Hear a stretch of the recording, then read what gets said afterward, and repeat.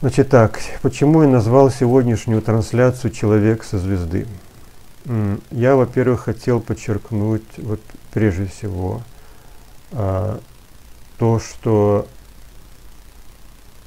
значит, люди, а, инопланетяне, точ, точнее, пришельцы, а, о которых я сегодня буду говорить, и с которыми люди встречались буквально в нашем обществе на Земле, не просто которые прилетели, это был контакт, а те, которые здесь живут.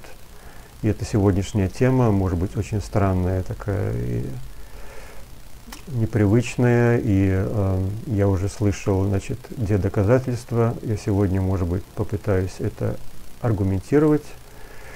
Так вот, те, э, о которых будет идти речь, это люди. И других случаев просто не знаю, чтобы земляне, которые встречались с кем-то, кто говорил, что он с другой планеты, и которые здесь живут. Это были всегда люди. Вторая часть – это, что я хотел сказать этим названием, это то, что хотелось бы снять мне такой ореол таинственности, мистичности, знаете, чего-то такого. А, по словам одного человека, о котором я сегодня буду говорить, это что люди с других планет. Это не более чудо, чем люди с другой стороны, с другого континента, понимаете, да, с другой культуры. И э, я все больше и больше прихожу к такой же точке зрения. Э, даже сегодня в разных странах, например, говоря о техническом уровне развития, есть большая разница. Э, в то время как одни живут э, без электричества, без интернета и так далее, другие уже способны будут скоро купить летающий автомобиль, например, да, или электромобиль уже становится обыденностью. То есть огромная разница. У одних, значит, э, телефон на, значит, на грани последних технологий, достижения науки и технологий – а у других, значит, э, я просто знаю пример, э, человек из моих знакомых, значит, который был в другой стране, значит, показывал телефон и говорит, это как космические технологии, как другая планета для нас. То есть даже на Земле а, разница огромная, да, но все-таки это все те же самые люди, мы одна, одна планета, одно человечество, и Приблизительно такую же точку зрения можно иметь и по поводу тех, кто живет на других планетах, или те, точнее говоря, которые являются пришельцами, не обязательно инопланетянами. Я об этом говорил в самом начале видео, что вы не слышали. Значит, э, я изучаю тему контактов. Моя основная тема стала. Э, я прихожу к мнению, что не обязательно контакты происходят с кем-то с другой планеты. Когда мы говорим контакт, контактер, как правило, представление, что человек контактирует с инопланетянами, получает послание, встречается, может быть, с ними еще что-то. Именно инопланетяне. Но слово инопланетяне привязывает конкретно к представлению, что кто-то с другой, это кто-то с другой планеты.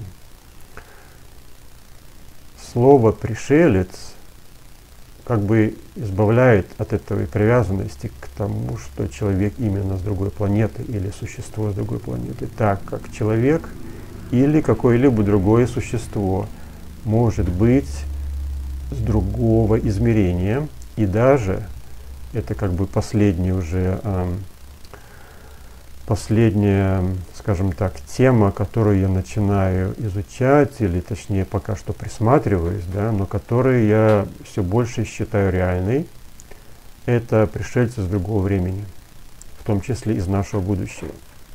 Это очень интересно, но пока что очень мало, э, скажем так, случаев, даже, наверное, я бы сказал, один я только знаю – которым, на которые я рассматриваю более-менее серьезно и считаю их, скажем так, с большой долей вероятности достоверными.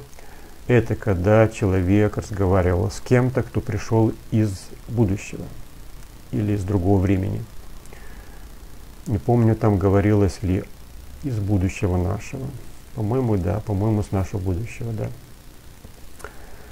Вот. То есть мы говорим о пришельцах, и я говорю, больше буду говорить о пришельцах, а не об инопланетянах, потому что, как я сказал, э, контакт может быть с кем-то, кто пришел из другой планеты, другого измерения или другой, как это сказать лучше, более так э, понятливо. Да. Измерение как бы представляется что-то не здесь, что-то по ту сторону, чуть ли не загробный мир, но, наверное, было бы про, э, правильно или, может быть, более доходчиво сказать другая форма материи. Например, даже наука говорит да, о черной материи, то есть говорят о материи, хотя эта материя такой формы, что до сих пор не могут уловить ее частицу. Э, последние, значит, э, опыты с, по-моему, этим коллайдером, да, что они пытаются поймать частицу черной материи. То есть все как бы теории, наблюдения показывают, что черная материя должна существовать. Но это все только в теории и наблюдениях. Никто не имеет частицу темной материи или черной материи, как ее называют. Но материя, это все еще материя, понимаете, не говорят о чем-то там, я не знаю, материя. И точно так же, заходя далеко вперед, э, значит, уже мы не говорим о том, что там частица, да, уже речь идет о том, что существует жизнь. И не говорю, что черная материя, но просто материя другого, и не знаю, как э, где атомы или молекулы вибрируют в других частотах. Я вот слышал немножко объяснения от э, некоторых ученых, например, Мичел Каку говорил об этом, что если частота вибрации, я вот не, не специалист, могу ошибиться, но, скажем, частота вибрации там, атомов или еще каких-то частиц, если она будет немножко другая, то э, совсем по-другому будет, да, скажем, он говорит, что в этой же комнате могут быть еще и там другой мир, какие-то другие существа, там, я не помню, как говорил, и, скажем так, другая версия нашей реальности, динозавры, в которые могут еще существовать, и это все будет здесь, в этом же месте, где мы сейчас находимся, да, то есть вот что значит другая материя, да, или другая там частота вибрации. Ну так вот, а, обобщая, значит, получается так, из тех случаев, которые я рассматривал, я сегодня некоторые буду приводить цитаты. А, речь идет о том, что есть люди, живущие вот в этих э, состояниях, да, в других э, формах материи, имеют другую форму материи, и мы их не видим, но у них тоже есть жизнь, цивилизация, буквально планета и так далее, технологии. Некоторые из них я вот не буду говорить, что все или это постоянно происходит, но, по крайней мере, некоторые из них способны быть в нашей измерении, то есть быть как мы, и буквально материализовываться и дематериализовываться, то есть имеет способность переходить из одного состояния материи в другое состояние материи. И один из, пожалуй, примеров наиболее известных, хотя все о нем или многие об этом слышали, но навряд ли, наверное, так достаточно серьезно обращали внимание. Это история контактов или, как это еще можно назвать, встреч, контактов, сотрудничества Рерихов, Николая, Елена Рерих и Блаватской, это из более известных, с так называемыми учителями Шамбалы. Я буду это затрагивать, так как есть интересные параллели, но что известно из этих источников, которые писали, они записывали беседы и так далее. В частности, больше всего Елены Рерих об этом говорится, где они говорят о том, что они могут быть одновременно э, совершенно полном сознании и в нашем измерении, или, скажем, нашей форме материи, и в той другой форме материи. У них даже есть свои, там, как они называют, обитель, скажем так, я не знаю, как это можно назвать, место жизни, жительства, лаборатории и так далее. То есть они одинаково функционируют и здесь, и одинаково функционируют там. И говорят, что если для человека обычного сон это значит уход как бы в какое-то небытие, э, где тело не функционирует, мы там видим какие-то сны, они же одинаково сознательно находятся в состоянии физическом, и когда бодрствующим точнее, и одинаково сознательно действуют и работают и функционируют в том состоянии, которое мы называем сон. Когда человек где-то бывает, хотя наука говорит, что это все работа мозга, а, но у меня, у меня даже самого есть а, примеры из моего личного опыта, когда то, что испытываешь, нельзя объяснить просто работой мозга. Когда я, например, видел фрагменты из будущего – которые я имею лично подтверждение, что это были фрагменты из будущего. То есть полное совпадение того, что я видел во сне, с тем, что видел в реальности. Вот. То есть, конечно, для науки все это э, галлюцинации, сны и так далее, но это, как бы сказать, игнорирование того, что есть, нежелание замечать того, что есть. Вот. Так вот, эти люди говорят, что они одинаково сознательны, полностью функциональны и в этом состоянии, физическом теле, и в таком состоянии, которое мы называем сон. В том, куда сознание или, там, скажем так, душа или дух или какая-то энергия человека уходит, когда мы спим.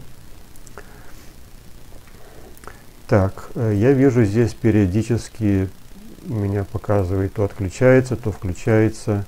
Если будут перескоки в трансляции, извиняюсь не моя вина. Так уж получается. Так. Ну вот. Это как бы мое обоснование такое, а, почему я хочу акцентировать на термине пришельцы, но и не, но и не только инопланетяне. Хотя и инопланетяне, и пришельцы одинаково могут быть с другой планеты. И из того, что я узнал из разных э, историй контактов, это то, что некоторые, по крайней мере, пришельцы способны, инопланетяне уже будут кон- кон- конкретизировать, способны запросто переходить с этого, с нашего знакомого уровня бытия, да, фи- нашей материи, в другое без каких-либо затруднений. В частности, так называемые серые пришельцы, которые э, больше всего виновны в похищениях э, людей, как мы знаем, да, я эту тему рассматривал в одной из своих трансляций. Это совершенно реальные вещи. Но то, как там происходит все, да, и что люди рассказывают, и что испытывают и так далее, это выглядит совершенно как-то фантастически. Вот. Но эм, у меня есть несколько источников, которые я, на которые я опираюсь, в том числе есть э, один человек, э, женщина, которая публикует свои дневники о том, что она переживала и что до сих пор переживает. Это много лет, э, я не помню, наверное, с 2010 года она это публикует. И все это на английском, к сожалению, вы не можете это читать, если не понимаете.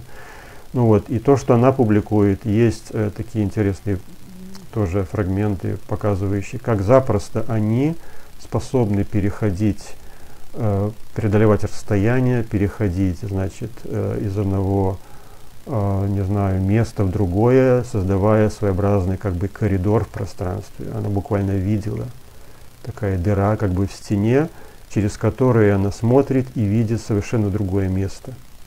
И я это видел, э, это описание э, в других случаях тоже. Другой источник, это, э, я сегодня о нем буду говорить, это, значит, эм, Джим Спаркс, очень интересный случай э, похищений многолетних, э, в которых человек имел полное сознание фактически всего, что происходит, полная память о том, что было. И это э, очень интересный случай, так как он приводит много подробностей. И он то, вот именно он и больше всего и говорил, э, это, наверное, с, с его истории начал к этому серьезно присматриваться и смотреть, искать похожие случаи и других э, примеров, значит, других контактах. Это что э, серые пришельцы, с которыми он имел контакты, и которые его похищали, прежде всего, они отличались от тех, которые мы знаем. То есть, когда мы говорим серые пришельцы, мы как бы, то все равно, что сказать люди, да, но даже на Земле люди есть черные, чернокожие, бледнолицые, краснолицые, азиаты и так далее, да, и все мы называем люди. Так вот, и как же эти так называемые серые пришельцы тоже есть разные. Разный рост, разный оттенок кожи, разные глаза.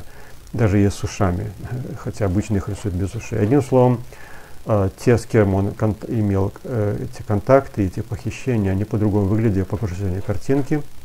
Так он, он говорил, что они запросто совершенно переходят из одного состояния бытия в другое. Как вот мы переключаем с пультом телеканал, да, на телевизоре, так они это делают без каких-либо затруднений, то есть, скажем так, буквально серая обыденность, да, и э, в том числе и во времени. То есть это нечто вообще трудно понимаемое, трудно представляемое. Для нас еще на грани научной фантастики. Это еще только некоторые фи фильмы мы еще делаем фантастические которые как-то пытаются рассматривать эту тему, да, и то это еще не такая удивительная, еще не придумали интересные истории, наверное, чтобы это показывать. Но э, для них это стало совершенно обыденной вещью, как в будущее путешествие, так и в прошлое путешествие, также и э, перемещение в разных измерениях, вот, и он видел, как это происходит, э, он видел существо наполовину видно, наполовину не видно существо, или он становится полупрозрачным. В общем, он описал разные эффекты, есть его книга, которая у меня есть, и я смотрел множество его видео, э, интервью. Э, значит, я, значит, когда я вижу уникальный какой-то случай интересный, да, я стараюсь изучить его как можно больше, смотрю и все возможные какие-то только интервью, выступления, слушаю все какие только возможные э, его радио, разные интервью и так далее, чтобы сложить представление о том, насколько четко человек излагает историю, не путается ли он, э, что он за человек вообще. То есть я как бы изучаю самого того, кто заявляет о чем-то, чтобы прежде чем начать, значит, серьезно относиться к его рассказам. Вот, это один из примеров, который я серьезно отношусь. Я в нем сегодня буду рассказывать. Ну вот, и это, значит, э, короткий такой уход в сторону о том, что человек может существовать, точнее, люди существуют в разных измерениях и на разных планетах. И все это в сегодняшней теме. Так, смотрим, значит, люди Сергей, прошу сделать запись трансляции. Значит так, э, запись у меня делается одновременно на компьютер. Надеюсь, она не испортится. Все будет хорошо. Так, э, еще раз говорю, если будут какие-то помехи, сообщайте, потому что я могу их не заметить. Я смотрю трансли... то, что я транслирую, я смотрю себя в программе, и я могу не увидеть, что там видно у вас. Поэтому, если что, обращайте внимание, я я читаю ваши сообщения. Ну вот. Значит так, говоря о встречах с пришельцами, которые живут на Земле. То есть не прилетел на космическом корабле, не там еще чего-то, да, а буквально они здесь имеют нашу одежду, а, живут в домах, как мы, даже ходят в наши магазины, и так далее, даже выступает на конференциях, даже на таком уровне. Да. Есть несколько таких, а, буквально, наверное, два примера. То есть это вообще выглядит вообще за пределами. Да. И, на мой взгляд, это как бы новая волна информации. Хотя она вообще-то это не супер новая, то есть это не началось только что. Эта информация потихонечку шла довольно давно. Я бы сказал так, десятилетиями даже. Но это буквально было один-два случая. И они совершенно не громкие. То есть, если мы, например, говорим об уфологии, да, то когда говорим Розуэлл, ну, наверное, все знают, кто, хобби, кто немножко интересовался уфологией. Да. Серые пришельцы все знают. Но а, пришельцы или люди из других планет – обитающие здесь на Земле, живущие среди людей, это очень редко, и никто не приведет, наверное, случая известного, популярного, кто бы сказал, вот такой пример. Но я знал такие случаи, правда, я не рассматривал это как случаи инопланетян, живущих на Земле. Буквально, я говорю на Земле, живущих в нашем обществе, я это подразумеваю. И только потом, когда я изучил э, несколько случаев, э, я стал обнаруживать сходство с историями, которые я знал до этого. И хотя там не, не подразумевалось, что это инопланетяне или даже могут быть инопланетянами, но читая истории, с которыми я стал знакомиться в последние несколько лет, я вижу сходство, то, что есть в этих историях, с тем, что я читал раньше. И потому я буду проводить эти примеры как примеры инопланетян или пришельцев. Я подчеркиваю, да, что это могут быть люди из других измерений, которые здесь живут. И подчеркиваю, люди из других измерений, которые, которых мы можем видеть, которые видны физически, ты их потрогаешь, он физически. Вот. И э, так, значит, сейчас посмотрим.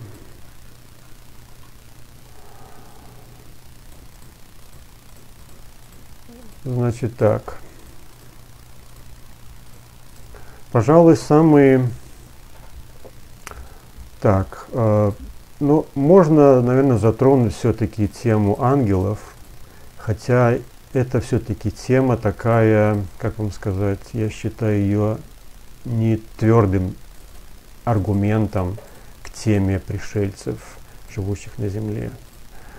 Хотя я делал в одной из трансляций, приводил цитаты из Библии и другие, значит, говорящие об ангелах, о встречах с ангелами, которые выглядели как люди, и человек не знал, что это ангел, он говорил с ним, покуда не происходило что-то необычное, э, например, он неожиданно исчезал каким-то необычным образом, вот, или там пророчествовал что-то и так далее, и только тогда человек думал, о, это же ангел.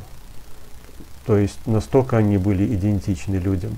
Эти такие э, подробности из Библии очень интересные, особенно учитывая то, что сколько прошло переводов, да, переписчиков и так далее, все эти тексты, они не потеряли как бы этот смысл. Хотя, а, можно сказать, вот известна такая тенденция, что люди приукрашивают, обожествляют, там, понимаете, приписывают всякие невероятные способности тем, в кого не верят – и там учитель какой-то или еще кто-то, да, основатель какого-то там движения или еще чего-то, со временем его образ все больше обрастает всякими легендами, способностями невероятными, чудесами. Вот, несмотря на это, рассказы о встречах с ангелами не потеряли вот этот интересный, э, эту интересную подробность, что люди их видели, и из того, что я читал, несколько случаев, только после того, когда что-то происходило невероятное, они только тогда понимали, что это был ангел, а не просто человек. Это интересная подробность. Но почему я отношусь к этому осторожно, а, как к доказательствам или, скажем так, аргументам? Потому что а, надо помнить, первое, во-первых, а, Библия, я сейчас обобщаю, обобщаю Ветхий и Новый Завет, но в целом это правило, подходящее к Ветхому Завету, далеко не всегда, то есть не во всех случаях, а, то, что писалось, подразумевалось буквально. То есть это не дневник, понимаете, не запись буквальной истории, которая произошла, не обязательно. Это может быть символическая история. Понимаете, да? То, например, э, история сотворения мира. Да? Адам и Ева. Исследователи говорят, что Адам и Ева не обязательно, я сейчас не буду называть имен исследователя, просто чтобы а, значит, привести аргумент к теме. Да. Я немножко изучал эту тему, и, значит, что не обязательно Адам и Ева это буквально были женщина и мужчина, один мужчина, одна женщина. это могли быть образы, представляющие целую, скажем так, группу людей. Или первые, как сказать, раса, может быть. Понимаете, да? То есть это обобщающий образ. И если вы будете копаться, значит, там, в теологии, я не знаю, в каких источниках, то есть в источниках, которые пытаются анализировать, разбираться, читая оригинальные тексты, там, э, расшифровывая символику, еще что-то. Значит, э, речь идет о том, что не буквально то, что пишется, да, это не буквально именно так. Если сад, не обязательно это был сад. Если Адам и Ева, не обязательно был один человек, понимаете. То есть то же самое, потому когда читаем об ангелах или там пишет видение да, какого-то пророка, он там видел вот это, вот это. Не обязательно то, что он видел, это буквально он сидел и видел в небе, там колесница полетела или что-то подобное. Это может быть символическая история, в которой зашифрованы знания определенные. И это я говорил, что давно существующая традиция давать э, знания в образах и символах. Я сейчас не помню, какой из известных э, математиков или, или геометров, я не знаю, кто-то сказал именно об этом, что геометрические, что значит э, истина не может даваться напрямую, а она дается в образах и символах. Учитывая это, всегда помня об этом, всегда надо читать Библию, помнить. То есть, э, помня об этом, надо правильно читать Библию, особенно вот эти образные истории, э, видения и так далее. Потому кто знает на самом деле, что вот история с этими ангелами хранит. Я не изучал очень глубоко эту тему, потому я отношусь к этому так. Это интересно. А, значит, для людей, которые буквально принимают Библию, как она есть, это интересно почитать, и потому я приведу эти цитаты для тех, кто читает Библию, как она есть. То есть, вот так написано, значит, так было. Значит, Бог создал Адама, значит, буквально Бог взял и создал одного человека. И он взял часть этого человека, его ребро, или точнее, более правильный перевод, именно часть. Потому что ребро, а, я читал, а, значит, интерпретации перевода – это на русском переведено как ребро, буквально физическая часть да, скелета. Но ребро это то же самое, как ребро куба. Да, если мы берем куб или там, не знаю, вот это ребро. То есть это сторона, часть. Это не часть скелета. Потому перевод интерпретирующий взял у Адама ребро и сделал из него Еву, докатилось до того, что значит, женщина это, это как бы второстепенная какое-то имеет роль в жизни мужчины, так как она вообще сделала из него кости. Это ошибка, это неправильно, если вы будете читать источники значит, ученых, изучающих эту тему там, и так далее, а, вы наверняка найдете это, что речь не идет о, о физической части. Ну вот, но все-таки, значит, если говорить для тех, кто буквально воспринимает, ладно, я приведу эти цитаты, так как они все-таки э, дают какой-то определенный, значит, тон для сегодняшней темы, и они интересны все-таки. Сейчас я найду эти цитаты.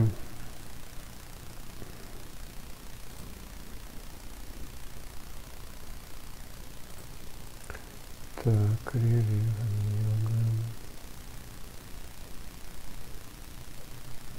Библия ангел. Ну вот. И я здесь сократил, просто чтобы быстрее прочитать и подчеркнуть самые интересные вещи.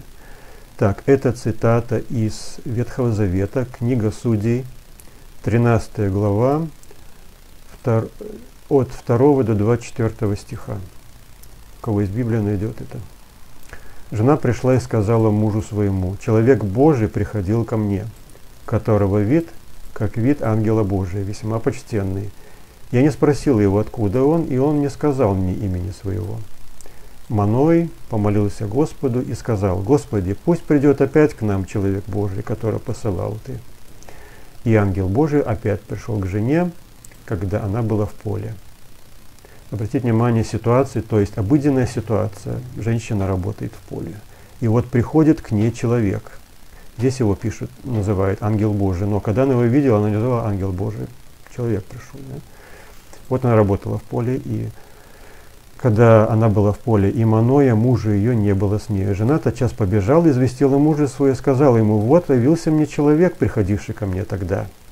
То есть я говорю, смотри, пришел опять тот самый человек, который приходил раньше, который я называю а, человек Божий. Маной встал и пошел с женой своей. Представь себе сцену, значит, она бежит, значит, женщина бежит с поля, приходит домой. Пришел опять этот человек, который я видел раньше, который я тебе говорил, что это человек Божий. Он там в поле стоит. Значит, и вот э, Маной со своей женой идет в поле, и там человек. Маной встал и пошел к женой, женой своей, и пришел к тому человеку и сказал ему, ты ли тот человек, который говорил с ее женщиной?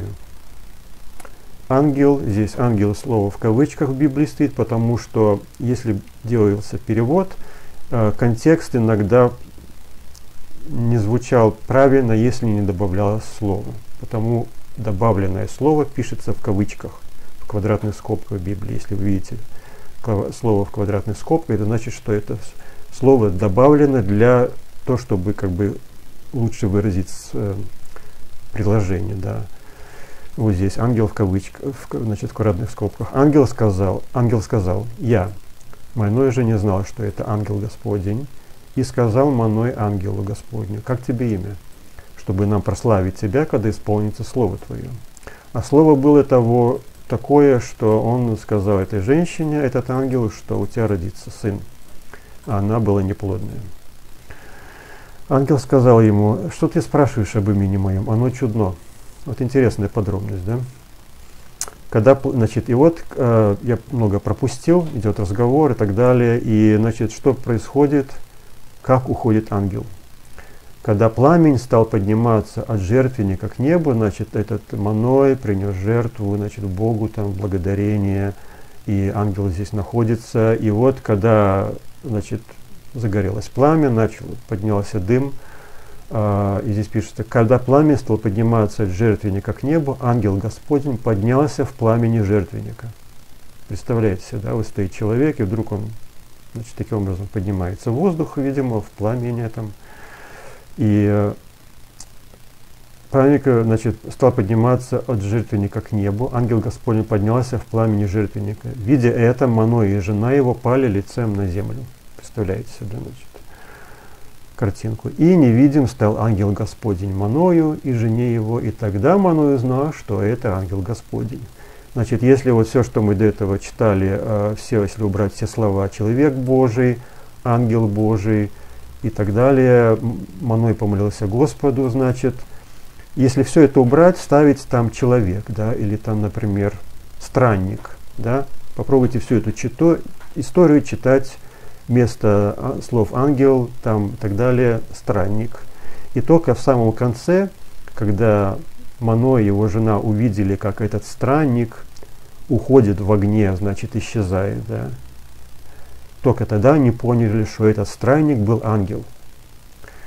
А, значит, вот это интересный, значит, э, интересный контекст к тому, что я сегодня, о чем я сегодня говорю, о людях, которые живут, вот, извиняюсь, о пришельцах, которые живут среди людей.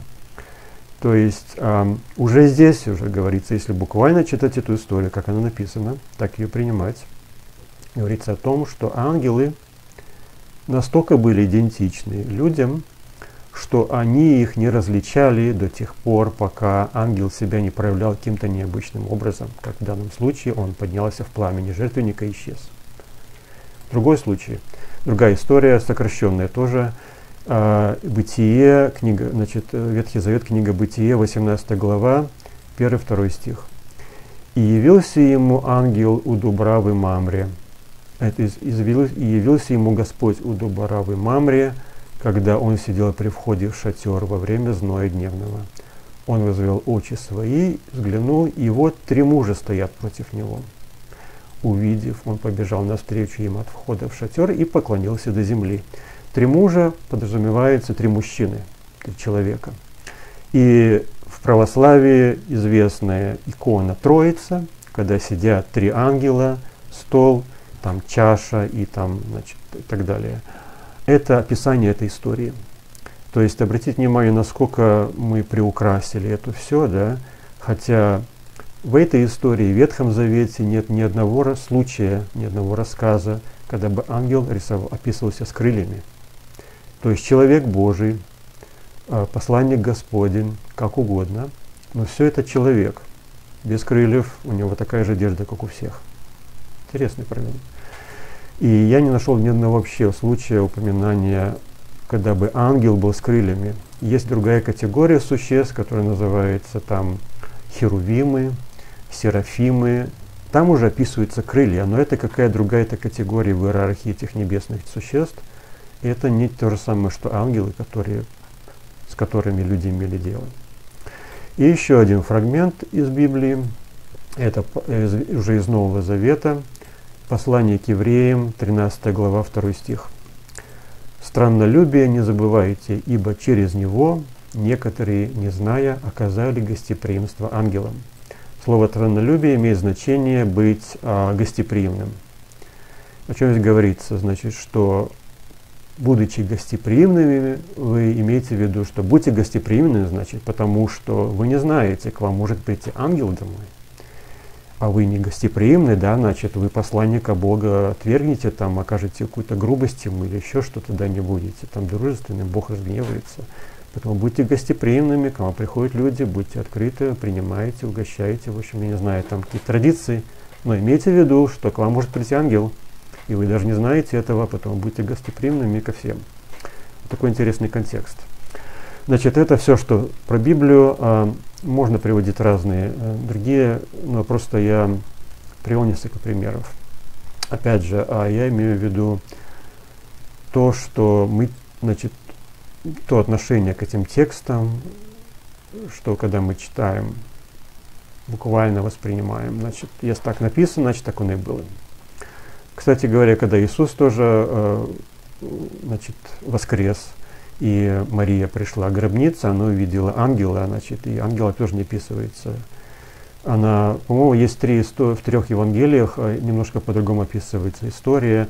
Там тоже, по-моему, говорится, увидела мужа. В общем, или увидела человека. Одним словом, читая так, читая, э, складывается впечатление, что увидела человека, да, и вдруг этот человек говорит, что ты здесь ищешь живого среди мертвых, он воскрес и так далее. Все это очень интересно. И это, как видите, история уходит веками далеко назад, начиная от э, значит, Ветхо, Ветхого Завета, ветхозаветных историй и до значит, времен, когда Иисус был, Значит, это, наверное, к сегодняшней теме наиболее, скажем так, ранний источник, если можно это относить к источникам. Значит, что следующее бы я назвал? Значит, видите, я постепенно приду к нашему времени, но я просто хочу показать, что эти вещи, когда существа или люди, не происходящие из Земли, живут среди нас, находятся, могут находиться в нашем обществе, и они неузнаваемые – это обнаруживается в разных источниках. Э, в, том числе, видите, в Библии есть. И пытаюсь вспомнить, значит, где еще что-то похожее можно было бы найти. Я, как я уже сказал, эм, изучая тему контактов, я стал находить параллели, сходства с историями, которые я знал раньше – и так я вспо... одной, одной из вещей, которые я вспомнил, которой я очень интересовался, до сих пор еще интересуюсь, но не так глубоко, как раньше, это агни-йога, это э, контакты Елены Рерих с учителями, встречи Николая Рерих, в том числе и вообще и всех из семьи, э, значит, там еще было два сына, с э, учителями Шамбалы, так называемыми, потому что э, мы знаем, как учителя Шамбалы, Э, на Востоке, в Индии их по-другому называют, и сегодня оно будет прозвучит одно из названий. Но я просто говорю о учителя Шамбалы, чтобы, значит, привязать к конкретной теме. Или же их еще называли махатами. Махатами их называют в Индии в том числе. Э, но я не знаю, как сейчас в Индии, какая ситуация. Э, Все, что я знаю, это как об этом говорила Елена Рерих в то время, когда она жила, было 30-е годы и до 40-х и позже. Значит. Я не знаю, какая сегодня ситуация в Индии, отношение к этой теме было бы интересно изучить, но, как вы знаете, много изменилось, и Индия далеко, э, может быть, уже не такая мистическая, какая она была раньше. Люди западной цивилизации, европейской цивилизации проникают далеко, и сегодня можно, наверное, сделать живую трансляцию с Гималаев, да, через Перископ или там ВКонтакте, чего раньше было вообще невероятно сделать. Ну вот, но все-таки, значит, такие имена существуют, как Махатмы. Махатма в переводе с санскрита означает «великая душа». Мах-атма. Маха-атма. Так вот, а, мне известно два источника, а, значит, точнее говоря, эм, как тут сказать правильнее. Да, два источника. Это Николай и Елена Рерихи и Елена Петровна Блаватская. И еще я не знаю точно, какова история с письмами, так называемым Махатум, что было вокруг этого. И связано ли это было как-то с Блаватским, или это шло отдельно, но был период времени, когда вот эти учителя переписывались с некоторыми людьми из Европы. Я не знаю, было бы кто-то из Запада, там, США или еще откуда, но в Европе, значит, были несколько человек, с которыми велась переписка, и эти письма сохранены, они существуют, их можно почитать, они называются «Письма Махатмы». Вы можете их найти в интернете, если поищете, и я вам рекомендую это почитать, потому что, во-первых, вы а, увидите, каким языком хотя это переводы, это не было на русском, это было на английском. Несмотря на то, что это переводы, вы увидите стилистику изложения мысли, какая терминология, и вообще, что разговор вполне обычный фактически, да, ничего какого-то, знаете, там, братья, ну не знаю, таких, знаете, слов, э, как я не знаю, мыльный опер, да, еще не знаю, как назвать, как иногда приписывают, читаешь некоторые чен, ченнелинги, да, там такие вот уже так плавают в этих розовых облаках такие термины, там, о, там земные наши братья, там еще что-то там. Все очень просто, конкретно. Знаете, как сидят два собеседника и разговаривают за столом.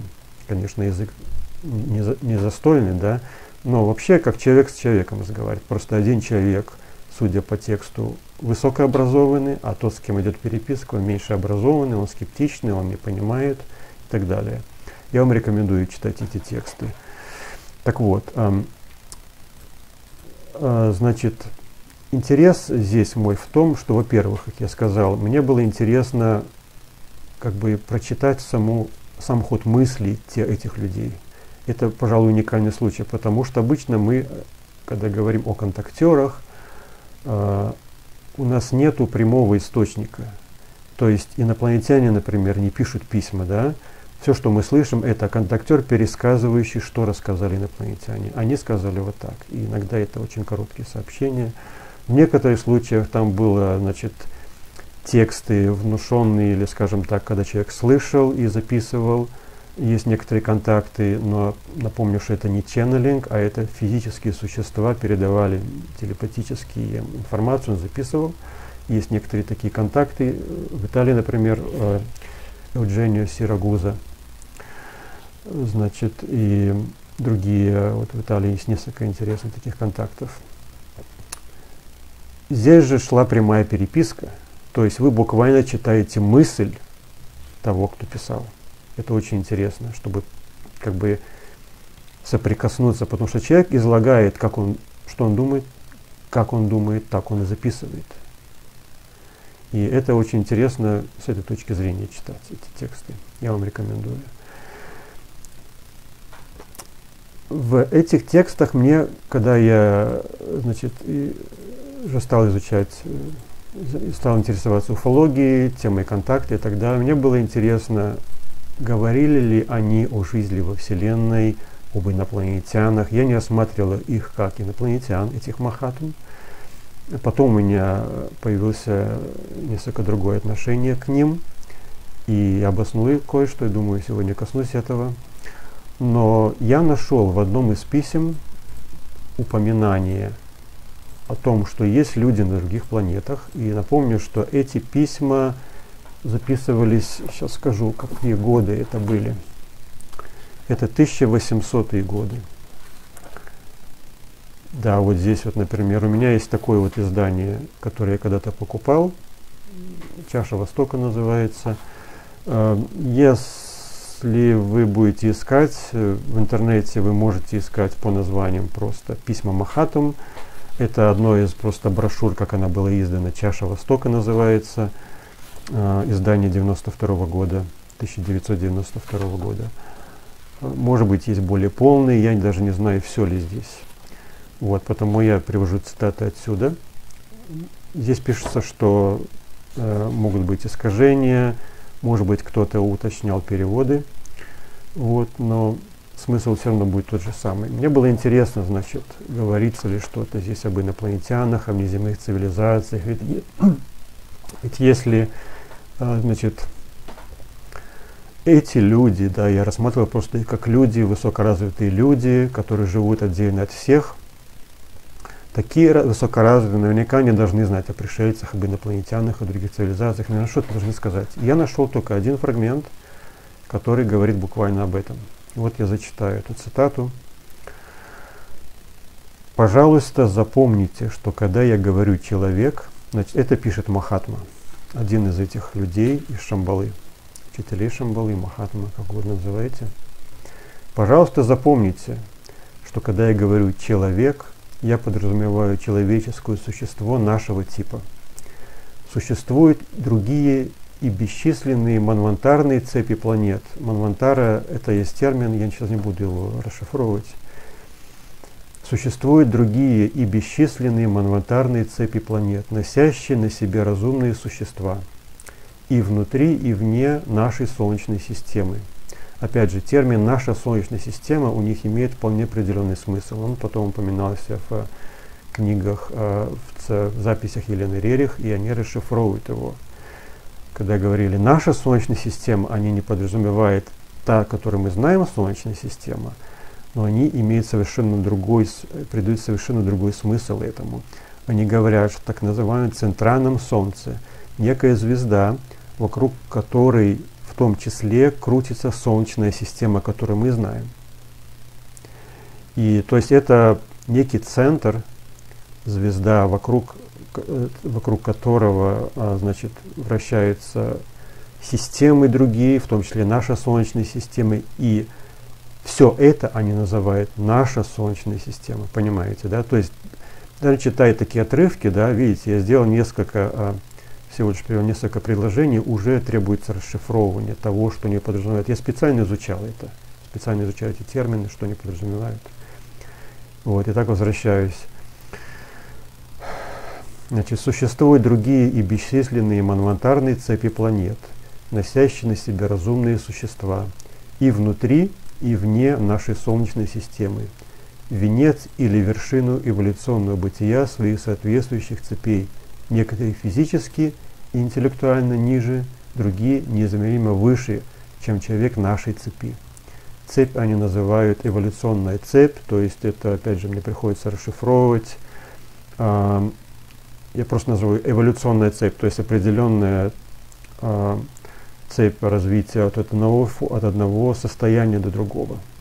Я упрощаю просто, да.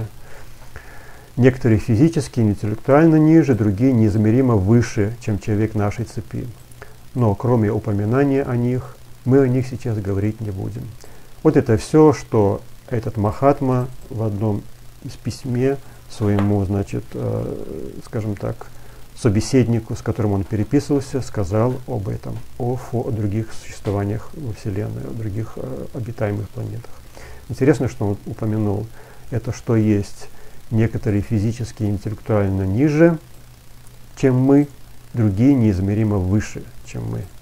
А, это, то есть, в принципе, это понятно. Да, естественно, что, конечно же, в такой огромной вселенной наверняка будут те, которые имеют приблизительно такой же уровень, как и мы. Кто-то будет более развит, кто-то будет менее развит, кто будет очень примитивен. Вот. Как бы это понятно. И в то же время эта логика здесь лишний раз как бы упоминается, и лишний раз для меня лично говорит о логичности о, и о, скажем так, образованности того, кто говорит, о понимании о том, того, что он говорит. Для меня это такие важные фрагменты. Так, и еще очень важный момент, который не относится буквально к теме, но я его упомяну, потому что он будет упоминаться в, а, значит, сегодня позже еще в других местах. Значит так, в одном из письме, это письмо 1880 года, 19 э, сентября, октября, 19 октября.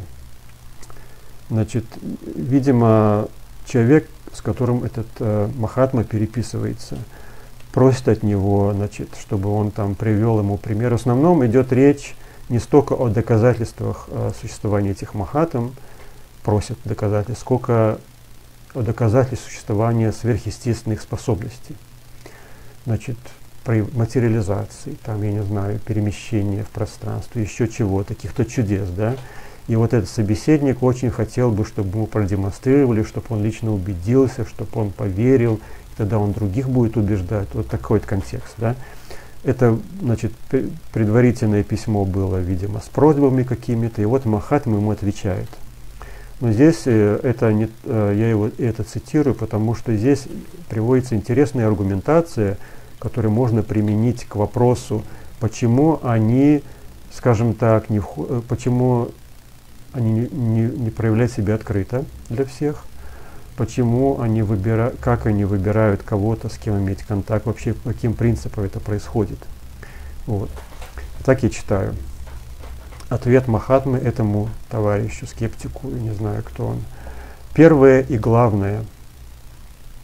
Первое и главное соображение в нашем решении принять или отклонить ваше приложение заключается во внутреннем побуждении, которое толкает вас искать наших наставлений и в некотором смысле нашего руководства.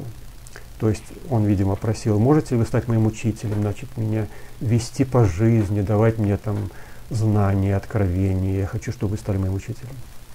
Ну вот, и он говорит, что первое главное соображение в нашем решении принять или отклонить ваше предложение заключается во внутреннем побуждении, которое толкает вас искать наших наставлений и в некотором смысле нашего руководства. Последнее, во всяком случае, под условием, как я понимаю, и потому остается вопросом, не зависящим от всего другого. Теперь, каковы же ваши побуждения? Я постараюсь определить в их общем аспекте, оставляя подробности для дальнейших соображений. Они следующие. Значит, видимо, они, этот Махатма и другие вместе с ним смогли проникнуть в сознание этого человека и усмотреть его настоящие побуждения, почему он просит проявления чудес, доказательств, станьте моими учителями и так далее. И вот они ему излагают, видимо, то, что они видят на самом деле. Первое – Желание получить положительные бесспорные доказательства, что действительно существуют силы природы, о которых наука ничего не знает. Второе.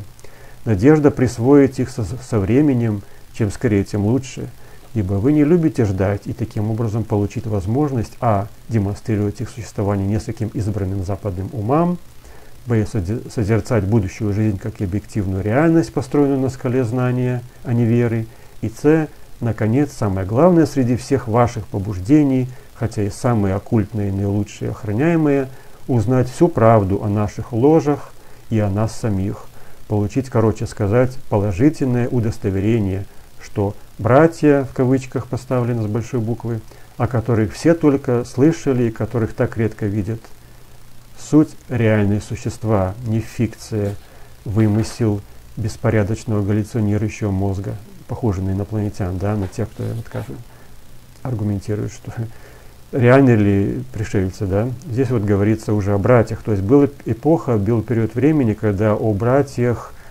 мистических братств, таинственных секретных братств, шамбалы, я не знаю, еще какие вот, много было разговоров. Значит, как сейчас о пришельцах, был период, когда больше всего об этом шло разговор. Таинственное братство, белое братство где-то в Гималаях значит, и так далее. Вот эти некие братья из этого братства. Вот. Такими рассматриваемые в их лучшем свете является нам ваше побуждение в обращении ко мне. И в этом же духе отвечаю на них, надеясь, что моя искренность не будет истолкована в ложном свете или приписана какой-либо недружелюбности. По нашему разумению, эти побуждения, которые со светской точки зрения могут показаться искренними, достойными соображения, являются себелюбивыми. Вы должны извинить меня за то, что вам может показаться суровостью языка, языка если ваше желание действительно есть то, что вы, что вы заявляете, знать истину и получить наставление от нас, принадлежащих миру, совершенно отличному от вашего.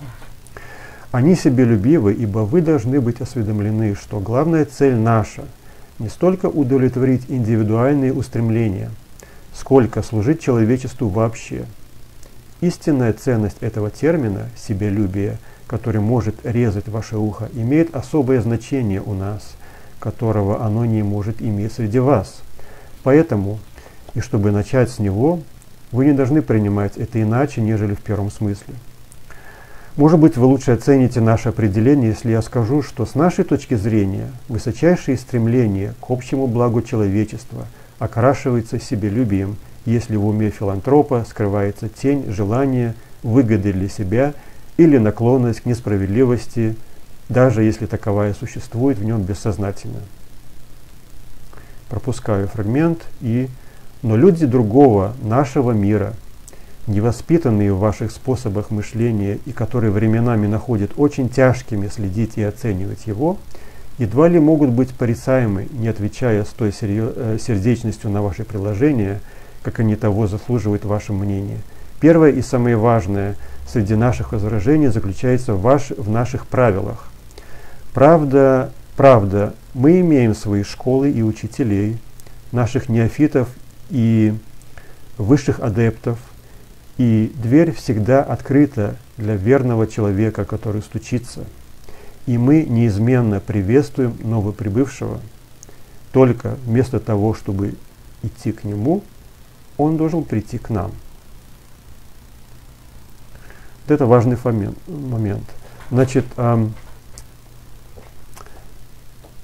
Похожие вещи я читал Блаватской, когда она говорила, что есть люди, которые просто жаждут, чтобы учителя стали значит, личными учителями, вели их, значит, так далее, станьте моим учителем.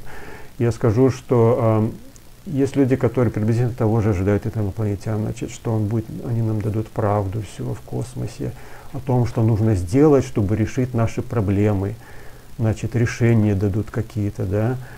Но э, Ответ такой, как правило, что не они должны идти к нам, а мы должны стремиться к ним, и тогда, когда это стремление приобретет правильную формулировку, правильную форму, только тогда произойдет открытый контакт.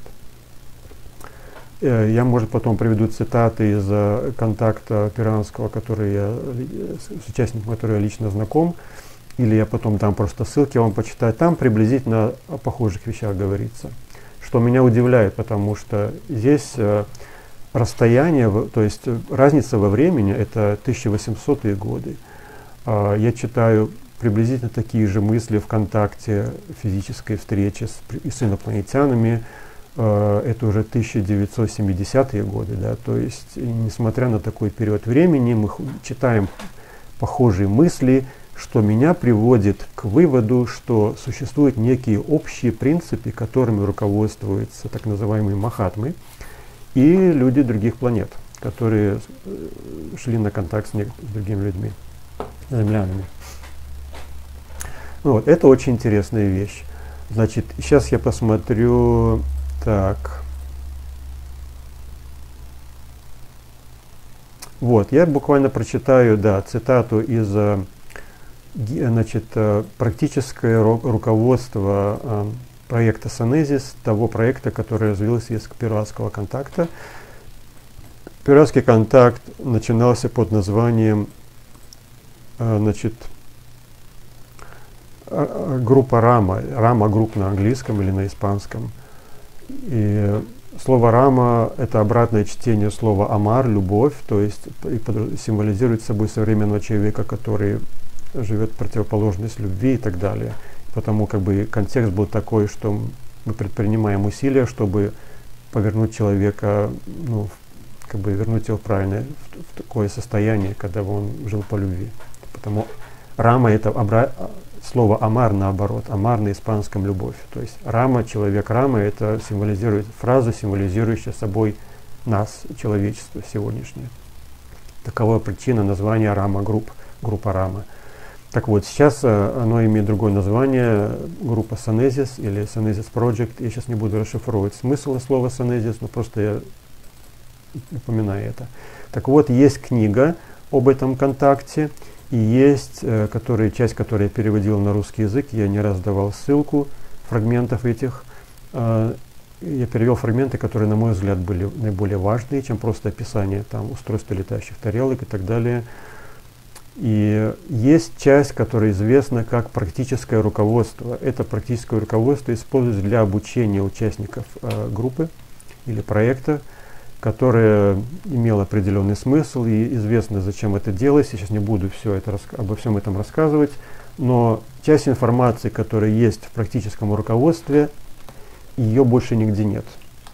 Часть есть то, что известно в книге, то, что известно из истории контакта, и часть создана специально для этого, для этого обучения. Вот я просто покажу это, как это выглядит, как нам это давали. Здесь, значит, есть э, темы разные, которые мы осматривали, есть про процесс обучения. Я это проходил. Э, мы прошли почти все. Вот, очень интересное дело записи, и я потом кое-что покажу. Так вот, э, значит, фрагмент из этого руководства, который я перевел, так как мне показалось важным для сегодняшней темы, читаю. Гиды, значит, инопланетян в этом контакте называли гидами. А, гиды будут рядом. Значит, а, еще раз, содержание этого руководства, а, как мне говорил участник контакта, которым я лично знаком, записывалось при совместном участии с этими инопланетянами или гидами, как они их назывались. То есть часть э, была при совместно, значит, э, корректировалась вместе, и использовались записи, которые были получены от них телепатически, э, значит, информация, которая была получена напрямую при встречах и так далее, формировалось содержание и так далее. Значит, вот запись, которая, видимо, по содержанию мне говорит о том, что это была запись, по-видимому, из телепатических записей или прямая. То есть это не э, словесное изложение контактера, что он помнит по памяти. Это, это можно сказать, буквально наведенная запись. Гиды будут рядом, если работа проходит в соответствии с целью помочь человечеству создать лучшее будущее. Еще раз подчеркиваю. Гиды, то есть инопланетяне, если мы говорим о, скажем так, им какой-то помощи нам или каким-то группам, которые пытаются работать для, с ними там или еще как-то, да, правильный контекст, я бы сказал, контакта. Гиды будут рядом, если работа проходит в соответствии с целью помочь человечеству создать лучшее будущее. В случае, если работа будет преследовать цель самовозвеличивания, так же как и поиск славы путем манипуляции информацией, эгоцентричные попытки выделить и превознести одного или более членов группы, в таком случае отсутствие гидов будет очевидным. Очень важно, чтобы цель участия в группе была ясной, будь это филантропией, гуманностью, или если это будет делаться во имя любви к жизни, это должно основываться на альтруизме, а не эго. Любопытство может быть полезным в начале, но в дальнейшем оно должно уступить место конкретному желанию выполнения работы для строительства лучшего мира.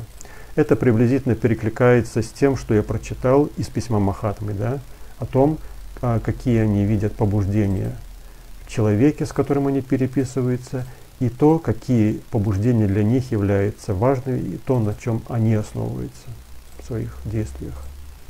Вот, я просто привел, привожу два примера. Все это я подвожу к теме. Э, не думайте, что я уклоняюсь от темы пришельца среди нас. Это все, э, скажем так, более широкая точка зрения, потому что я вижу было бы просто дискредитация, если бы просто рассказал о том, как разные люди встречались с инопланетянами в нашем обществе, потому что не зная контекста, что происходит и почему происходит, а может возникнуть неправильное понимание вещей. И я стараюсь подвести этот контекст. Опять же, я, как видите, опираюсь на источники, которые связаны непосредственно с инопланетянами или с пришельцами, или с людьми очень высокого уровня развития, которые, я говорю о Махатмах или учителях Шамбалы, которые потом, я сейчас приведу цитаты, сами говорят, что мы пришельцы из других миров. И часть этих людей, учителя Шамбалы, Махатмы, происходит с Земли, а, известно из того, что Галина Рерих, говорила Елена Рерих, это то, что они с определенным промежутком времени, очень большой срок, по-моему, если я не ошибаюсь, раз в сто лет, они принимают одного человека из нашего общества к себе внутрь, в их общество, значит, там Гималай, в Гималае где-то и, возможно, еще где-то.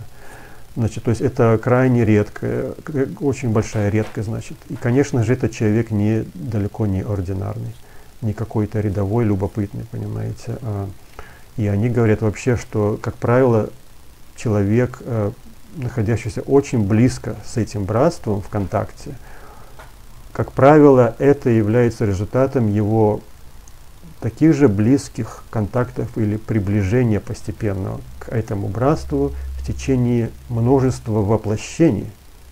То есть это процесс, в результате которого, в конце концов, человек туда приходит. То есть, опять же, это не любопытный с улицы, который почитал много книг, да, или насмотрелся много разных передач на эзотерические темы. Вот. Это то, я, значит, то, что я читал. Значит, как правило, не случайно, если человек уже входит в контакт или имеет встречи или еще что-то. Это уже не случайно. Скорее всего, это является продолжением того, что делалось раньше. И в этом воплощении, в этой жизни он продолжает это. И приходит какой-то момент, и у него происходит встреча, и э, приходит контакт, и ведется дальше работа на благо человечества и так далее.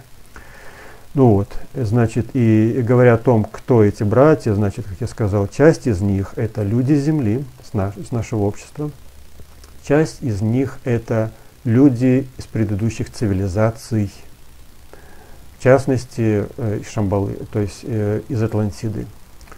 Там они буквально об этом говорят, что э, братство впервые стало формироваться, это братство – последние дни Атлантиды. Ну, знаете, что буквально дни, конечно, какой-то период времени, когда стало очевидным, что эта цивилизация гибнет, когда люди, могущие смотреть будущее, определили, что будет крах, крах Атлантиды, разрушение, и, значит, э, я обобщаю эти знания, значит, говорилось о том, что э, значит, были собраны группы которые были переведены в безопасные места на Земле, и они не погибли во время краха Атлантиды. И одна группа, несущая знания, ушла, изолировалась вообще от общества. И эта группа является основанием того, что мы знаем как Шамбала. На Западе известно как Шангрила и так далее. А, все больше я вижу э, э, значит, в значит, прессе, там, веб-сайтах слово Агарта фигурирует, но это не то название, и Агарта вообще было придумано человеком, если вы будете изучать термин. То есть Агарта это не ошибочный термин, термин подразумевающий другое. Это было придумано человеком одним, и значит, там есть определенные ошибки, если вы будете искать, вы найдете. Вот я поговорю только, я говорю только о Шамбале или на, э, значит, на, на Западе известно как Шангрила, этот термин, это, это место. Ну вот, и, и часть, значит, людей Шамбалы происходит с других планет. И, значит, э, потому, когда мы говорим учителя Шамбалы, можно подразумевать, что, значит, что, вероятно, каких-то случаях идет речь а, значит, общения, разговора, контакта с одним из людей, относящихся к одной из этих категорий. Хотя, э, э, я не знаю, ладно, я не буду слишком углубляться в эту тему. Я просто значит, хотел сказать значит, о том, кто такие эти, значит, кто входит в Шамбалу. И они говорили, что их немного. Не думайте, что там целая цивилизация. Они все говорят, нас немного. Есть, э, также есть ученики, которые живут в нашем обществе. То есть не буквально сами эти люди, шамбалы, а есть как бы их не называют учениками, То есть люди, имеющие прямой контакт, прямое общение с ними, которые являются, скажем, прямыми представителями этой, этого коллектива, этой группы. И они тоже находятся в нашем обществе. Более того, они выполняют определенные задания. И в Агни-йоге вы можете найти упоминание а, значит, примеров, когда люди Шамбалы а, оказывали влияние на развитие нашего общества. Я мог, мог бы привести цитату, например, сейчас я посмотрю, если найду ли я здесь. И у меня есть веб-сайт, который специально создал о Шамбале, где я собрал наиболее интересные а, цитаты, которые, на мой взгляд, наиболее интересные. И вот я открываю свой веб-сайт и читаю просто вот для примера. Цитата из а, книг Агни-йоги. Значит, напомню еще раз, о чем я говорил раньше – книги Агни-йоги это не там какое-то учение, да, там идущее, там, я не знаю, из древности. Слово йога немножко путает, потому что у нас обычно йога это упражнение представляется, здесь другой, другой смысл придается этому. И это было дано такое название. То есть это не какие-то там древние тексты или еще что-то, и это не ченнелинг, подчеркну. Это не записи ченнелинга, это записи Елены, Елены Рерих, которая она вела как дневники а, значит, своих бесед, разговоров и так далее с учителями. Э, и а, потом эти записи были оформлены в виде этих книг по просьбе самих учителей. Они сказали, ты должны выпустить книги, и даже названия под их руководством названия давались этим книгам. Известно 14 или 13 книг названий, там зов и так далее, и так далее, община там и так далее. Вы найдете, если будете искать книги Агни-йоги. Есть в том числе книга Агни-йога называется, одна из книг этих. Потому это цитаты оттуда я взял. Так, может ли наша община вмешиваться в дела мира и оказывать действенную помощь? Каждая община лишена эгоизма в вульгарном значении и во имя общего блага имеет касание в решении мировых дел. Как стрелы вонзаются посылки общины в мозг человечества. В литературе научной можно проследить ряд воздействий, как психических, так и материальных. Известны случаи посылок важного значения предметов, известны присылки денежных сумм, известны предупреждения об опасности, известны письма о решении дел, известны речи под разными образами. У нас бывали пароходные билеты и костюмы разных стран. Мы имели разные имена и являлись, когда обстоятельства повелительно требовали. Очень интересная цитата, которая очень много сразу говорит. Потом здесь много других значит, цитат. А я потом дам ссылки. А, значит, это книга Агни-йога из серии Агни, а, значит, точнее, это а, книга Озарения из серии книг Агни-йоги. Цитата оттуда. Так. Еще, значит, касательно Рерихов. А, читая их книги, в частности, книги Николая Рериха, мне было очень интересно найти, значит, э, во-первых, они, у них было, э, они имели несколько экспедиций, которые имело культурное значение, э, значение там изучения определенные, и э, во время экспедиции вели, вели дневники, и в частности есть э, одна книга, которая называется, э, сейчас минуточку, как она точно называется, которая является записью их экспедиции то, что было во время экспедиции, что они видели, записывали, какие записывали легенды, что местные рассказывали и так далее о Шамбале, что ламы знают о Шамбале, что местные рассказывают, какие легенды. Сейчас я найду, значит, что я буду читать. Так. Минуточку.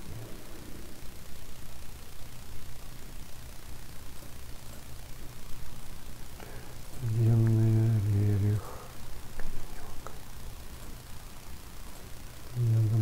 Абрамов. Ага, у меня это в отдельном файле. Сейчас, минуточку.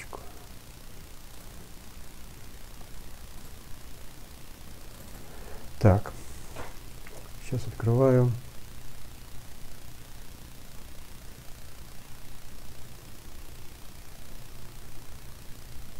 Я делал выписки из его этих записей, а, специально искал а, когда бывает читаешь, э, обнаруживаешь, что есть это целая коллекция записей. Значит так, это и Алтай Гималай, книга записи их экспедиций по, по, по, по, по Востоку. Так, и следующие, значит, записи очень интересные. Значит, так, 1926 год, глава, глава 9 из книги Алтай Гималай, Карашар Джунгария. Это, это какие-то регионы, я даже не знаю, к каким регионам это относится, потому я просто даю название. Карашар-Джунгария. Это одно, значит, одна из основных экспедиций. Вот он, Николай Рерих, значит, приводит легенду, фрагмент легенды, который он узнал из местных. Еще вариант легенд о Турфане. Турфан, я, я прочитал, это область Китая, регион в Китае и населенный пункт. Сейчас это крупный населенный пункт, но тогда это был маленький район, но неважно. Значит так, Николай пишет. Еще вариант легенд о Турфане. Из пещеры вышел высокий человек и пошел на базар что-то купить. За покупки предложил заплатить золотыми монетами стариною в тысячу лет. Затем человек ушел в ту же пещеру и пропал. Это, значит, цитата из другой книги. А, из той же книги, давай я продолжу. Значит, так, а глава 9, Алтай, 1926 год. Также было, это он приводит другие фрагменты легенды, которые он слышал, также было, что женщина беловолодская, бел, беловодская, значит, это Алтай, легенда Беловодья, это одна из, один из вариантов легенды о Шамбале, о братстве где-то, таинственном братстве, белом братстве. На Алтае эта легенда существует в виде легенды о Беловодье. Так вот здесь, значит, приводится, говорится, женщина беловодская. В этом контексте это говорится. Также было, что женщина беловодская вышла давно уже, ростом высокая, станом тонкая, лицом темнее, чем наши – одета в долгую рубаху, как бы в сарафан. Это люди, значит, описывают, что люди видели. Значит, э, другая книга Николая Рериха «Шамбала сияющая», цитата. Значит, он, Рерих, приводит рассказ разговора с ламой, буддийский ламой, буддийским ламой. Лама, Турфане и Туркестане нам показывали пещеры с длинными неисследованными проходами. Можно ли достичь Шамбалы через эти проходы? Нам говорили, как иногда из этих пещер выходили неизвестные люди и отправлялись в города. Они пытались платить за покупки странными древними монетами, которых теперь уже нет в обиходе. Параллели с предыдущими цитатами. Еще одна цитата из книги Николая Рериха «Очерки», но о том из того же региона. Значит, 3 апреля 1935 года, Цаган, Куре. Конюх Гурбан когда дошли мы до середины Каракорумского свода, сказал мне, «Дай мне пару рупий, я закопаю их здесь. Пусть и мы прибавим к великому кладу». Я спросил его, «Неужели ты думаешь, что там внизу собраны сокровища?» Он оглянулся удивленно, даже испуганно. «А разве Саиб не знает?» Даже нам, маленьким людям, известно, что там глубоко имеются обширные подземелья. В них собраны сокровища от начала мира. Там есть и великие стражи, Некоторым удавалось видеть, как из самых скрытых входов появлялись высокие белые люди, а затем опять уходили под землю. Иногда они появляются и со светочами, то есть со светильниками какими-то. И эти огни знают многие караванные люди. Зла не делают эти подземные народы, они даже помогают людям. Мне достоверно известно, как один местный бей в Пургу потерял караван и в отчаянии закрыл голову свою. Только кажется ему, что кто-то шарит около него – Оглянулся, в тумане показалось не то лошадь, не то человек, не доглядел, а когда опустил руку в карман, то нашел пригоршню золотых монет. Так помогают великие жители гор бедным людям в несчастье. Очень интересные, я значит, не случайно это привожу, потому что есть очень интересная параллель с помощью буквально со стороны инопланетян жителям удаленных деревень в Перу. Есть свидетели этому. И у меня есть случай, а, значит, который я, случай контакта, а, когда человек сначала узнал об этом, узнал такое в Перу, узнал о таком месте, что есть такое место, там приходят и они помогают. Значит, и жители эти знают об этой помощи, и они ее ждут и готовятся к ней. И даже, иначе там в той, в той книге, э, брошюре, которую я читал о контакте, значит, с чего начался контакт, что человек узнал об этом, Потом он нашел гида, который провел, провел его в эту деревню. И он там был какое-то время, он видел, там женщина имеет ребенка, который был при смерти. А до ближайшего госпиталя там надо днями ехать, то есть очень удаленная деревня.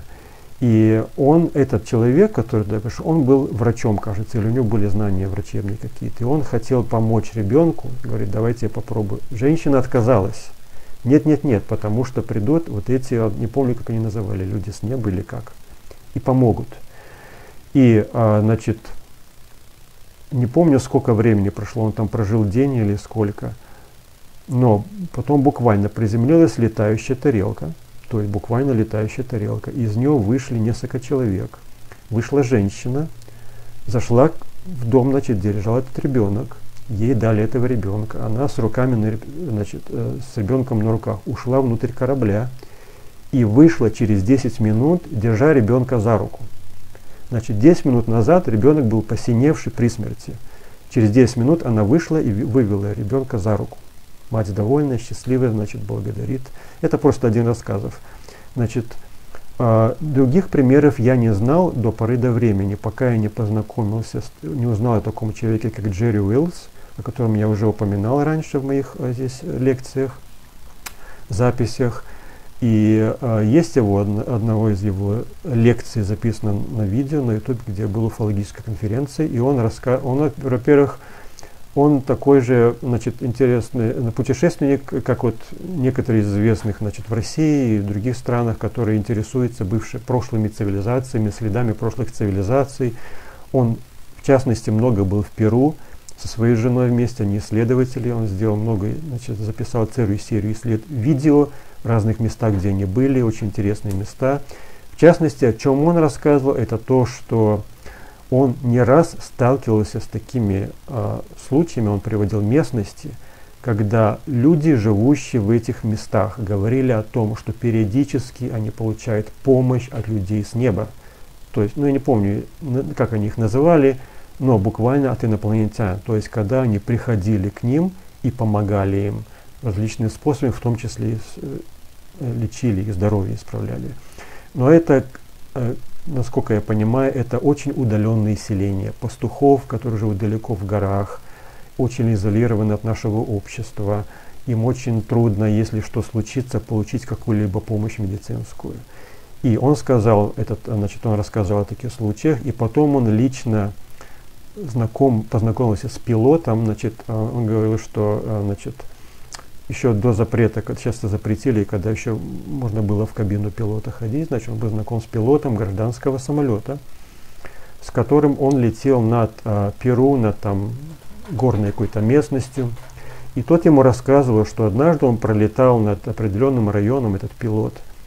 И, значит, он видел, как с земли или там из джунглей, из этих амазонских джунглей, сейчас не помню подробности, поднялся летающий объект в виде диска, который какое-то время сопровождал его самолет. Потом этот объект стал приземляться, и он видел, куда он приземлился. Это была небольшая деревня, а, вот такая вот, где жили удаленные. Да. Он видел, куда он приземлился, этот диск. И он его зафиксировал, значит, место на GPS, то есть на, э, куда он мог потом значит, проследить точное географическое положение. И он потом а, нашел это селение, он туда приходил, и он а, узнавал об этом, что периодически люди получают помощь. И это сегодня. Это не столетия назад, это сегодня. И то, что я читаю о вот этих историях, которые записал Николай Рерих, о том, что приходят люди, белые, высокие люди из подземелий, да, и которые помогают местным жителям, в том числе даже буквально деньгами – я вижу буквально параллели с такой помощью, которая сегодня, по крайней мере, то, что я знаю, в Перу происходит. Не знаю, просто я еще эту тему глубоко не изучал. Я допускаю, что могут быть другие места, где делается такая же, происходит такая же помощь. Но обратите внимание, эта помощь э, не то, что вот я, как грубо говоря, да, живу в городе, имею бизнес, у меня бизнес, значит, там банкрот, да, и вдруг ко мне приходит человек, значит, дает мне деньги, да, в таком духе. Или я там заболел раком, пришел инопланетян, меня лечит. Я о таких случаях не знаю здесь, хотя я знаю о случае, когда люди контактеры были вылечиваемы, или человек, который присутствовал при приходе, значит, э, при встрече с инопланетянами, физически вдруг обнаруживал, что у него пропала болезнь какая-то. Вот известная одна женщина, итальянская исследовательница уфолог, сейчас забыл ее имя, фамилию, она рассказывала, что была вот такая встреча, и она не, не было, что ее лечили. Она просто присутствовала, и потом она обнаружила, у нее были камни в почках, полностью здоровые почки. И она ничего, то есть не было ее, что и лечили, просто она потом обнаружила, что боли нет. Она сделала рентгеновский снимок, почки чистые. Она говорит, ну я поняла просто, что это ну, как бы прилагается, видимо. Ладно, я продолжаю читать э, выписки из э, книг Рериха на эту тему. Так, вот еще он пишет, значит, книга «Сердце Азии». Когда приближаетесь к Турфану, то еще большее количество легенд доходит до вас. Рассказывается. Из пещеры какой-то вышел незнакомый человек, высокий и не в нашей одежде. Пришел на базар в Турфан, хотел овощи купить, только дает за них золотую монету, а как рассмотрели ее, видим, что таких денег уже тысячи лет как не бывало. Этот человек пришел из святой страны. Другой рассказ. Вышла из подземелья женщина, а это, видимо, повторяется, ростом высокая, ликом строгая и темнее наших, ходила по народу, помощь творила, а затем ушла назад в подземелье, тоже приходила из святой страны. Еще одна запись. Несколько всадников совсем особого вида были видны около пещеры, а затем исчезли они. Должно быть, ушли через подземный ход в свою страну. По их ходам даже на коне проехать можно. Это Николай Рерих «Сердце Азии». Есть целая такая глава, я сейчас думаю, стоит ли читать. Наверное, все-таки что-то прочитаю. Значит, это из книги Николая Рериха «Химоват». Так, сейчас я выберу. Здесь уже их называют по-другому. Называют святые держатели. Глава «Святые стражи». Так рассказывал монгольский лама – Святые держатели бывали и в наших аилах. Никто не знает, когда они проедут, неизвестно откуда и куда, но большей частью поспешают. Говорят, что они ищут клады, а другие говорят, что они что-то заложат там, где нужно. Иногда места прохождения их люди отмечали субурганами или хотя бы простым оба. Это, по-видимому, какие-то э, пирамидки из камней или какие-то сооружения из камней. Когда узнают люди о приезде их – то надолго водворяется радость в окрестных аилах. Слышно, что и болезнью минует эти места, а также приходит всякая удача в помышлениях и в делах. Интересно, да, параллели. Мы спросили, если говоришь, что помыслы и дела становятся удачнее, может быть, внушается это в мыслях? Ведь часто известны такие внушения. Это, значит, Николай Рерих спрашивает. И отвечает, про эту силу мы знаем и сами думаем, что удача посылается. Однажды святого держателя спросили – Правда ли, что по мысли его совершаются разные полезные дела, а также спросили, как это он внушает? Говорят, что он ответил им и так, и эдак, а главное то, что вы делаете потом так, как нужно. И поспешают они, чтобы дать людям больше добрых мыслей, чтобы повсюду люди могли делать самое полезное ко времени. Мы спросили, сколько ли признают, э, скоро ли признают их люди? Отвечают, по правде сказать, только немногие их признают – а другие, как только после ухода, а другие, как только после ухода одумываются. И тогда опять начинают ждать. Глупые люди, когда что приходят, не соглашаются. Стоит только уйти, как начинают опять ждать. Мы спросили, а если они приезжают, то где останавливаются? Иногда в своей палатке, а то больше куда-то уезжают, и никто о них толком не знает, из-за каких гор, из-за каких гор они приходят и куда ляжет их путь.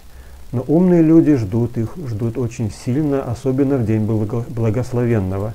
День благословенного – это, видимо, день рождения Будды.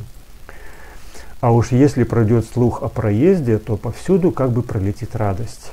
От Аила к Аилу скачут гонцы, и не успеет собраться народ, а он уже уехал. Конечно, говорят, что у них есть и подземные ходы, но только этого никто не знает – когда они появляются среди пустыни, то можно задуматься, откуда же и как совершен этот долгий безводный путь. Может прийти в голову, что где-то есть и ходы подземные.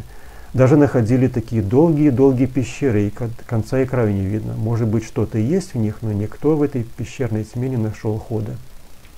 Мы спросили, все это из давнего прошлого или теперь бывает тоже? И было, и есть, и будет. Они берегут людей, они держат справедливость. Они посылают новые мысли. И недавно, и теперь, а может и сегодня покажется всадник. Или один, а не то и вдвоем, никто пути их не знает. Мы спросили, а есть ли какие-нибудь признаки их приезда? Вот уж никаких никогда, да ведь и все чудное бывает нежданно. Уж так нежданно, что и уму не помыслить, но сердце может быть и чует. Когда надлежит им приблизиться, может быть и тоскует, и стремится, и стремится сердце, и летит навстречу. Сколько раз, как птица трепещет сердце, а ведь может быть, что они проезжают поблизости. Знаете, здесь вот я вспоминаю интересную параллель. Участник перуанского контакта мне лично рассказывал, что перед тем, как инопланетяне приходили, было сильное ощущение присутствия, то есть что недалеко.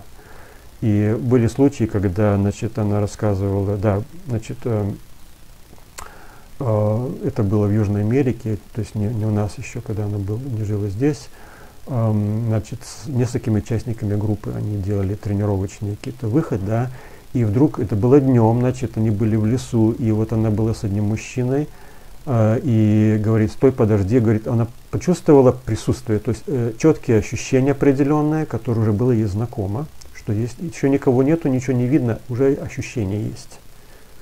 И говорит, подожди, побудь здесь, и, э, значит, минуточку, сейчас будет что-то происходить.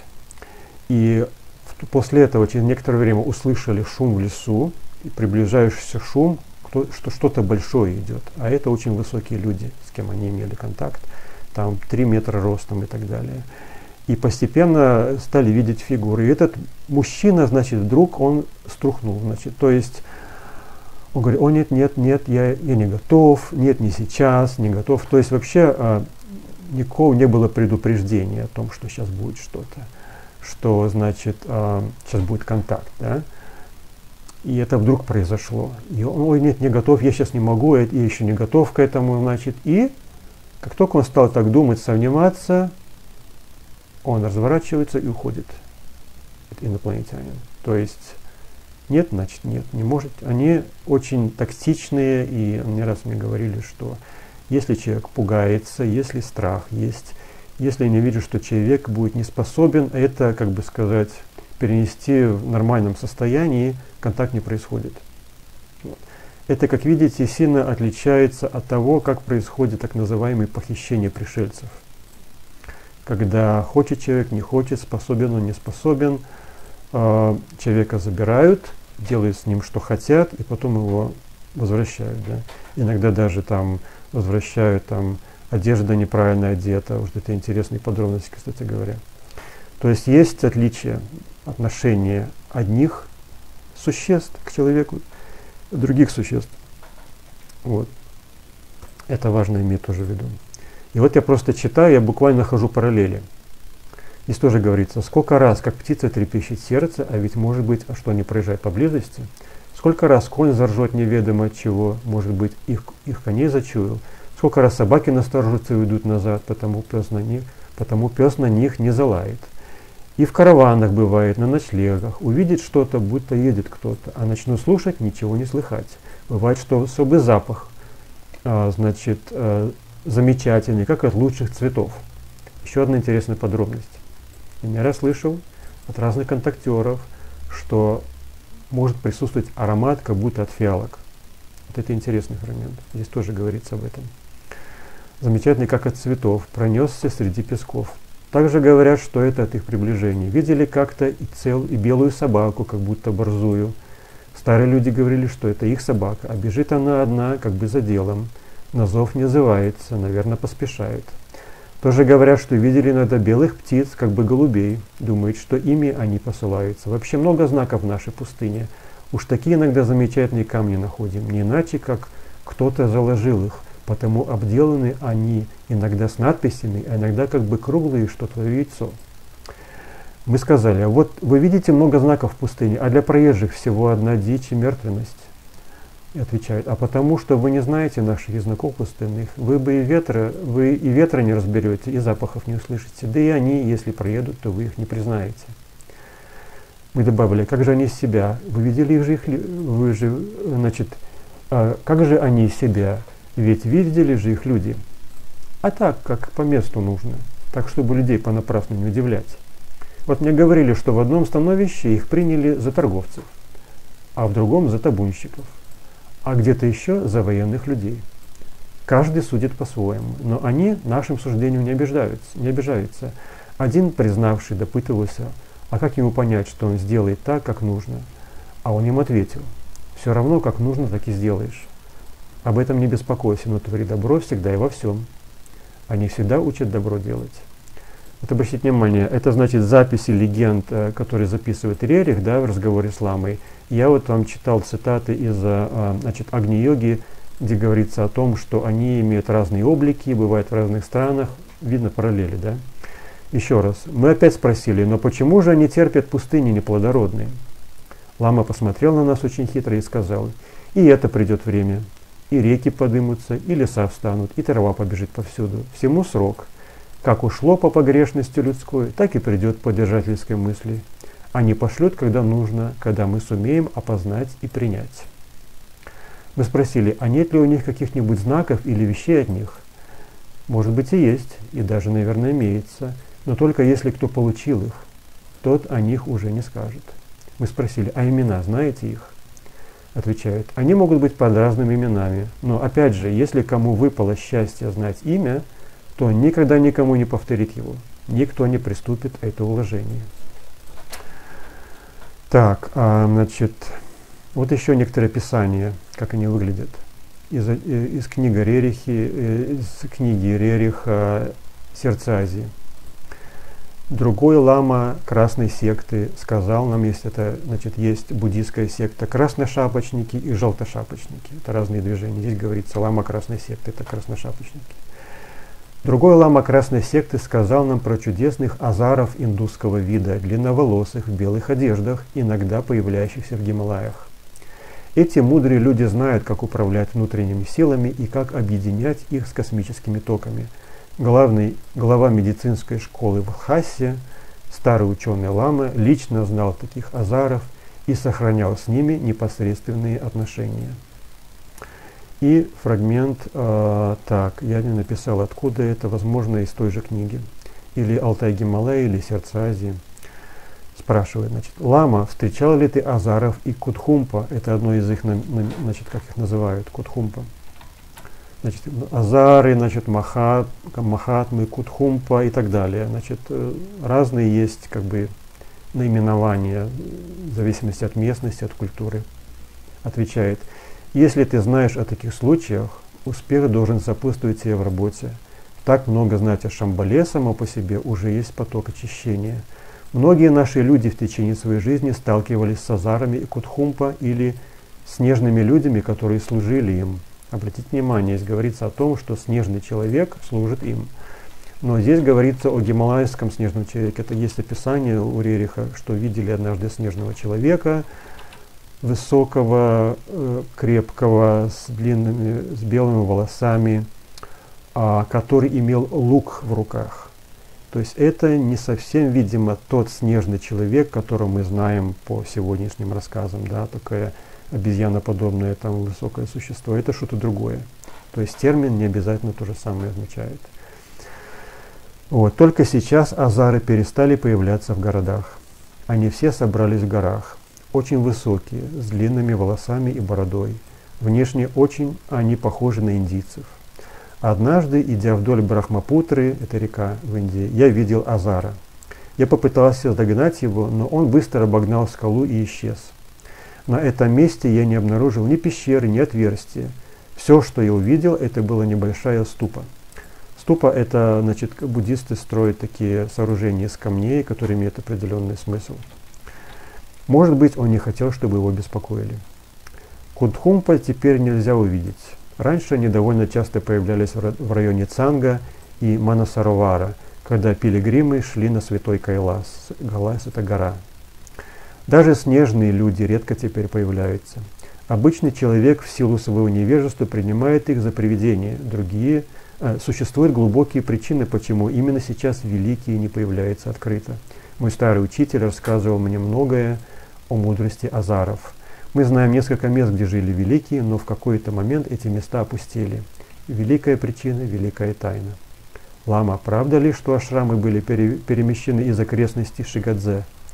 Эту тайну нельзя разглашать. Я уже сказал, что азаров нельзя больше найти в Цанге. Ну вот все цитаты, которые я хотел рассказать, это просто очень интересные параллели. Напомню, что это 30-е годы, когда, значит, 26-й, там они, это экспедиции, значит, Алтай, Гималай и другие делились вот 30, 35 -го года записи, я вижу, то есть это многолетняя была экспедиция. И вот это записи, то, что, о чем говорят местные жители. Значит, я уже привел параллель с, э, с, с Перу. Сейчас я посмотрю, если еще что-то мне добавить по этой теме, я сейчас перейду к другим, значит, к следующим этапам сегодняшнего разговора. Так, уже два часа, но еще ничего терпеть можно. Так. Так. Смотрим. Письма Махатмы прошли. Так, я буду стирать, что мы говорим.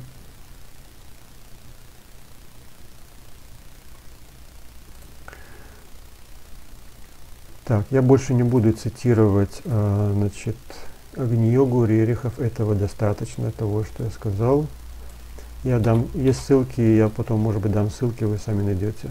Если вы, если вы хотите, э, проще всего будет поискать веб-сайт «Моя Шамбала» называется. Это мой веб-сайт, где я полностью все внимание уделяю Шамбале, выдержкам о том, что эти учителя сами о себе говорят, о своем месторасположении Шамбалы, об истории, о том, как они оказывают, э, какую они оказывают помощь и как они проявляют в нашем обществе, исторические некоторые сведения о том, как эти проявления значит, происходили, что было и так далее. Ищите «Моя Шамбала» веб-сайт, там есть ссылки, проявления в истории, страничка, там обо всем этом есть. Я нахожу параллели, вот, то есть, видите, там ничего не говорится, что мы инопланетяне, хотя есть э, одна из книг, которая не относится напрямую к Агни-йоге, но которую Лена Рерих лично э, подтвердила, что это тот же самый источник, что и у нее – то есть учителя Шамбалы, это книги, которые записывал э, Абрамов. Они идут под названием э, «Грани Агни-йоги», э, то есть это не совсем то же самое, да, это не Агни-йога, который записывал Лених, но она подтвердила, она, значит, Абрамов стал получать эти сообщения, когда еще была жива Елена Рерих – и он не знал, что с этим делать, и он потом с ней стал переписываться, переслал ей значит, образцы записей, которые он записывал, слышал, значит, и он записывал, и она подтвердила, что да, это тот же самый источник, пожалуйста, не волнуйся, дала ему рекомендацию, что делать, как относиться и так далее. Потому я одинаково значит, от, а, а, значит, отношусь одинаково и к книгам Агни-йоги Елены Рерих, и к письмам Елены Рири, дневникам Елены, значит, и к записям Абрамова «Грани Агниеви», который он так назвал. Вот. Там это более, скажем, ближе к нашему времени, потому что там уже некоторые записи 70-е годы, понимаете, тоже ближе к нашему, там есть уже упоминания, уже идут некоторые термины, известные нам. Там уже говорится об изменении климата, например, и так далее. Очень интересные вещи. В общем, я вам советую читать. Агни-йога сама читается как бы немного более трудно, чем грани Агни-йоги. Но все-таки э, я лично считаю, что Агни-йога и, аг, и грани Агни-йоги являются самым крупным а, примером помощи а, внеземных цивилизаций и высокоразвитых а, людей, а, имеющих отношение к другим мирам, для земного человечества. Есть разные небольшие там примеры, может быть даже технические какие-то, но такого объема информации, и это, скажем, та духовная помощь, э, э, и знания в том числе, в таком объеме я не знаю больше ни одного случая. Я, это мое личное мнение. Я изучал эти книги, изучаю еще периодически. Как бы виден уровень, э, язык излож, изложения, как говорит о высоком интеллекте, высоком разуме. И потому я привожу цитаты и периодически упоминаю. Я еще раз, если кто-то а, значит, э, имеет какое-то неприятное впечатление там, от общения с людьми, являющимися последователями там, Рерихов, там, не знаю, обществ каких-то, я не отношусь к таким людям, я отношусь к этим вещам как исследователи. То есть мне самому интересно, я изучаю знания, изучаю источники, анализирую их, я вижу стоит им доверять, не стоит, то, что мне надо, или это что-то, значит, то, чего я не, чем я не хочу иметь дело. Вот так я подхожу к этому, не потому что я последователь кого-то, да, или чего-то. Я не являюсь последователем Рерихов, да, потому что для меня важное знание, информация, а не то, кто его там написал, получил. Так, а, значит, я сейчас посмотрю, потому что там были интересные упоминания из, из этих книг. Так, Агни-йогу я больше... Вот еще фрагмент, который просто маленькая цитата из Агни-йоги, где они говорят, мы желаем установить наиболее человечный взгляд на нашу обитель. А контекст этого есть другие цитаты, более широко об этом говорящие. Значит, они значит, говорят о том, что их облик слишком мифологизирован людьми. То есть там представляют какие-то махатмы там на облаках, там, не знаю, всемогущие какие-то там. Э, в общем, тут люди стали картинки распространять, там Махатма море, такой секой, значит, они подчеркивают в других местах, что ни один из существующих обликов, которые рисунки, ни один из них не отображает действительно наш облик. То есть это, это не знаю, приблизительность какая-то может быть. То есть это не является достоверными точными портретами. Говорит, ни одного нет точного достоверного портрета Махатмы. Хотя сейчас путешествуют. Есть картинки, напишите Махатма Море или Махатма Кутхуми. Вы сразу найдете картинки. Э, еще раз подчеркиваю, они сами говорят, что не существует достоверных изображений. Так, значит, и э, они, там одна была цитата, говорит, наверное, если э, если начнете мыслить о нас в противоположную сторону, то есть от возвеличивания до самого максимального упрощения, наверное, вы будете ближе к истине, чем если вы будете нас возвеличивать до уровня там богов, каких-то сверхъестественных существ. Там буквально, не знаю, э, простой человек какой-нибудь. Ну вот уп- максимальное упрощение, они говорят, максимально упростите, кто мы такие. И как вот мне понравилось это Джерри Уиллс говорит. Это говорит не более чем, скажем, человек с другой стороны.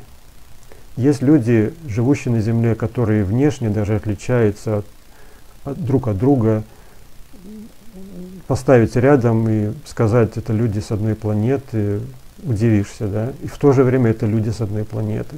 Так вот, и говорит, приблизительно такой должен быть взгляд и на людей действительно с других планет или с других миров. Это просто люди с других мест. Вот и вся разница. Сейчас у нас было время, когда границы исследования ограничивались континентом.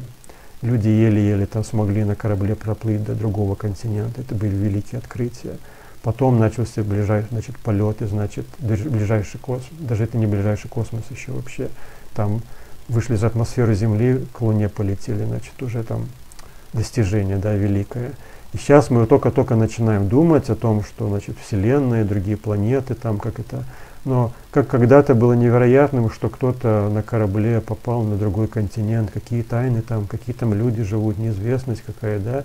Сейчас у нас приблизительно такое же отношение к жизни на других планетах. Когда-нибудь это будет такое же естественное представление, как вот сейчас мы представляем, кто-то живет в Америке, там кто-то живет в Европе, да, сел на самолет там два часа и уже там, что такого. Ну, те же самые люди ходишь по улицам, покупаешь продукты, там, отдыхаешь на курорте.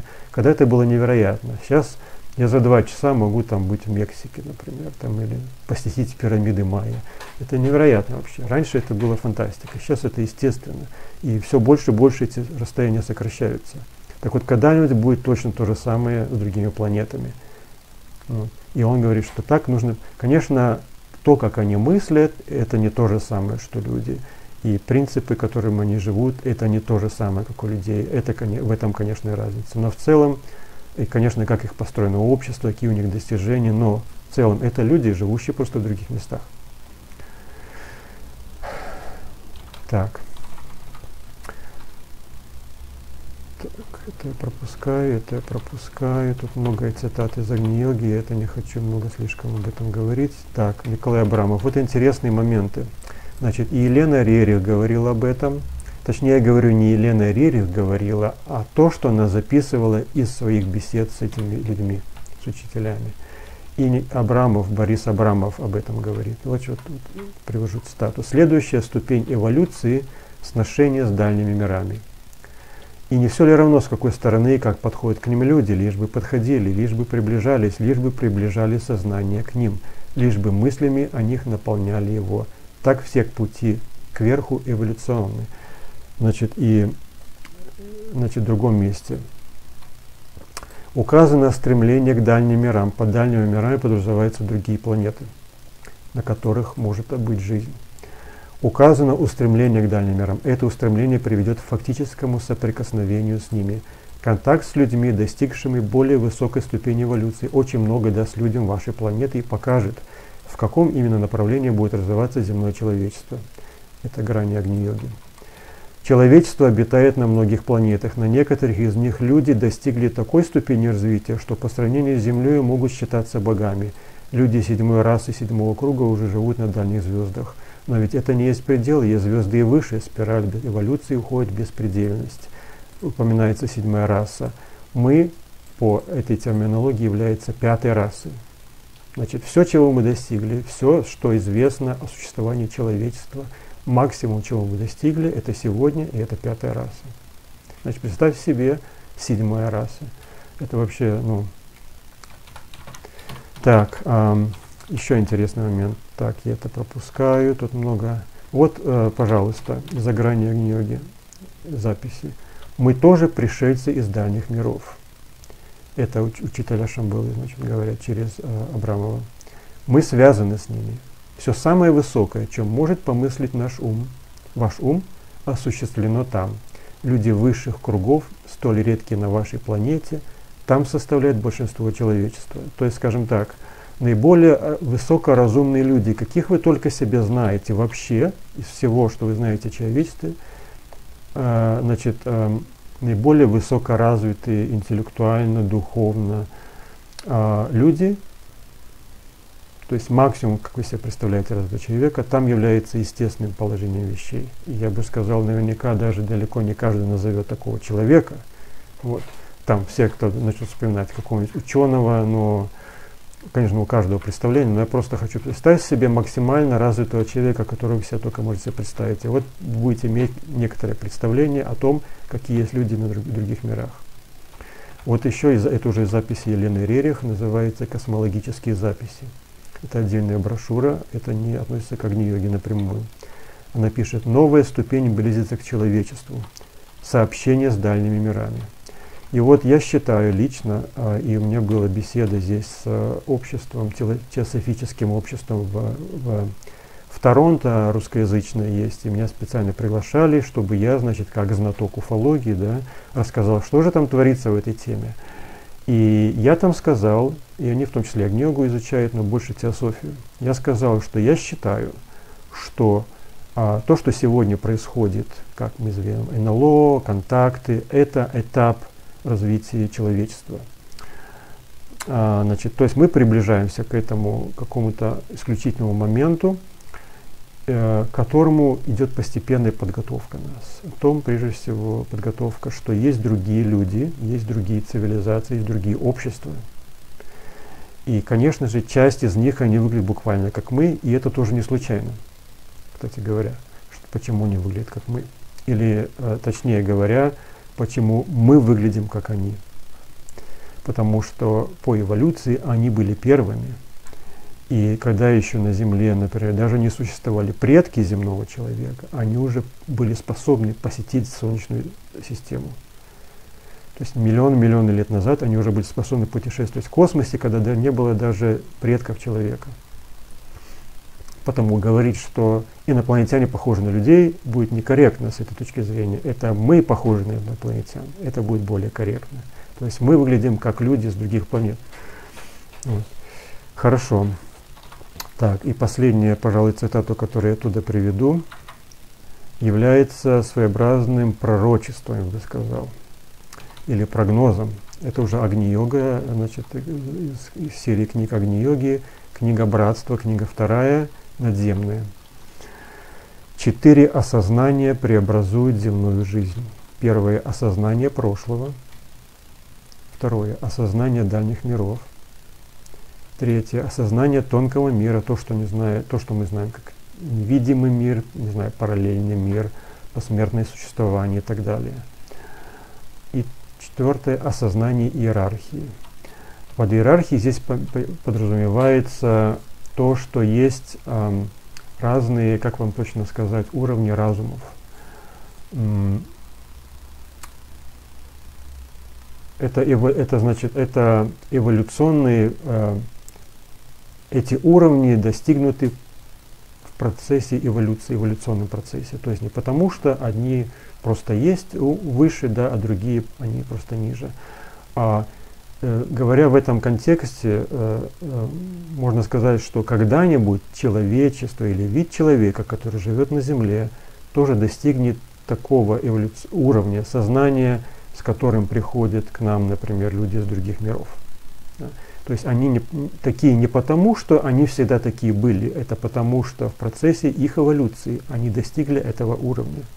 То есть, во-первых, э, это подразумевает, что они смогли найти способ существовать настолько долго, их цивилизация смогла существовать настолько долго, или цивилизации, и группы цивилизаций, что они способны перемещаться в пространстве, во времени, путешествовать по разным э, измерениям, и прилетать сюда на тарелках, или просто приходить, создавая проход в пространстве, просто пешком сюда приходить с планеты.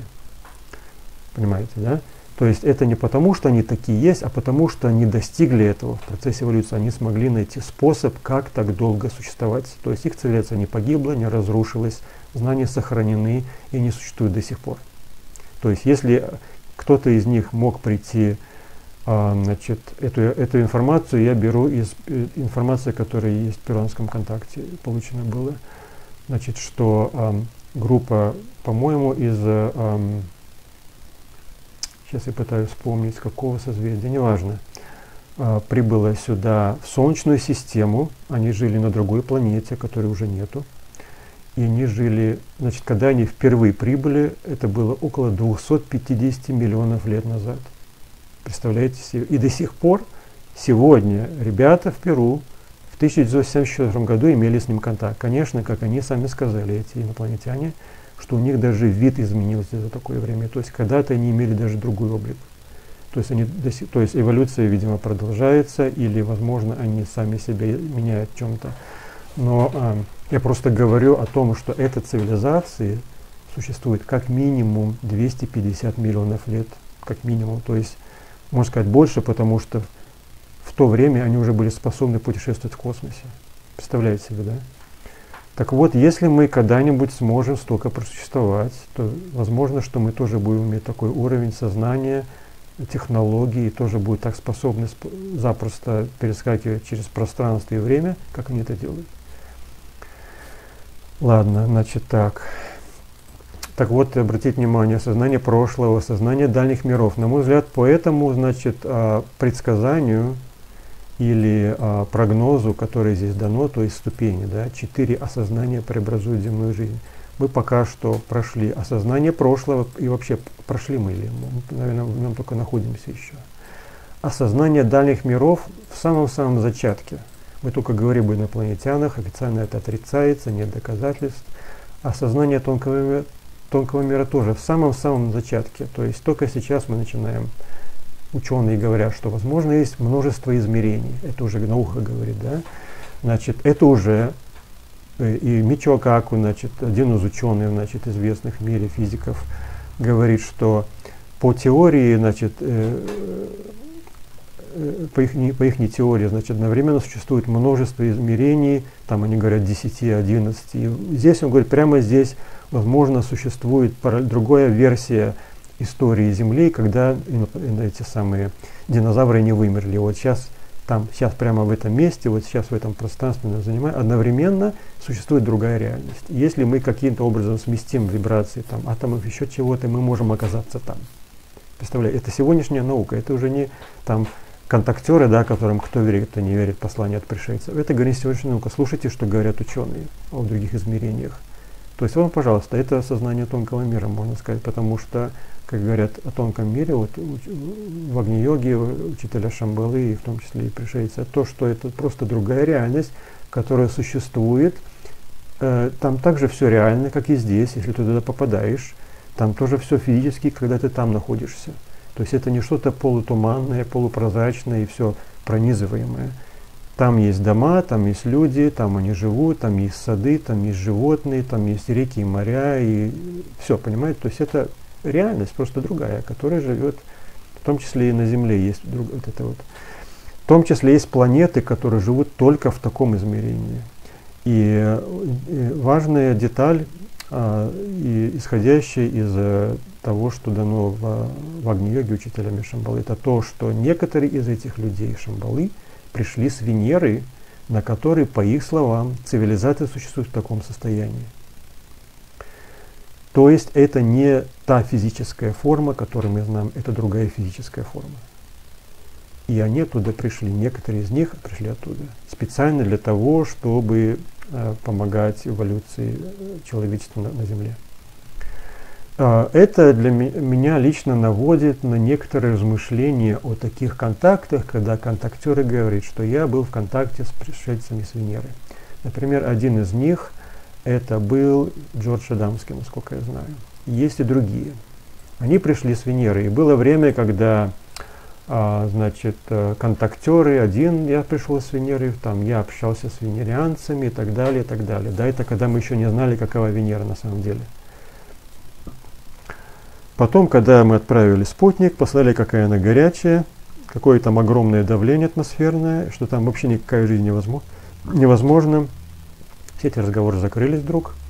Хотя есть все-таки еще люди, которые утверждают, и, и есть даже до сих пор живы еще те люди, которые подают себя как «я пришелец Венеры», а женщина, там, ее, ее фамилия Омнек, если вы будете искать, Омнек – а, она до сих пор жива и уже в возрасте, но написала книгу, или не одну даже книгу, и она говорит, что я жительница Венеры, значит, я жила там в другом измерении, я здесь материализовалась, я не знаю точно ее истории.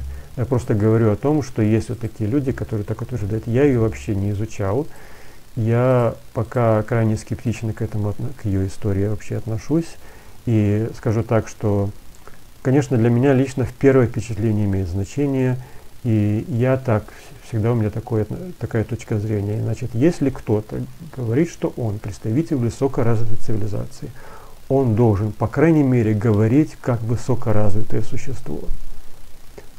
И я служу, сужу по речи, сужу по отношению к другим людям, а, значит, поведению и так далее. То есть, могу ли я сказать, что вот этот человек является представителем высокоразвитых существ, расы, там он и так далее – или если контактер говорит, что я общаюсь с высокоразвитыми существами, с инопланетянами, значит, человек, общаясь с другими, так или иначе начинает перенимать их повадки, их характер выражений, слова, поведение. Он начинает менять себя, потому что он начинает, начинаешь автоматически ориентироваться на тех, от кого ты учишься. Потому что когда ты видишь ну, другой, как сказать, скажем так, образный идеал, да, ты хочешь, не хочешь, начинаешь на него ориентироваться. Ты изменяешь свое поведение, в том числе даже питание можешь менять. Так вот, я вот так смотрю. То есть, если он утверждает, что он с ними общается, это должно быть видно буквально по его словам, что он говорит, как он себя ведет. Если он ведет себя, не знаю, вульгарно, там еще как-то, еще как-то, что для меня не является э, как бы примером, я, это для меня как бы первый взгляд, и я сразу скажу так, ну, вероятно, всего здесь ничего нету. Вот. Это как бы моя первая ступень суждения. Потом, конечно, еще информация, еще нужно знать историю контактера, потому что как бы вариантов могут быть множество. Но это мой первый, первый взгляд значит, на вещи. Ну ладно, значит так. Значит, вот говоря о Венере, о других измерениях и так далее. Что еще?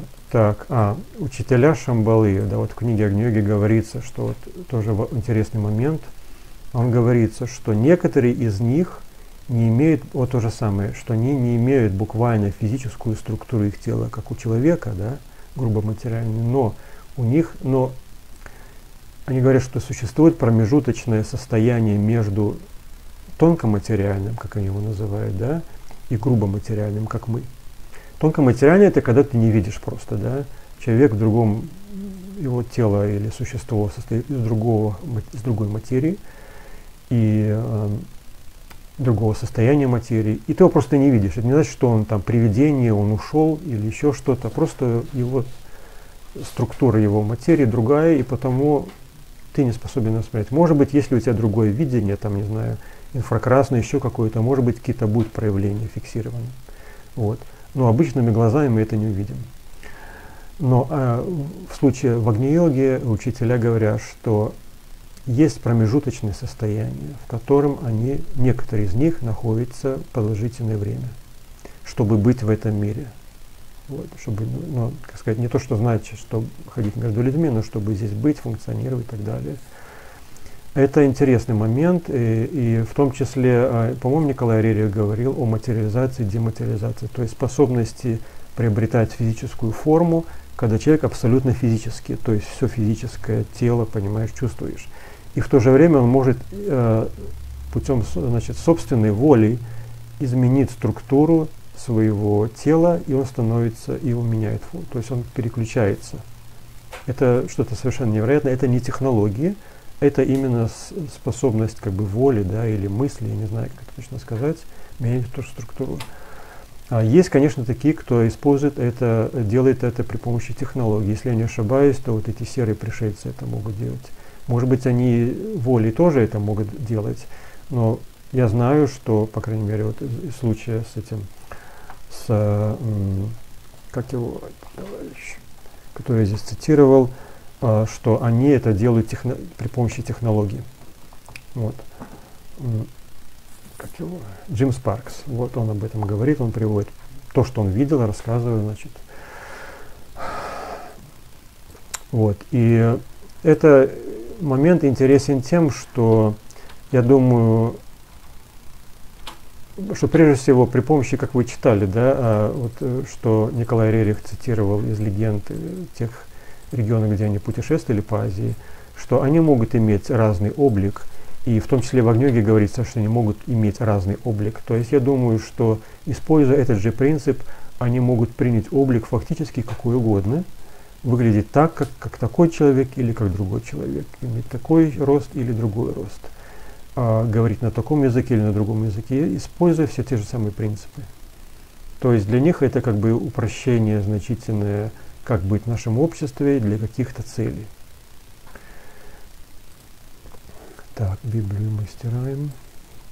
Сейчас я приведу несколько примеров э, значит, из других случаев, которые будут как бы логическим предложением того, о чем я рассказываю. Так, что, что самое близкое будет, самое интересное. Так, эм, какой из э, случаев, о котором я узнал, когда шла речь? Ага, значит так. Есть э, э, контактер такой, сейчас, подождите, я здесь его не записал. Я о нем говорил в других видео.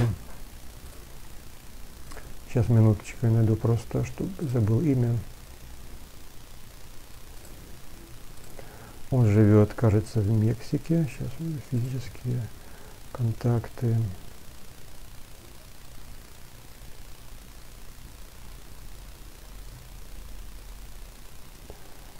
Так, Трэвис Уолтон. Карлос Диас, вот. Извиняюсь, что я забыл. Его контакты начались в 1981 году и это один из редких случаев, когда человек мог делать видеозаписи и фотографии очень качественные. Но кроме всего этого, есть люди, которые скептичны, считают, он там подделывает. Я лично рассматривал его видео, тоже скептично. Я пришел к выводу, что это не подделки. Если кто хочет поспорить, можем поговорить, если вы имеете аргументы за и против веские. Вот я я так делаю, что если я в чем-то сомневаюсь, не уверен, я не буду на это ссылаться. Если я пришел посредством собственного анализа к выводу, что что-то является настоящим, и у меня, то есть у меня есть аргументы, почему я так считаю, что это настоящее, я их могу привести, если будет э, необходимость. Я тогда эти примеры цитирую, я их привожу в примеры и так далее. Вот в частности, контакт Карлоса Диоса для меня так, является таким примером.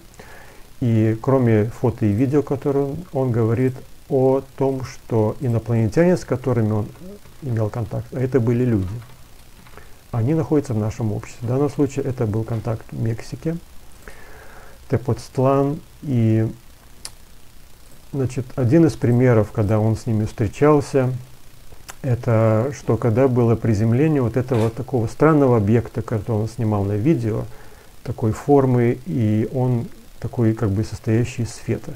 То есть тут нету такого вида, как летающая тарелка, это мы видим аппарат явно металлический, да. Здесь же такое впечатление, что это какая-то, не знаю, плазма, какой-то сконцентрированная какая-то масса световая, понимаете, которая имеет четкие границы, форму. И он, значит, он говорит, что это не корабли, что это не космический корабль, там нету пилотов. Эти объекты он снимал на фото и видео. И э, он, значит, испытал, что это такое. Значит, однажды этот объект приземлился, и он мог в него войти. Я не помню, его позвали или как, или он так почувствовал, что его приглашают. Значит, он сначала осторожно вел руку, значит, значит почувствовал, не было никакой двери. По-моему, сейчас не помню, была ли ему информация, что должен просто войти. Он просто вошел в объект, без двери, просто как бы сквозь него, да. Когда он был внутри, он ничего не видел, ни панели, ни приборов, ни экранов, просто желтовато-красноватый свет, переливающийся и все. И потом, когда он из него вышел, из этого объекта, он вышел в совершенно другом месте. И это было внутри пещеры подземной, он видел сталактиты, сталагмиты, он видел какие-то скульптуры, там, типа как майя скульптуры, кажется, он что-то видел. И то он увидел в стороне группу людей, которые приветствовали. Значит, они э, его уже знали, по-видимому, я сейчас не помню, это был, наверное, не самый первый контакт. И, значит, э, он там был какое-то время, там есть интересное описание, что он видел, он видел висящие, светящиеся такие яйцеобразные форы, сферы светящиеся, и, э, кажется, его пригласили попробовать войти в нее. Он, когда вошел, он стал испытывать себя другим. Э, в одном случае он испытывал себя орлом. То есть он буквально, когда, говорит, внутрь вошел в эту сферу, я мог полностью себя испытывать как орел, летящий в воздухе. Он говорит, я ощущал движение ветра, я, значит, ощущал свои крылья, я видел просто, значит, землю внизу. То есть было, скажем так, там была сохранена запись как это сказать, не то что сознание, значит, что значит быть орлом. Ну вот, наверное, как мы записываем на магнитофонную пленку видео, да, или сейчас уже не, не пленки, а э, цифровая запись, да, мы можем записать видео, мы можем записать звук. Так вот, представьте, что вы можете записать, что значит кем-то быть. Например, вы можете записать полностью, что значит я. И потом кто-то может, значит, э, скажем так, войти в эту запись, да, и полностью испытывать меня мои мысли, мои чувства, что значит я. Или вы можете точно так же войти, значит, что значит испытывать, э, не знаю, как быть Бетховеном. Есть интересная параллель с этим. То есть, видите, короткий такой опыт, э, который приводит контактер, и он сразу значит, обнаруживаются интересные параллели, которые как бы косвенно говорят о том, что здесь что-то настоящее, а не выдумка, не, фантази не фантазирование. А, в опытах с гипнозом есть интересные такие а, опыты. Я сейчас не помню, сейчас, по-моему, таких уже не делают. Раньше, в советское время, такие делали, публичные даже демонстрации. Значит, человек, который совершенно, например, не умеет играть на пианино, на рояле. И вот, значит, гипнотизер его загипнотизирует и говорит, что ты там музыкант известный, или ты там Бетховен, я не знаю, кто еще. И человек начинает играть так, как будто он профессионал или там он может выступать. То есть то, тех способностей, которые у них нормально нету, он вдруг их приобретает, он становится тем человеком, которому сказали, ты этот человек в состоянии гипноза.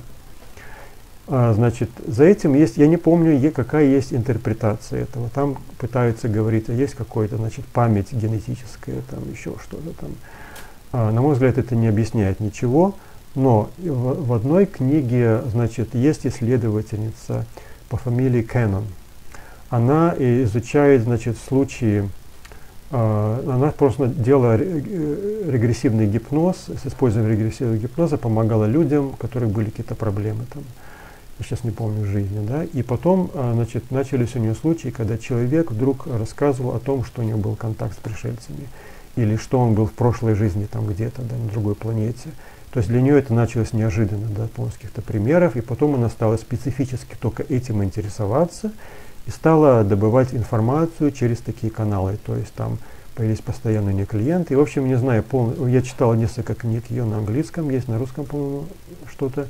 Почитайте Canon, и есть разные книги. Я сейчас не помню имени, Элизабет Кэнон или какое Кэнон. Но суть это то, что информацию, которую она говорит, она получила посредством таких вот сеансов гипноза, когда человек вводится в особое состояние. Подчеркну, что это не обязательно, что человек полностью безвольный, бесконтрольный. Это просто э, определенные э, простейшие какие-то упражнения, да, дыхание еще, когда человек очень расслабляется, снимаются какие-то блокировки, и у него начинают вспоминаться вещи, которые у него были заблокированы в памяти. То же самое, кстати, метод используется для получения информации о, о, о том, как проходили похищения пришельцами. То есть часть человек помнит, он помнит, что было, там видел корабль, а что было, не помнит. Потом его, значит, делается такой процесс расслабления, он лежит, он слышит, что вокруг происходит, он слышит, что говорит гипнолог, да, спокойным голосом. То есть он может выйти из этого состояния, значит, он полностью парализованный. Это такое особое состояние. Ну вот, так и здесь. И она добывает информацию. Таким образом, это Canon. И одна из э, информации, которая, она, значит, я читал ее одну книгу, говорит о том, что э, там говорят о том, значит, пришельцы, приходящие на Землю, да, как им вот знать людей, вот что за люди, они, им нужны, они изучают нас, да, вот они там спрашивают еще что-то там, они читают наши книги, нет, говорит, если им нужно знать что-то, существует, э, я сейчас не помню, как там было названо, но представь себе, скажем так, блоки информации о всем, о всех, кто был и кто есть. Так существует там, образно говоря, не знаю, облики, то же самое блок информации о том же самом Бетховене, то есть все, каким человек был от рождения до смерти. Вся информация, какой он был, как он себя представлял, все его полностью, все, все, все, все, все, как на ладони, э, не, не личное, не личное, все это существует в пространстве, и все это можно, образно говоря, считывать. Записи Акаши называют еще и так далее, есть э, понятия такие. Так вот, э, она говорила, что э, они инопланетяне способны брать, использовать эти блоки информации, они получают полную информацию, все, что им нужно. То есть им не нужно ходить, смотреть наш телевизор, чтобы узнать, как мы живем, да, или чтобы узнать, там, какого был Гитлер, да, им не нужно читать наши книги, смотреть документальные фильмы. Они просто найдут блок информации Гитлер. Это, не, это уточню, что эти блоки информации или эти информационные записи, так, Люди говорят, что нет видео. Видео есть или нет? Вот я, например, вижу здесь видео. Я вижу.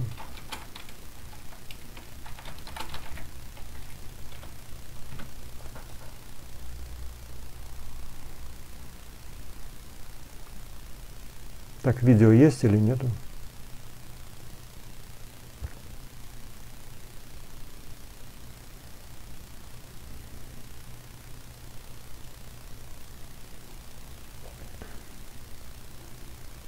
Еще раз, э, видео есть или нет? Кто смотрит? Периодически пропадает. Но я не знаю, тут это связано с записью, да. То есть я вижу, что здесь бывают такие обрывы. Я надеюсь, что я делаю одновременно запись на компьютере, надеюсь, что там не будет таких проблем. Э, и, возможно, я Возможно, что я потом эту запись закачаю заново ВКонтакте, да, и на Ютубе оригинал, да, обрежу все эти технические неполадки и так далее. В общем так, то, что пропадает, я не виноват, так есть, и просто терпите, как говорится, что уж поделаешь. Так вот, вот такая просто интересная параллель о том, что информацию они могут получать таким образом. Я не знаю, опять же, это источник от Canon, которая эту информацию получила посредством сеансов гипноза, в которые были введены определенные люди. Я не получил, не получал такой информации непосредственно из контактов, которые я лично знаю. То есть те случаи контактов, которые я знаю, там пиранский контакт, там еще несколько, э, человек, который вот я недавно узнал о котором, Джерри Виллс, я этой информации там не слышал. То есть я делаю эту отметку, потому что одно дело, когда идет из каких-то источников, пусть они даже вроде выглядят убедительно. Другое дело, когда мы имеем, ну, скажем так, информацию напрямую от инопланетян, или, по крайней мере, мы думаем, что она напрямую от инопланетян. У меня есть основания считать, что то, на что я полагаюсь, напрямую от инопланетян. Потому я не знаю, потому что у меня есть пример, когда инопланетяне буквально опрашивали людей, делали исследования. То есть все-таки что-то есть, а, где им нужно делать исследования, лично делать опросы. Я об этом, надеюсь, еще сегодня поговорю. Я думаю, что у вас не слишком затянулось время, потому что уже два с лишним часа идет. Ладно. Ну вот, значит так, это буквально короткий такой уход в сторону из э, рассказа о контакте с Карлосом Диазом. И вот, э, значит, он видел людей. Также он говорил, что э, они живут в нашем обществе, то есть это в Мексике. И также, например, когда он делал фот, э, фотографировал или когда он делал видеозаписи, не помню, у него не было треножника, то есть он вообще не он бедный человек, это бедная семья, как и многие очень в Мексике.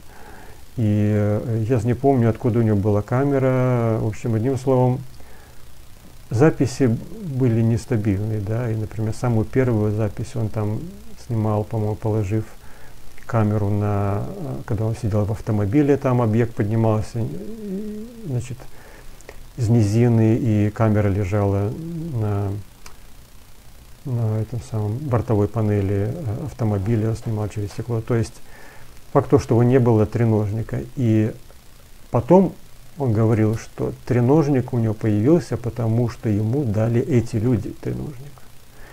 Я находил критику, что вот, вот смотрите, треножник, у него треножник от инопланетян, который точно такой же, как у нас, какие же инопланетяне, он все выдумал. Он говорит, я не говорю, что это треножник инопланетян. Я сказал, что эти люди, которые являются инопланетянами, которые здесь живут, которые ходят в нашем обществе, они, естественно, имеют наш треножник, и они мне просто его дали. Вот это его аргумент. По-моему, вполне логичный аргумент. И там я, э, к сожалению, про Карлоса Диоса мало информации, которая лично для меня была доступна, даже на то, что я знаю английский язык. Есть только короткие фрагменты и то, что я нашел, читая в интернете, когда я искал информацию о нем.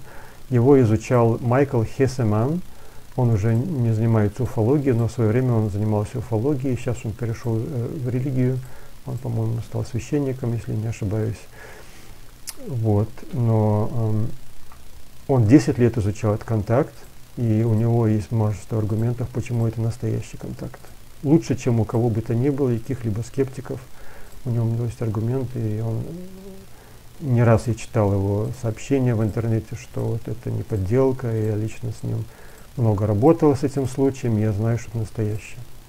Но это короткий случай, и ну, для меня, ну ладно, интересно, ну там видел он, ну хорошо. Но потом, значит, э, прослушивая разные видео людей, которые я постоянно слежу о том, что они рассказывают. А, нет, я сейчас, значит, так, по порядку, если, да, то, пожалуй, вторым случаем когда я познакомился, когда я узнал о том, что есть люди среди нас, которые происходят с других планет, это был перуанский контакт.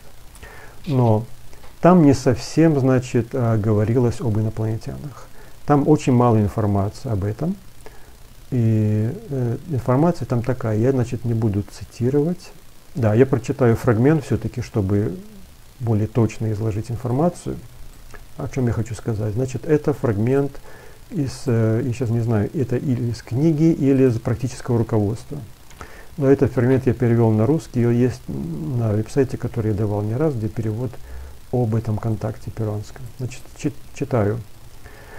Существует иерархия, состоящая из существ, происходящих от человечеств, существовавших ранее на Земле и прибывших из других миров. А, уточню, о чем идет речь. Здесь говорится о том, что а, э, значит, в этой истории не говорилось никаких вот, значит, там, прошлых цивилизаций Атлантида, там еще каких-то имен, этих нету названий, но информация, которая дается, которую, когда ты с ней ее читаешь, находишь параллели с тем, что нам известно об Атлантиде и других. Значит, там. Потому и здесь, в частности, говорится, значит, там была информация о том, что в свое время была необходимость инопланетян э, прийти на Землю. Значит, они жили на другой планете в Солнечной системе. Произошла катастрофа, когда планета погибла, и они эвакуировались. Ближайшая планета, которая подходила для жизни, была Земля. Э, значит, они не могли прийти на Марс, потому что там уже была цивилизация. Когда еще не было человечества, точнее. Значит, на Марсе был уже в то время цивилизации, потому они спаслись на Земле. Для них Земля была э, подходящая, но не лучшая, потому что до этого они жили намного дальше от Солнца. Здесь было намного ближе к Солнцу, солнечная радиация много выше, климат немножко другой. И в том числе из-за какой-то космической катастрофы планеты Марс тоже сильно пострадал. И те, кто жили на Марсе, тоже спасались на Земле. Итак, две разные цивилизации, живущие в разных э, климатических и других условиях, спасаются на одной планете, и обе пытаются начинать э, менять планету под свои условия жизни. Возникает военный конфликт на этой почве. Такова древняя история. Так вот, и э, забегаю, пропускаю очень многое, там не приводится очень много подробностей, но войны богов, так называемые, скорее всего, подразумевают вот этот период времени.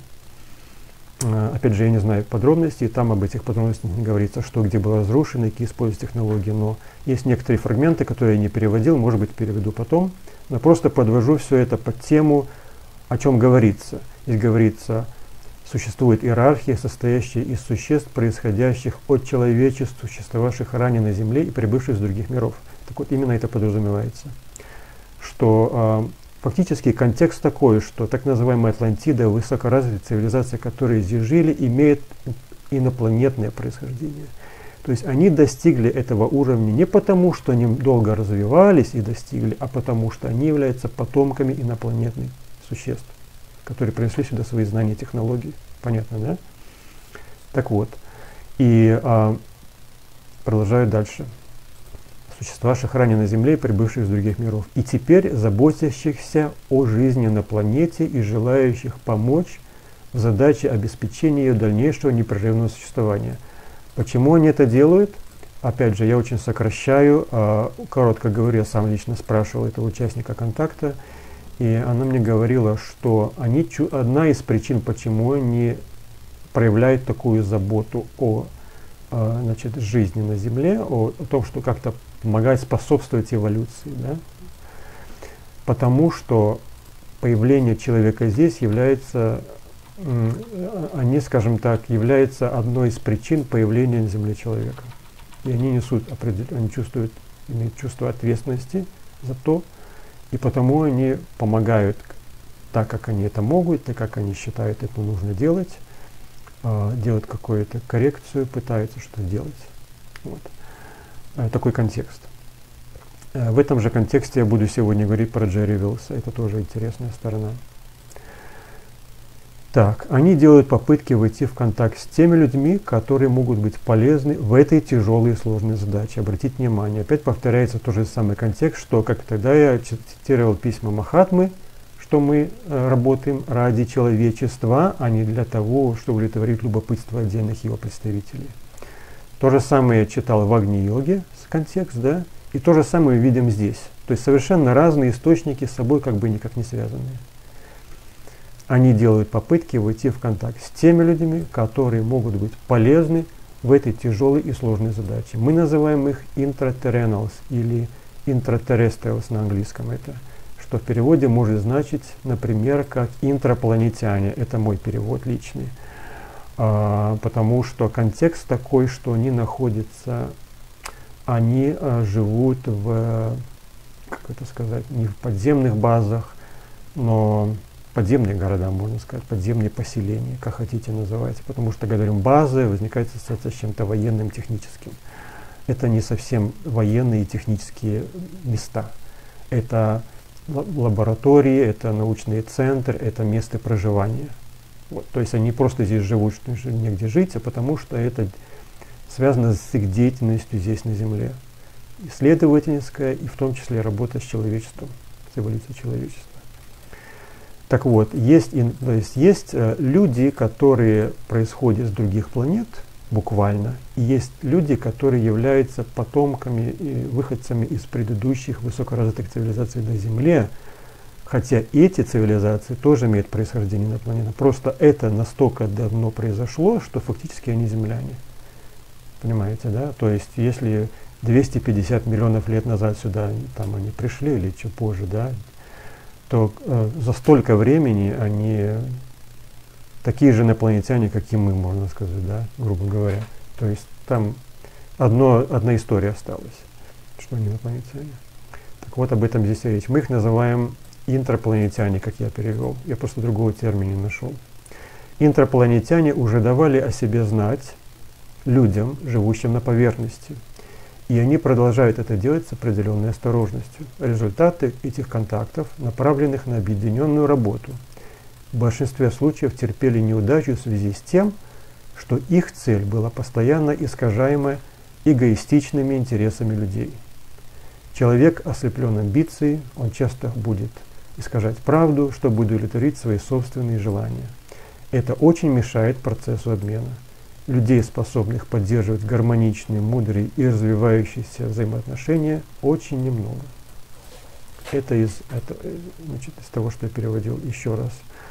Ин, инопланетяне в настоящее время, посещающие Землю, с незапамятных времен, более 4000 лет назад, поддерживают отношения с интрапланетянами. То есть и те, и другие знают друг друга. Здесь про 4000 лет говорится, а я сейчас не помню здесь контекста, но другой момент, я помню, говорится о том, что весь план контакта, частью которой а, а, значит, а, с землянами, э, и частью которого является перуанский контакт, частью этого всего огромного какого-то плана, этому плану более 4000 лет. То есть есть не какой-то гигантский план, да, и он постепенно реализуется. И пиранский катак является частью реализации этого плана. Но не только этот, вероятно, и другие. И вот, в частности, я говорил с этим контактером, да, женщина это из пиранского контакта, и она говорила, что нет, мы не единственная группа наверняка, и она подозревает и назвала еще несколько мне названий, которые фактически неизвестны. Дядюшка искал, говорит, не ищи, ты все равно не найдешь их, скорее всего. Вот, они малоизвестны, они закрытые, они занимаются своей какой-то деятельностью. Вот, то есть наверняка есть множество различных проектов разной формы. По-разному делаются вещи, понимаете. То есть нельзя сказать, что вот этот, вот они, значит, выбрали вот этих, и все, на Земле больше никто ничего. Да? Нет, это просто один из примеров этой работы. Но есть другие, есть контактеры настоящие, такие, такие, и с такими группами, и вот в такой форме, и в такой форме. То есть есть много разных вариантов. Другое дело, что надо уметь определить настоящий этой контакт или это что-то другое. Да? Это другой разговор. Так вот, об этом проекте говорится, э, об этом каком-то плане грандиозном, говорится, что ему более 4000 лет. На основе этих взаимоотношений возникло Белое Братство, в котором интрапланетяне и инопланетяне объединились в работе, направленной на пользу человечества. Название «братство» произошло от предшествующих объединений в зем... внеземных раз теперь посещающих нас. И дальше. Эта изумительная и трудная задача стала проектом, который называли «большим планом». Интерпланетян немного, и они расположены в разных частях мира. Их города расположены в больших, искусственно создаваемых подземных пространствах, рассеяны главным образом в Южной Америке, имея главные места расположения в Андах, Перу, и не только Перу, и амазонских джунглях. Перу инки знали о подземном мире Укупача, который на языке индейцев племени Кечуа означает подземный мир. Есть пять мест расположения, которые были известны с тех времен, но, но только три из них можно счесть важными. Одно находится рядом с городом Тарма, другое поблизости Куско, о третьем теперь ничего не может быть сказано. В Бразилии также существуют различные места большой важности. Одно находится в Гояс – другое Минас-Жерай, Минас-Жерайс, но самое важное находится в районе джунглей Амазонки. И э, я разговаривал, ну, я вот слушал, э, смотрел э, лекции выступления Джерри Уиллса. он тоже говорил, что э, значит, в Южной Америке, э, скажем так, множество случаев э, встреч и наблюдений, и летающих тарелок, и приземлений, и прямых контактов. И, как я говорил, есть при, буквально множество историй э, помощи прямой от э, инопланетян очень э, жителям удаленных деревень в Перу. Вот, я вот сейчас вспоминаю, значит, э, почему я упомянул эту, э, все эти цитаты в истории перуанского контакта. Там не говорилось напрямую о том, я, я значит, не, не встречал, я разговаривал, спрашивал, нет, говорила, что не было такого, чтобы вот буквально инопланетяне живут среди людей, но значит, в одном из случаев контакта, когда м, этих ребят, участников этого перуанского контакта, пригласили на контакт. Их всегда приглашали в удаленные регионы, там в пустыне Чилка и так далее. Им нужно было идти туда, ехать специально. Изолированные места, пустынные, нет, нет никаких людей, никто никому, то есть никто не мешает. И в один раз их пригласили, значит, в горы на определенную там какую-то долину, я сейчас не помню точно. Но суть в том, что они поехали с палатками на несколько дней, и у них делали остановку, и ночью они поднимались в горы в назначенное место. И э, Карлос Пазвелс, вот, э, с которым я лично знаком, да, здесь, он сейчас живет здесь, в Канаде, говорил, значит, он, э, значит, было их трое, и он ушел вперед немного, значит, они поднимались вверх, и он ушел вперед, обогнал остальных, и, э, значит, поднимаясь по тропе, он видит навстречу, или он там присел отдохнуть, сейчас не помню, факт то, что видит, что спускается сверху по тропинке человек. И он думал сначала, что турист, так как здесь, э, ну, здесь люди ходят по горам, все возможно, но он обратил внимание, что одежда у него была явно не для туриста, не для человека, который лазит по горам. Он одет был налегке, там какая-то одежда, напоминающая сейчас кожаную, я сейчас не помню. То есть довольно легко одет. На что он сразу обратил внимание – но это был человек, и он э, его заметил, этот человек, и он знаком показал, следуй за мной. Он за ним пошел, и они прошли некоторое расстояние, и в стене был вход, спуск вниз. И они вошли, спуск, спустились вниз, там была пещера, и он увидел там а, инопланетянина, которого он знал раньше, высокий, значит, высоченный инопланетянин Годар, и увидел людей, которые некоторые из которых, э, или, э, которые он говорил, были этими интрапланетянами. То есть он одновременно в одном месте увидел и инопланетянина, и, возможно, там он был не один, и вот этих людей. И этот человек, который, которого, который его пригласил, он был одним из этих интрапланетян, так называемых. Он говорил, что они, э, некоторые из них, то есть, видимо, там они тоже разные есть, и имеет внешние признаки немножко отличные, лицо немножко другое, там, то есть отличаешься от человека. То есть, по-видимому, э, такие не могут быть среди людей ходить, потому что они будут, видимо, выделяться слишком. Но некоторые из них, говорит, они очень, ну, буквально как люди. И потому, когда я спрашивал, значит, насчет вот инопланетян, ходящих в нашем обществе, значит, э, его мнение было, что это, скорее всего, вот эти интрапланетяне. То есть интересно мне, что было узнать, что у него не было знания о людях, об инопланетянах, которые живут в нашем обществе, ходят. За исключением одного случая. Значит, он говорит, что, скорее всего, это были вот эти интрапланетяне, когда люди говорят, что они встречались с инопланетянами на улице, там еще где-то, да, контакт имели какой-то. Вот, за исключением одного случая. Вот это будет следующая тема, следующая ступень, к которой я подойду. Так. Так, это будет...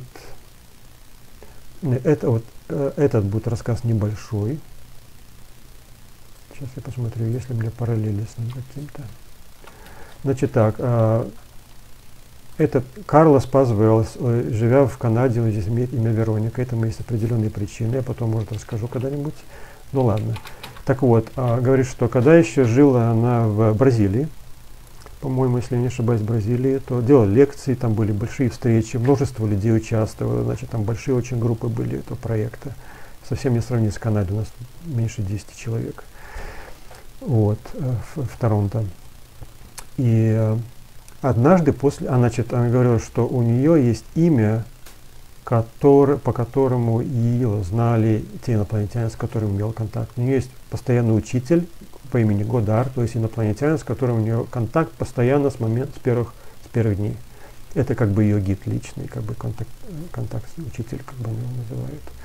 И э, я сейчас не помню, в каких условиях, почему и зачем это было имя дано. По-моему, это дается имя, сейчас я вспоминаю из этого, из э, значит, инструк, инструк, значит, э, из нашего этой инструктажа, да, книги, что на определенном этапе контакта человеку дается имя для духовной работы над собой. Это специальное имя. Я нахожу параллели с индусской традицией, когда дается духовное имя когда человек имеет духовного учителя, он ему дает какое-то имя духовное, там обычно это санскритское, да. Здесь тоже было это, что интересно для меня было обнаружить. И факт то, что она говорила, это имя не знает никто, кроме меня и этого инопланетянина, ее учителя. Вот, значит, после одной из таких ее работы, лекций или что там было, встречи с массой людей в Бразилии, к ней подходит человек, по-моему, это была женщина, сейчас не помню, и обращается к ней по этому имени представляет себе, да, то есть он говорит, никто в мире, она нигде не говорит об этом, это личное, только знает двое, она и инопланетянин. Вот другой человек подходит и обращается к тебе по этому имени.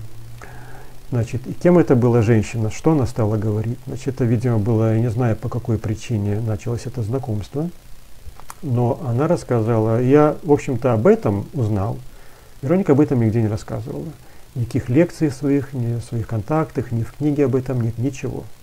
И об этом я узнал только, когда мы ехали однажды на в результате нашей тренировки, значит, в целях нашей тренировки мы выезжали периодически за город. Когда мы, э, значит, медитации мы пытались завязать контакт, чтобы получить информацию о появлении э, НЛО в небе. Это как бы ты получаешь время. Если ты чувствуешь, что получил время, значит, ты записываешь, потом мы выезжали и проверяли, полученное время действительно будет НЛО, или это у тебя было галлюцинации, там работа твоего мозга, да, показалось. То есть это была тренировка на, на, на способность, во-первых, э, различать мысли, и второе, научиться различать источник. Есть метод тренировки, это известно. Это делают все группы, которые, все люди, которые являются участниками группы, Южной Америке здесь и так далее. Ну вот, и вот мы ехали за город, и по пути, значит, я сейчас не помню, почему я начал упоминать цивилизацию с планеты Уммо. Вы наверняка не знаете. Если вы не знаете, сделайте поиск. Планета Уммо. У-М-М-О. На русском пишется. Есть на, на латинском то же самое пишется. Вот. Я просто читал историю, что было 50-е годы, значит, э, ученые, разные люди в Италии, кажется, начали получать письма якобы от инопланетян, которые сюда прибыли на Землю с планеты Умо.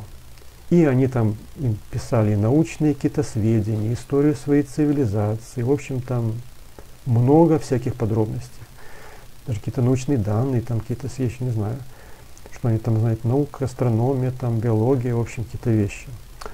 А, и потом я нашел якобы опровержение, что потом, значит, нашли, что там какие-то студенты развлекались. Ну ладно, значит, я так, возможно, да, я просто не хотел, я даже не, вообще даже не смотрел в эту сторону никогда серьезно вообще. Там действительно разыграли, значит, и все. Вот. И я вот, по-моему, это упомянул, когда мы ехали на машине. И я сказал, вот умо. Он говорит, нет, с умо, говорит, погоди. Там сери... Я сейчас не помню, как она мне ответила, но сразу дал мне понять, что здесь что-то серьезное есть. Я говорю, ну да, не может быть. А вот так. И она мне рассказала эту историю, что во время, значит, после одной из ее встреч подошла женщина, и которая к ней обратилась по этому имени, которое никто в мире не знает и не может знать. Значит, и что эта женщина стала рассказывать, я сейчас не помню, одна она была или еще кто-то с ней был, неважно. Суть в том, что Умо, она сказала, что это она одна из тех. И что, значит, какие, что я помню, это что они живут в, в европейской стране, в одной крупной европейской стране. Я сейчас не помню, или мне Вероника сказала, что в Германии, или сказала, что вероятно, Германия. Я сейчас не помню в принципе не важно, в одной из крупных европейских стран. они там живут. То есть официально, если вы начнете искать про УМО, 52 год, по-моему, это дата их прибытия. Как бы даже есть какая-то вроде фотография летающей тарелки там с символом, да. Все это как бы звучит так э, не очень убедительно. Ладно. Ну вот, так вот официально известная информация по 52 год, когда это было снято. И, значит, с тех времен они основали свои общины здесь, на земле, в Европе. А, значит, они выглядят как люди, то есть они могут свободно ходить в нашем обществе, но они имеют какие-то особые признаки различия, по которым они себя могут друг для, друг, для друга определять. Семьи, работа, они работают в нашем обществе.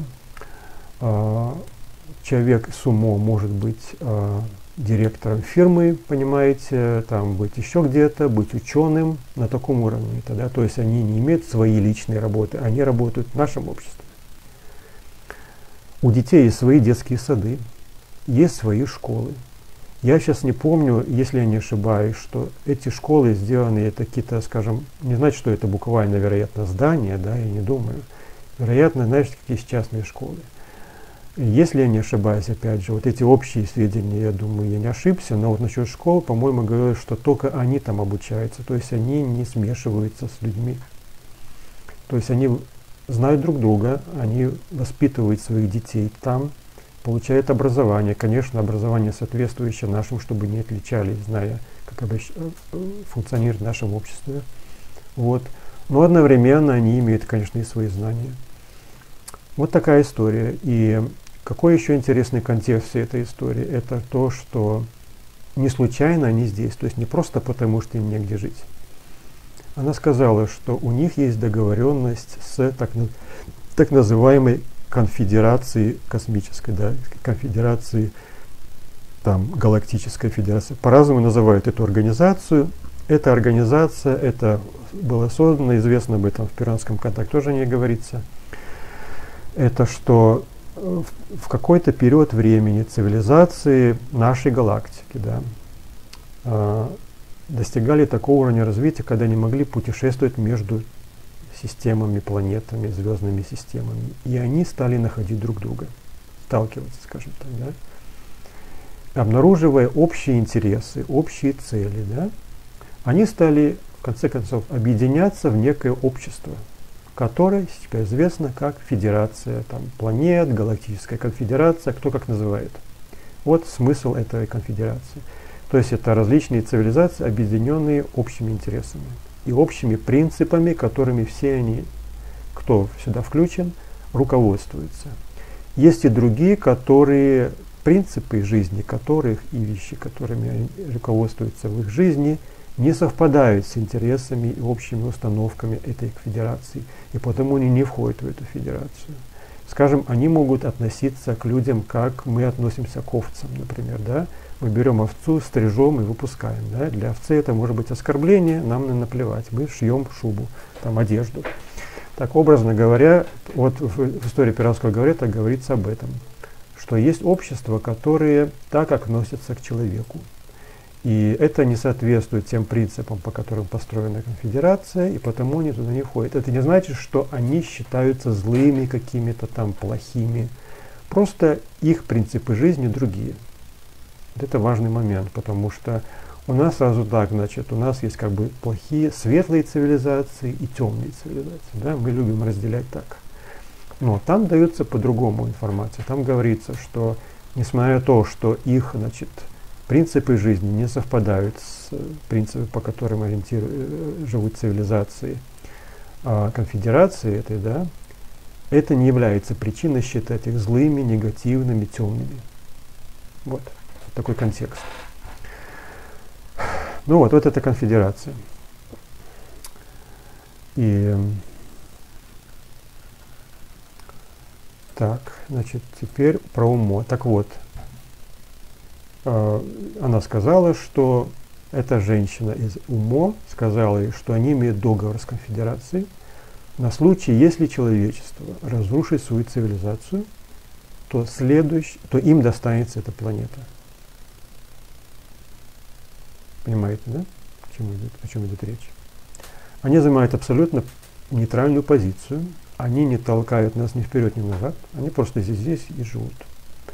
На случай, если э, все идет до того, что мы себя разрушим, я не знаю, э, как, что это подразумевает, я не знаю, ли это там атомная война, или просто мы изменим климат настолько, что мы просто начнем вымирать, я не знаю.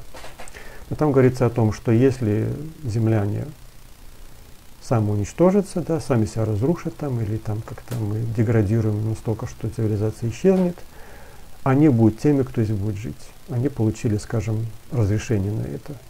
Такова информация – от, Веро, от этой женщины, от Вероники, которая сказала, это женщина, которая обосновала фактически, что она является тем, кем она заявляет, она является. Вот такая очень любопытная информация. Это то, что касается умо. Насколько, значит, про умо письма, я их еще раз, я их не читал. В книге про контакт, о котором я буду говорить а, немножко следующим, э, Стефану Бречи массовые контакты. Это контакты а, известные, это, это контакт в Италии известный под названием «Контакт дружба». Я переводил документальный фильм о нем, вы о нем найдете, э, если сделаете искать «Контакт дружба». Или у меня ВКонтакте в фото, э, видео коллекции «НЛО и жизнь во Вселенной», там есть и документальный фильм. Вот. И Стефану Бречи написал эту книгу, и часть книги посвящена массовым контактам. Книга называется «Массовые контакты». Часть книги посвящена разным случаям массовых контактов и связанных в истории, когда с пришельцем были. Вот. И в том числе здесь упоминаются такие, когда вот э, человек с космоса, да, вот инопланетянин там или кто он там а, общался с связанными. Вольтера здесь упоминается, по-моему, цитата из письма Вольтера, там Сен-Жермен, когда был реальной личностью, который, по-видимому, или был инопланетянином, или имел связь с инопланетянами. Здесь это об этом тоже говорится, есть письма Сен-Жермена. Вот. И часть книги посвящена этому контакту а, Италии, который начался в 50-х годах, сейчас не помню точно даты, и длился более 20 лет. Вот. Здесь говорится про уму в том числе, про письма эти, истории и так далее. Есть одно но, значит, э, писем с того времени разошлось много, и сейчас пойди разберись, какой из них настоящий. Потому если что-то искать, то надо искать первоначальные, ранние письма 50-х годов. Э, и опять же надо быть еще уверенным, что это те настоящие оригинальные письма. Опять же, что еще переведено, тоже вопрос, я не знаю. Вот, потому что после этого пошли еще какие-то письма, происхождение которых под большим вопросом. Потому каша получилась. И думаю, что э, лучше всего, если искать что-то, искать самые ранние, 50-х годов и, может быть, чуть-чуть позже. Потом наверняка появились подделки. Ну вот, это то, что я хотел сказать про УМО. Так, эм, значит, я упоминал Джорджа Адамского, 52 э, год, что он встречался с инопланетянами на, э, тоже в нашем обществе, он встречался в частности в Нью-Йорке, имел встречи. И я сейчас не помню, я здесь о нем упоминал или нет, но Тимоти Гуд я впервые узнал, кстати говоря, именно от Тимоти Гуда. Очень интересный исследователь, один из тех, которые я очень высоко ценю. Uh, он имеет массу информации, он во, множестве, во многих случаях он лично ее добывал лично встречался с людьми, свидетелями, с контактерами. А, некоторые контакты вообще не было известно, если бы я его не читал, я бы них никогда не знал. И я о них до сих пор не слышу об этих контактах нигде. Хотя есть даже книжечка выпущена в одном случае, там э, человек в детстве там э, имел контакт, по-моему, в Германии это было. И э, написал маленькую книжечку про всю, про, весь, про всю историю и уже он умер несколько лет назад, и эту книжечку купил, она там маленькая брошюрка, я просто хотел иметь оригинальную всю историю. Я о нем узнал именно из лекций Тимоти Гуда. У него множество книг, вот одна из книжек, которые имею, а, вот это называется «Инопланетная база. Доказательства того, что инопланетяне колонизировали Землю». Тимоти Гуд. Значит, а, здесь он рассказывает о, о тех случаях, когда значит, э, о базах и в том числе о встречах людей с инопланетянами в нашем обществе. И он приводит случай, он как пример приводит эм, э, контакт Джорджа Адамского, который начался в 1952 году. Это интересное совпадение, потому что умиты, так называемые планета, инопланетяне с планеты Умо, тоже прибыли или в 1952 году, или в 50-м. Вот что интересно. А сразу проводя параллели, скажу, что Джерри Уиллс, о котором я буду еще говорить, который говорит, что он родился на другой планете, его сюда принесли в младенчестве. Его официальный день рождения 1952 год. Интересно, да, вот сразу такие совпадения. Вот. Значит, а, он, что мне еще нравится в нем, а, в Тимоти Гуде, это то, что он критично оценивает информацию. В частности, он критично оценивает контакты Джорджа Адамского, о котором вы можете найти какие-то разоблачения. В частности, он говорил, что он контактировал с инопланетянами с Венеры. Э, значит, к, к чему отнеслись многие скептично, когда узнали, что там на Венере, какие там условия жизни. Корабли его, которые он фотографировал, Джордж Адамский, якобы являются подделками, там абажур он снял от лампы, еще от чего-то. А, одним словом, это отдельная тема споров. Но есть пункты, а, которые не являются сомнительными. Например, я к Джорджу Адамскому относился очень скептично, и я не хотел слушать ничего о нем до, поры, до той поры, пока я не а, в, одном из документальных фильмов не увидел интервью с человеком, который был военным, я сейчас не помню точно, в США он, и он уже там на пенсии, конечно, давно, но он говорил, что он лично, одно, значит, одно из всех сенсационных фото Адамского, это что он снимал не только эти летающие тарелки в виде э, вот этого, да, а он, э, если вы видите сейчас, да, вот это вот, вот эти вот, вот эти, да, это его фотографии. Но есть еще фотографии огромных так называемых материнских кораблей. Вот вы видите, вот это с правой стороны, вот эти фотографии, вот эти вот. Это он снял через телескоп. И он, значит, снимал, есть серия фотографий, когда из корабля вылетает светящийся объект, это фото, не видно. Так вот, этот человек в интервью сказал, что я лично смотрел через телескоп Адамского и видел эти корабли. Вот. Он является уфологом, он там, слушая его, возникает впечатление, что это серьезный человек, как бы трезвомыслящий. Вот. То есть, по крайней мере, часть из того, что говорит Адамский, является правдой. Вот. Но какая часть э, не является правдой, это один вопрос. А, я не знаю, я не копал. Я просто акцентирую на те вот на такие фрагменты. А, и в частности, Тимоти будет об этом тоже говорить, что он, Тимоти будет иметь очень большой опыт и знания по теме контактов, НЛО случаев и так далее. У него есть, говорю, много книг. Есть одна из больших, одна толстая такая в виде, как энциклопедия, толстая книга называется – above top secret, сверхсовершенно секретно. Оно у меня это есть, но я даже нормально еще не изучал. Так вот, потому он, уже зная свои знания, и обладая этими знаниями, опытом, Тимоти Гуд говорит, он, анализируя контакты, э, значит, э, Адамского, он говорит, что у него есть признаки того, что его контакт настоящий, но есть какие-то сомнительные вещи. Вот. Ну, о чем я, почему я все об этом говорю? Значит, Тимоти Гуд а, сейчас я открою файл с его записями. Тимоти Гуд, личные встречи. Значит так, он рассказывает о том, что у него было несколько случаев, когда он считает, он встретился с инопланетянами прямо в нашем обществе. И один случай был в том районе, где у Джорджа Адамского были тоже личные встречи физические с инопланетянами. Значит, Тимоти Гуд приводит только три случая. Два из них очень интересные, один так себе, но я их приведу все. Я сделал перевод. Я, значит, две, две этих истории описаны в этой книге. Значит, они на английском. Это 205 страница Personal Encounters, личные встречи, где он рассказывает о своем личном опыте. И потом я слушал несколько радиоинтервью и, по-моему, видео его выступления, которое я обобщил, чтобы получить наиболее полный рассказ из того, что он рассказывал. Его случай. Итак, значит, Тимоти Гуд. Ближе всего я подошел к встрече с Джорджем Адамским в ноябре 1963 года во время моего первого тура в США с Королевским филармоническим оркестром Великобритании.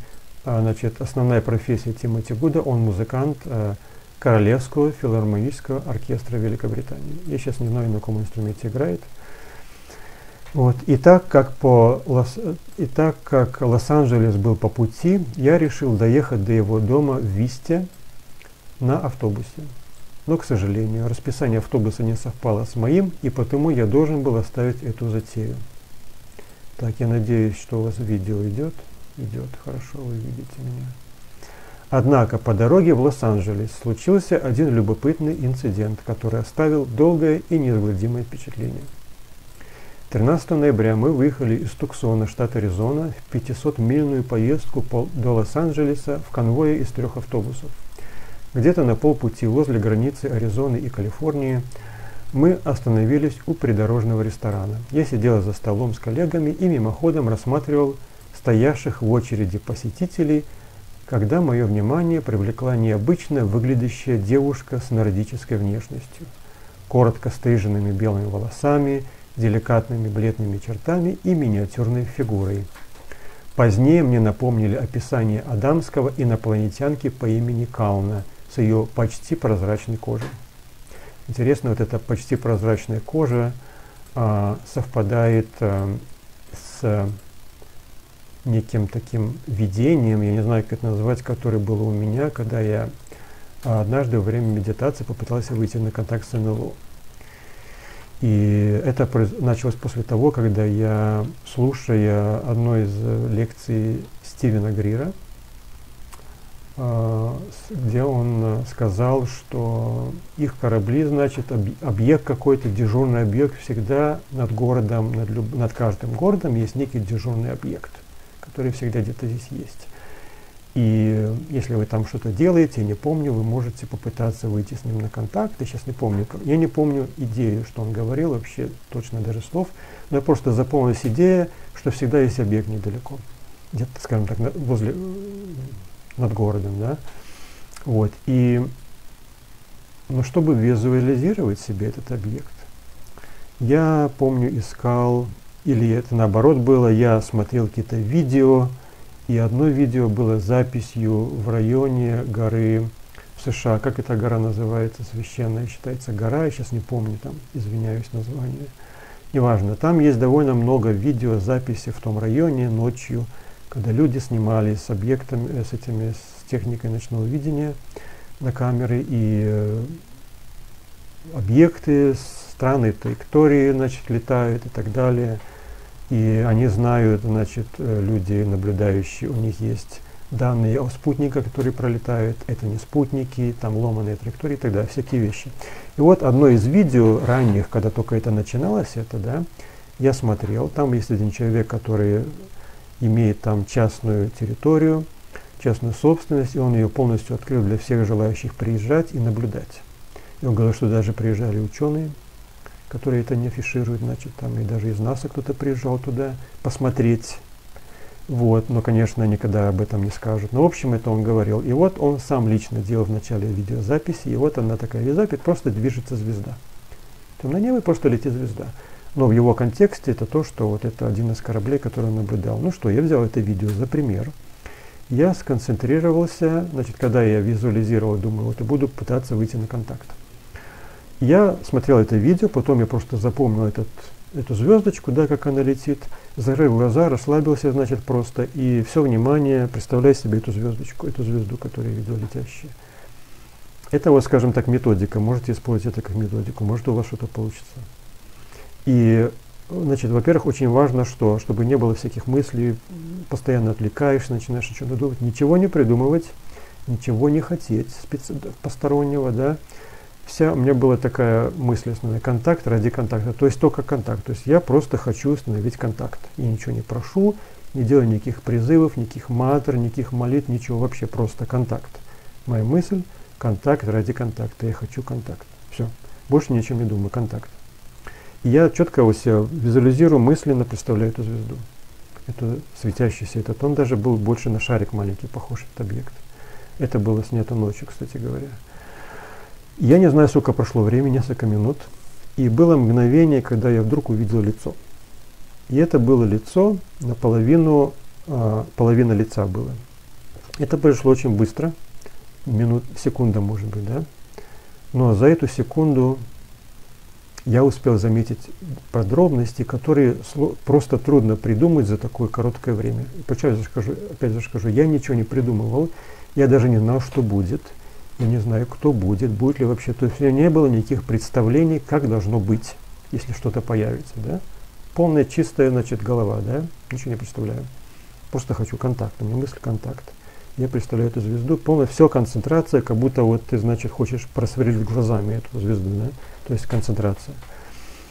Вот. И вот на мгновение у меня возникло это лицо. Я его рисовал, и просто образно говоря, э, я не знаю, сейчас не найду эту картинку, наверное, неважно. Это все равно картинка, а не точная. Суть то, что лицо имело, значит, глаз, я видел э, сторону глаз, который имел миндалевидную форму, то есть такую вот, да. Он был темный, я не скажу, что абсолютно черный, но я не видел ни зрачка, ничего, да. Значит, э, что запомнилось? Вот за мгновение, представьте себе, да, за секунду, наверное, я успел обратить внимание на такие детали. Это первое. Я видел кожу лица вот где-то в этой области почему-то. Может, потому что смотришь прямо, да, и видишь, когда смотришь на человека, как правило, смотришь куда-то сюда, или не в глаза, посередине. И вот я потому заметил больше всего эту часть. Э, кожа была бледновато, такая, беловато, белая с чуть-чуть синеватым, с голубоватым оттенком, ну фактически белая. Но она не была мертвенно-бледная, она не была, знаете, розовато-белая, она была голубовато-белая. Голубоватый оттенок был почти незаметный. Фактически это была чистая белая кожа, но именно белая, то есть не бледная, как у нас, да, не розоватая, а именно белая, чистая белая. И я даже видел э, что-то вроде сосудов под кожей. Синеватые такие линии, которые мне напомнили кровеносные сосуды. То есть она как бы такая полупрос, слегка просвечивалась. А, и у меня осталось впечатление от кожи. То есть это все за это короткое мгновение. А, что это абсолютно здоровые, а, как бы фактически как первозданное существо, то есть настолько здоровое, настолько высокое идеальное здоровье, что, наверное, можно назвать первозданным. Но если говорить, вот Бог создал человека, да, то представьте себе, что человек должен быть, иметь идеальное абсолютное здоровье. Так вот, именно такое было впечатление от этого, от этой кожи. Вот я просто вот впечатление было, да. Абсолютная молодость, какая-то божественная молодость и здоровье. И, значит, эм, и вот и, у меня ощущ, было ощущение от кожи. А, какая-то нежность, какая-то тонкость, я даже не знаю, как это передать, субтильность какая-то. И я потом искал аналоги. Значит, фотографии людей, девушек, детей, э, портреты, значит, фотомодели. Я ни у кого не находил ничего похожего. Все, что я видел, по сравнению с этой кожей, даже вот красивая фотомодель, молодая девушка – ее кожа по сравнению с этой, это было как кожа сапога солдатского. То есть грубость, какая-то материальность такая, понимаете, землистость какая-то, как, бы, как будто много земли, как будто груб, много грубой материи. Вот такое было впечатление. От кожи самого молодого, красивого человека, который только мог увидеть на фотографиях. Да? То есть вообще ничего близкого. Самое близкое, что я нашел, это на одной фотографии была кожа уха младенца – которые так слегка просвечиваются, бывает подсветку делают, да, вот какая-то часть уха а, у младенца имела такую кожу, которая по ассоциации с тем, что я видел, была близка. Вот такое сравнение.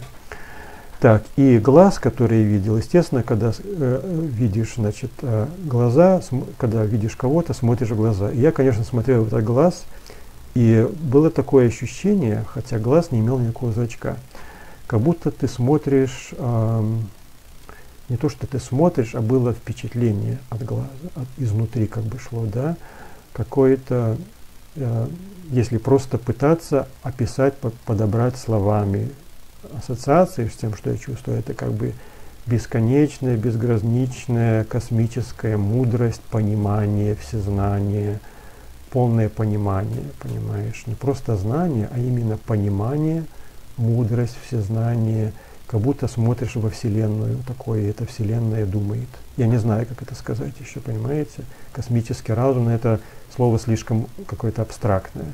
А здесь вот разум, именно живое что-то, да, таким невероятным уровнем. Вот это все за мгновение. И знаете, это опять же, это мгновение мне, э, я нахожу параллели э, у разных контактеров, не у многих вообще-то, да, несколько случаев всего знаю. Один из них Джерри Виллс, опять же, это что информация может быть передана блоком, то есть сразу все за мгновение. Это как бы печать, да, как бы впечатывают себе. Вот если смотрели матрицу, да, там есть интересный такой аналог, что вот хочу летать на вертолете, значит загружают программу, все, я умею летать на вертолете, или там я знаю кунг-фу. Вот. А здесь, вероятно, э, интересная такая параллель, интересно, откуда эти авторы матрицы это брали.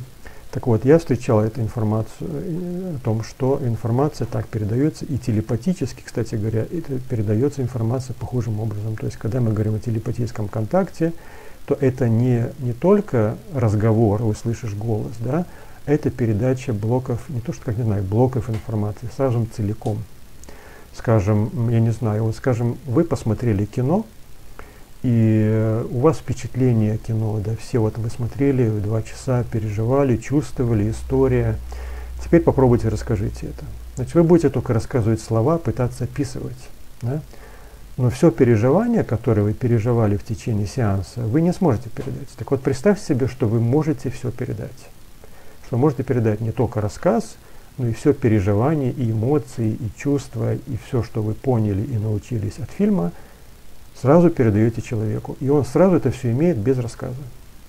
Представь себе, да? Вот это телепатический контакт. Это не слова. И потом пытаешься его развернуть. То есть это мгновение, которое ты можешь разворачивать, это объяснять, рассказывать. Это, конечно, может быть и голос, который говорит, но это не только. То есть обычно телепатический контакт предполагает, что это голос, который диктует. Это не так. И потому телепатический контакт наиболее-более совершенная форма общения, чем словесный, потому что, смотрите, чтобы рассказать вам то, что я видел за мгновение, мне потребовалось несколько минут, когда я мог бы просто шлеп и передать сюда целиком. Как я это принял? Опять же, это было мгновение. За это мгновение успел увидеть кожу, почувствовать ее молодость, абсолютное здоровье, и увидел глаз, который я смотрел, и я смог почувствовать ее бес, бесконечное сознание, понимание, знание, все, все это было мгновение. Вот, это был результат медитации. Так вот, я извиняюсь, что я отклонился, но просто я, так вот бывает, что когда э, долго изучаешь тему, у тебя накапливается знания, такие мелкие всякие подробности, да, которые иногда как бы лежат без подтверждения, без параллели, просто у тебя это есть и все. И потом ты вдруг находишь какую-то историю, контакт, начинаешь э, его изучать и обнаруживаешь такие подробности, которые больше нигде не упоминаются, но ты их знаешь, потому что ты сам пережил или потому что ты из какого-то очень редкого случая тоже об этом узнал. Но так как у тебя не было подтверждения, ты просто, ну, интересно, и пока под, под, под, подождем. Вот, так и здесь. То есть я, я уже, меня спрашивали, как ты можешь определять, что настоящее, что не настоящее. Вот истории контактов всех этих, да. А вот так это определяется. То есть это опыт и знания. И, к сожалению, я не могу научить этому, да? Как я могу научить опыту и знанию? Я не смогу этого сделать. Это нужно самому работать, самому накапливать, изучать. Что я могу дать, это источники. Я могу вот рассказывать, что я сейчас рассказываю, но не более. Все остальное человек должен сам накапливать. И потом всегда будет скептицизм, всегда будет недоверие, то, что я рассказываю, а вдруг меня обманули – я по, по поводу того, что я рассказываю, я уверен, что меня не обманули, что я не заблуждаюсь. У меня есть как бы разные дополнительные подтверждения того, на что я опираюсь, что это не обман. Ну ладно, вот такая история. Значит так. И Тимоти Гуд, возвращаемся к тому, что он рассказывал про эту тонкую, почти прозрачную кожу калны, инопланетянки, с которой Адамский имел контакт. Продолжаю текст, рассказ. Значит, э, Тимоти Гуда о встрече с инопланетянкой в кафе или в ресторане.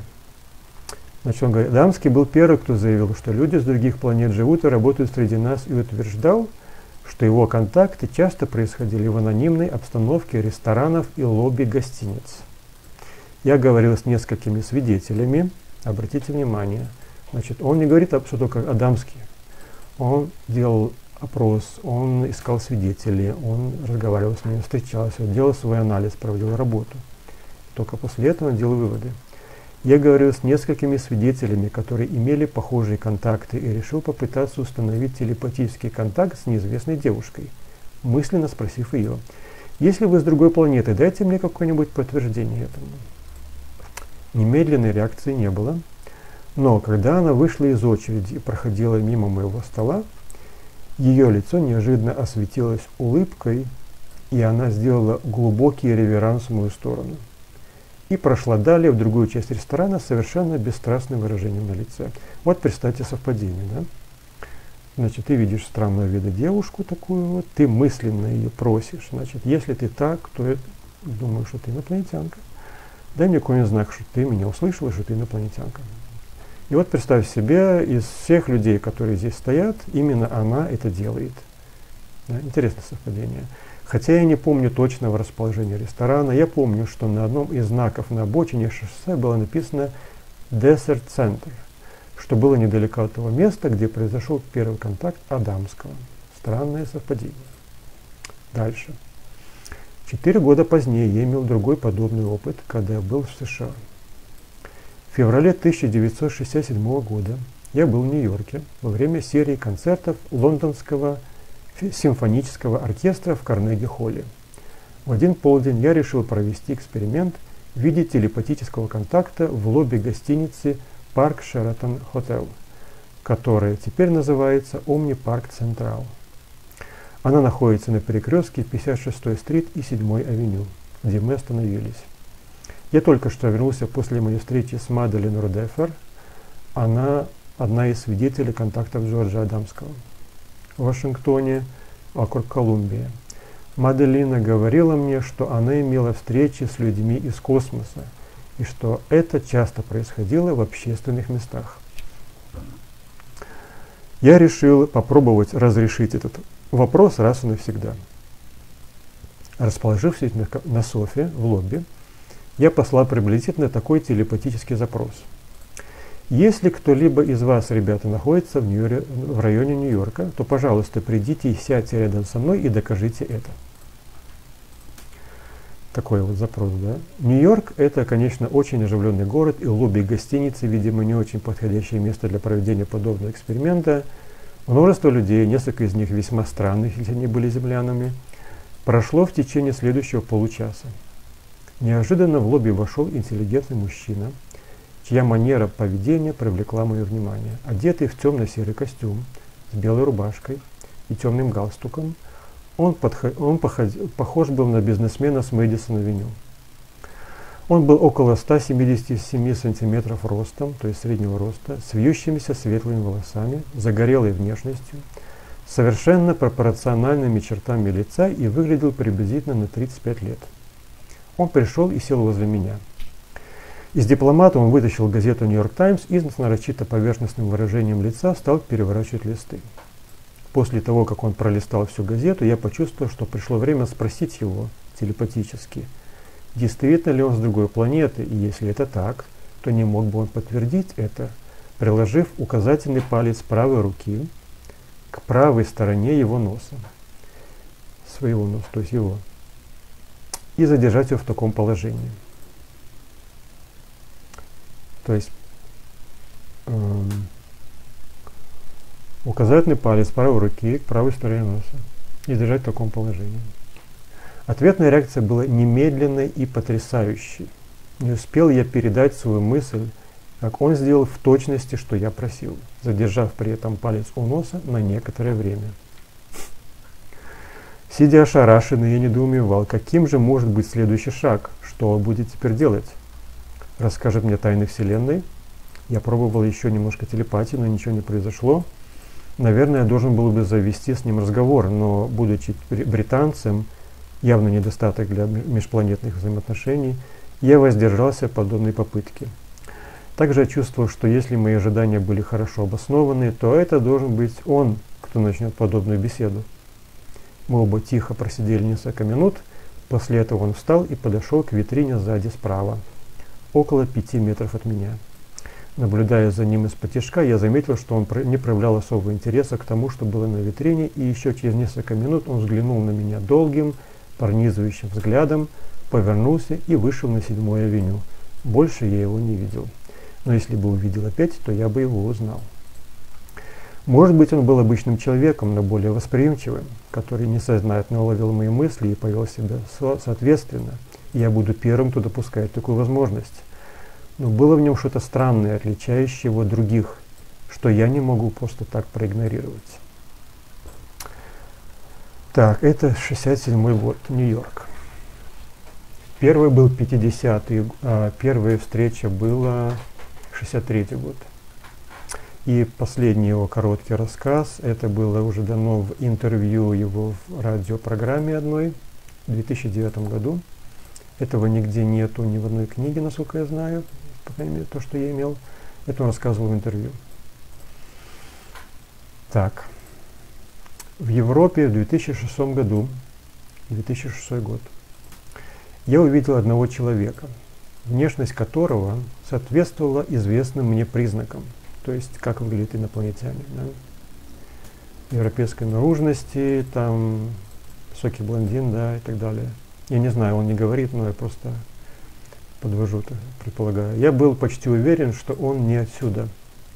Никогда не может быть абсолютной уверенности по поводу таких вещей. И я пробовал обратиться к нему телепатически. Это было на одном мероприятии, обсуждение, на котором я выступал с презентацией. То есть это уже презентация, это уже выступление, понимаете, перед обществом. Там было около 80 человек, бывших политиков, профессоров из университетов. То есть обратите внимание к обществу и я был одним из приглашенных. Позже на этом мероприятии он подошел ко мне и протянул и я протянул ему руку, чтобы поприветствовать его. Он был последним из выступающих, и я сказал ему, «Я думаю, что вы обладаете очень большими знаниями». Он еле коснулся моей руки, и ощущение, скажу, было очень странное, не из приятных. Он мне сказал, какое. И он посмотрел мне в глаза очень-очень пристально, при этом без какого-либо выражения на лице. И все. Он не сказал мне ни слова, и больше я его не видел.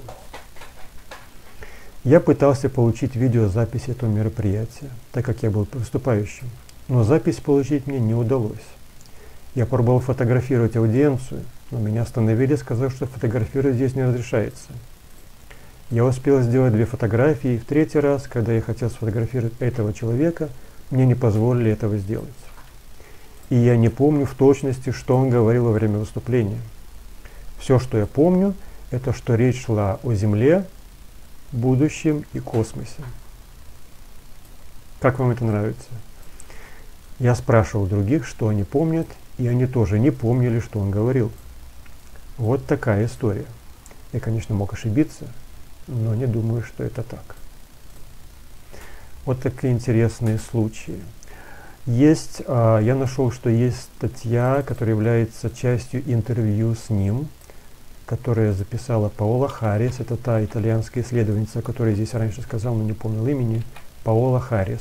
Она, кстати, брала интервью у Вероники, участницы контакта, перуанского контакта, на английском есть запись, это было сделано год или два назад – я, может быть, его переведу, потому что там много всяких интересных подробностей.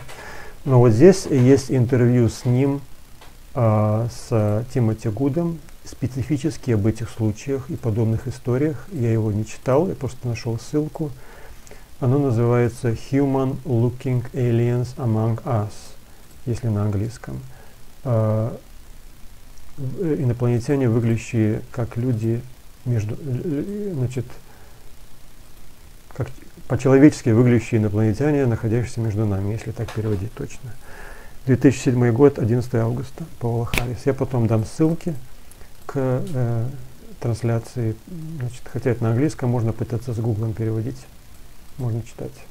Ну вот, это вот очень интересные, на мой взгляд, примеры. То есть это уже не контактеры, понимаете, да? Кто-то верит им, кто-то не верит. Это исследователь, который имел личный такой опыт. Как всегда, это как обычно я бы сказал, это на грани То ли было, то ли не было, да? То ли верить, то ли не верить. И так это делается. То есть я так понял, что они не стремятся дать о себе знать абсолютно открыто. Они как бы все так намеками, как бы все имеет двойной смысл, да? но в то же время это делается периодически с постоянством.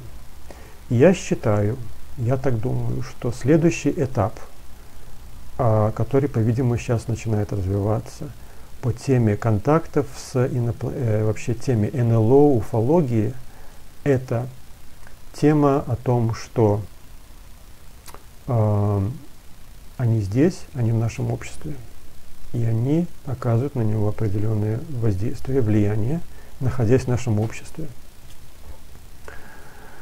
Вот. И естественный переход по этой теме следующий будет, пожалуй, я больше ничего не пропустил, Тимоти Гуд, значит так, это, это контакт дружба. Я э, сделаю контакт дружбы, это будет параллельно с другим. Это будет параллельно с тем человеком, о котором я сейчас рассказал. Значит так, я еще не рассказал про контакты, вот тоже, когда была встреча. Сейчас я давайте отделю это. Значит так, Тимоти Гуд, Джеймс Паркс, я уже говорил. Ингосван. Интересно. Я просто вижу, что очень много времени. Значит, как скажите, вы еще не умираете, значит, от скуки, еще времени у нас есть, или я могу, могу продолжать, потому что уже более трех часов идет лекция. Так уж получается. Или мне придется разделять лекцию на несколько частей, или я сразу все выкладываю. Так, смотрю, видеозапись идет у меня в компьютере, потому если там будет проблемы, я думаю, что я смогу восстановить запись. Так. Контакт дружба. Энрике Кастило Ринкон. Да, контакт. Я сейчас, э, значит, Ингус. Мне еще раз, два, три, четыре. Я начинаю думать, что про Джерри Уилса, про которого я хотел рассказывать, о котором я в самом начале сказал, э, когда я э, сделал анонс – что больше всего буду про него рассказывать. Так, видимо, все-таки я сделаю вторую лекцию, вторую часть, потому что о нем много рассказывать. Если не столько же, сколько я уже рассказал вообще здесь, то, по крайней мере, половина. То есть о нем много информации.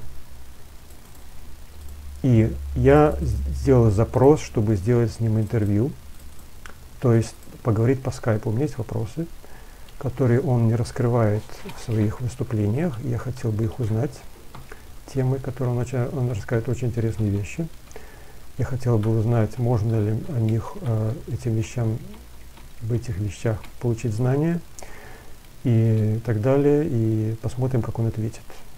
Прошлое письмо, которое я ему написал, э, там я просто собрал информацию по одной теме, и я просто ему переслал, думаю, может ему пригодится. Он мне ответил приблизительно через неделю, поблагодарил и так далее. То есть я... А сейчас я ему написал несколько дней назад. И потому я думаю, что он, я просил об интервью в пятницу или в субботу. Да, сегодня уже воскресенье, все, он мне еще не ответил, так что, возможно, ответить на следующей неделе. Потому, скорее всего, в этом контексте я, наверное, сделаю с ним отдельно, про него отдельную лекцию потому что я говорю, что то, что я вижу, просто много слишком информации сразу, а о нем, наверное, можно читать отдельную лекцию. Я еще раз буду слушать его все записи. Это многочасовые записи. То есть я имею в виду, имею, не знаю, штук 10, наверное, одних только аудио интервью в разных радиопередачах, каждое минимум полтора часа. Два-полтора. Часто он повторяется, часто его задают те же самые вопросы, он дает те же самые ответы, иногда он дает больше информации в одном случае, меньше в другом. Вот, и я чувствую, что я могу лично ему уделить отдельное видео. Это будет в том же, те, в том же контексте, что и сейчас, да, я говорю о пришельцах, живущих на Земле. Потому что он является одним из таких э, людей, я считаю. Я пришел к этому выводу, анализируя то, что он говорит – о себе и что говорит о своей истории, которую ему, которую ему сообщили. Он тоже имел физические встречи с инопланетянами, которые ему сказали, кто он такой. Ну ладно, это отдельно получается. Но я сейчас подойду к нему через другие примеры. Так. Итак, э, о встречах с людьми и так далее в Нью-Йорке. Есть еще один случай, который был позже, после Джорджа Адамского. Это контакты Энрике Кастилло Ринкона. Э, они начались в 1973 году. Для меня эта дата интересна тем, что перуанский контакт начался в 1974 году, а контакт в Италии, контакт дружба так называемый, он э, начался в 50, сейчас я пытаюсь вспомнить, сейчас я посмотрю, в 56 году, и закончился в 90-м, когда он был полностью прекращен. То смотрите рамки, да, период времени. Значит так, а, инопланетяне планеты УМО приземляются в 52 году, если не ошибаюсь, 50 или 52 год. Джордж Адамский в 52 году имеет контакт. Заявляет, что не была первая встреча. Есть еще один контактер, итальянский Евгенио Сирагуза, я о нем очень мало знаю, у меня есть немножко информации, я о нем даже не рассказываю. 52 год у него начался контакт. А, так. Контакт итальянский, э, контакт дружбы заканчивается в 90, 90 году. Контакт Ирики Кастилла Рикон, 73 год. А, перуанский контакт, 74 год. Да? И Джерри Уиллс был сюда принесен на землю как младенец в 1952 году. Такой интересный период времени, да, сразу множество как бы параллельных событий в одно и то же период времени. Итальянский контакт, меня вообще такое было впечатление, что, явля... что перуанский является продолжением итальянского контакта, потому что есть э, высокие люди, там есть, э, значит, э, я сейчас покажу картинки, некоторые сравнения, да. Тоже и в, и в пиратском контакте очень высокие инопланетяне есть. Вот, э, значит, есть информация похожая, в общем, такие параллели, хотя не то же самое. Вот. Возможно, что один из проектов. Знаете, э, вся эта тема, так же, как вообще тема НЛО, уфология, как я говорил раньше, важна не одним случаем каким-то интересным, а тут начинаешь видеть большую картину, как бы, да, когда делаешь сравнение со многими случаями. То есть одно наблюдение НЛО ничего не доказывает. Десятки наблюдений НЛО, имеющие схожие параметры, что-то доказывают. То же самое контакты. Одна встреча контактера, который там где-то встретился и имел контакты, там массовые послания какие-то у него. Это, еще, это интересно, но этого мало. Это один случай. Но когда мы видим одно, два, три, четыре, десять контактеров, у которых наблюдаются похожие вещи, а, похожая информация, да, в том числе источники, которые не, не заявляются вообще как контакт с инопланетянами, да, как я сказал, Агни-йога, Блаватская, которая с учителями встречалась в городе, физически у нее были встречи, то есть у нее не были просто телепатические контакты, это не был спиритизм, с которым она, кстати, боролась. Вот, и много нажила себе врагов из-за этого. Вот, э, а она имела физическую встречу, так же, как Елена Рерих физически встретилась с учителем. По-моему, это было даже в, в Санкт-Петербурге, если не ошибаюсь. Вот. Одним словом, это и наху- все это параллели, понимаете. В некоторых случаях не, говорю, это не, не Блаватский, не Елена Рерих не говорят, что они контакты с инопланетянами, но я читаю их, и я и присматриваюсь к тому, что имеется в виду под понятием Шамбала, да, они говорят, конкретное место в Гималаях есть. Вот на моем веб-сайте, который я э, давал ссылку, да, моя Шамбала, там говорится, что есть конкретное место, где они живут. Это, то есть, а, значит, а, вот, пожалуйста, фактически единственное место, которое я нашел, где говорится о месте – Ариаварта означает «страна арийцев». Это древнее наименование Северной Индии, куда пришли и где основались первые выходцы из Средней Азии после гибели Атлантиды. Это наименование относится лишь к горным долинам среди Гималайского кряжа, а не ко всем низинам Индии. Так, наш ашрам находится именно в древнейшей и наиболее священной Ариаварте. Единственный ориентир, который здесь упоминается. Все, ищи где хочешь. Дальше там, да. И дальше такие, такие высказывания. Значит, географу может успокоиться. Мы занимаем на Земле определенное место.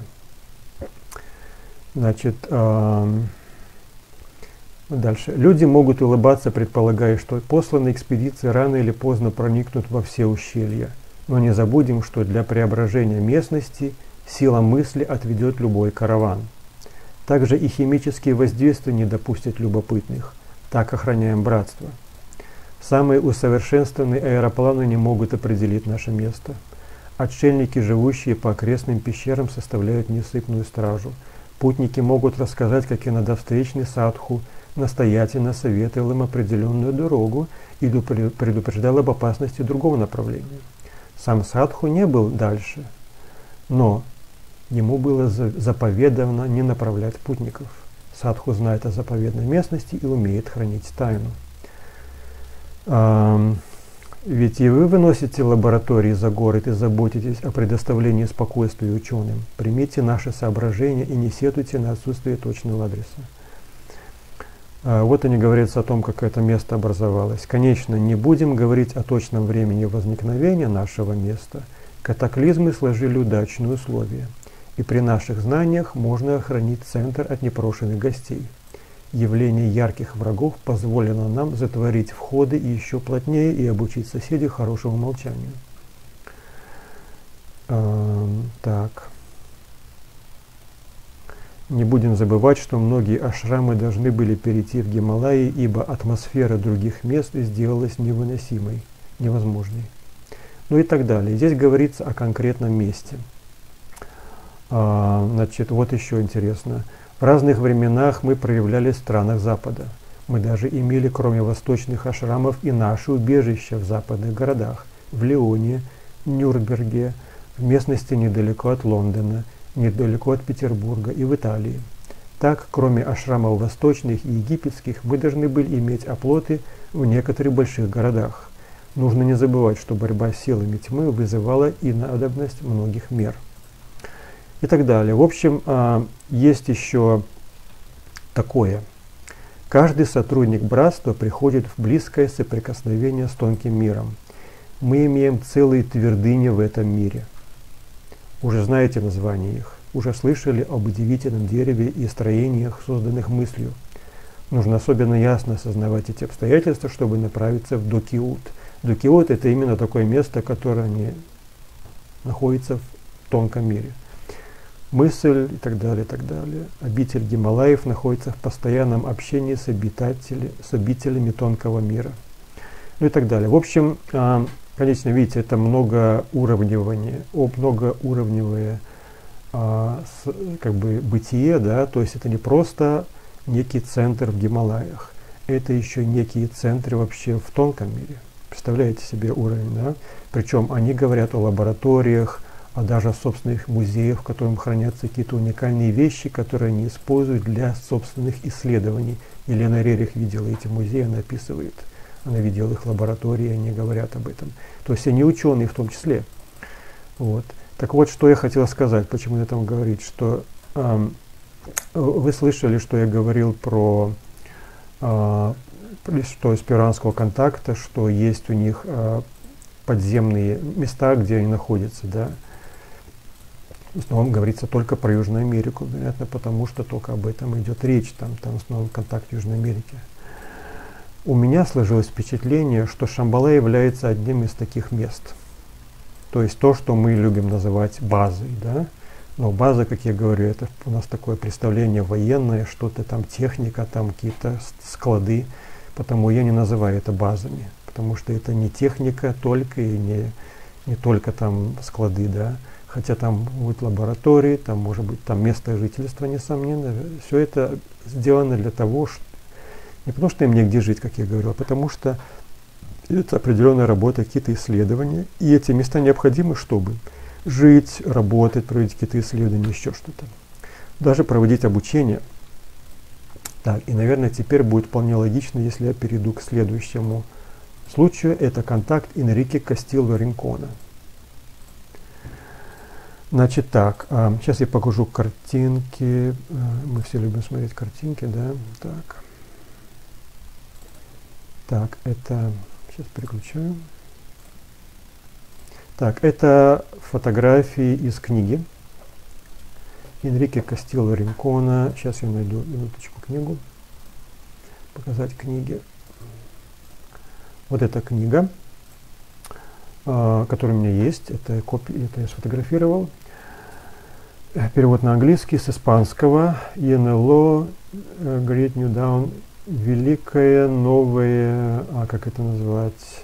Восход для человечества, или как это перевести? В общем, говорится о некой следующем эволюционном шаге да, для человечества. Очень интересная книга, э, ничего на русском, к сожалению, нету, я ничего не переводил, я рассказываю несколько только фрагментов. Это Энрике недавно, он умер э, несколько лет назад, по-моему, 2003 год. Это в то время, так он выглядел. Вот это, он в разных конференциях участвовал, вот видите, да, Жак Вале, если вы его распознаете, слева в наушниках сидит. То есть он был известен в определенных кругах. Вот это фотографии из книги с какими-то исследователями, если не помню, там одна из них контактер, по-моему. Вот это из сравнительно недавних фотографий, не знаю, что это за тарелка, возможно, это просто иллюстрация Энрике слева. Это просто одна из его таких более последних фотографий. Вот, значит, а, фотографии его книги. Вот это а, история, и как он встретился с инопланетянином, когда он покупал билеты в кинотеатр. Эта иллюстрация, конечно, не отображает точно ни вид э, одного, ни вот Энрике справа стоит, инопланетянин слева. Значит, он не поставлял себя как инопланетянин в самом начале. Значит, э, я читал, буду рассказывать по памяти, история такова, что он стоял, значит, в очередь в кино, и какое-то хорошее кино там или что-то, и, э, значит, похоже, там билеты кончались, и вдруг к нему подходит человек и говорит, знаете, у меня два билета, один лишний. Не хотели бы вы пойти со мной в кино? Интересное для начала, для контакта, да?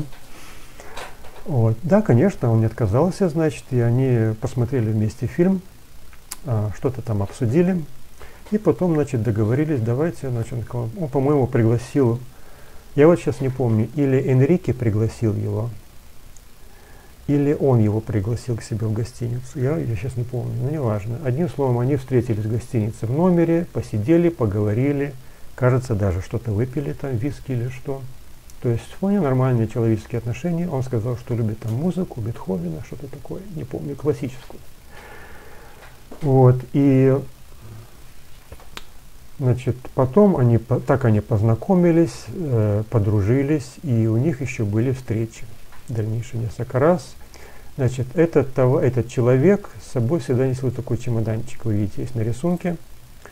И в этом чемоданчике, как он говорил, он имел, а, он, он, он видел, что он имел какие-то косметические средства. Он говорил, что он является дистрибьютором какой-то фирмы.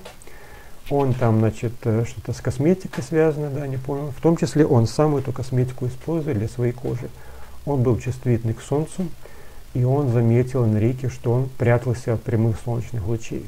Даже когда они были на пляже, он не куплялся в море, он сидел под зонтиком и всячески закрывался от солнца. У него была бледно, бледная такая светлая кожа. Вот. В общем, такие подробности. Я сейчас не помню все истории. Было в их разговоре такой интересный момент, значит, когда Энрике его спросил, вот он как раз читал какую-то заметку в газете, вот там про НЛО, значит, вот люди видят НЛО, вот что вы думаете, что вы скажете? Он еще ничего не подозревал, кто это такой, он даже не, не знал даже, да? Хороший знакомый. И он ему отвечает, это значит хороший знакомый, говорит, знаете, вот ученые говорят, что вот это и вот это, значит, там что-то. Это, в общем, он высказал позицию науки того времени, и что это, скорее всего, эти все НЛО, это, возможно, наша какая-то земная техника там, так как у нас холодная война, возможно, это там развиты какие-то технологии, то есть совершенно ушел от ответа и не заявил, о, я инопланетянин, значит, это мои корабли. Вот, ну и так далее. Потом были еще какие-то него встречи, он там что-то еще рассказывает о нем, я не помню всех подробностей. Потом у Энрике начались контакты, которые начались, как это началось и в перуанском контакте, с попытки выйти на контакт телепатическим способом и через автоматическое письмо. Кстати говоря, почему я вообще стал его интересоваться этой книгой? Потому что я узнал от Вероники, что а, ребята, которые начали а, контакты в истории перуанского контакта, Значит, их отец организовывал ежегодные такие как бы конференции, на которые съезжались интересные люди. Там кто-то преподавал йогу, там даже были американские астронавты, приезжали в гости, они рассказывали. То есть разные интересные люди. В том числе там были контактеры, и в том числе был приглашен, я не помню, или сам Энрике, или представитель его, который рассказал о контакте, о том, как был завязан контакт. Он посещал группу там медитирующих, занимающихся медитацией, попытками выйти на контакт с пришельцами с Венеры. Я сейчас не помню. Вот на эту тему.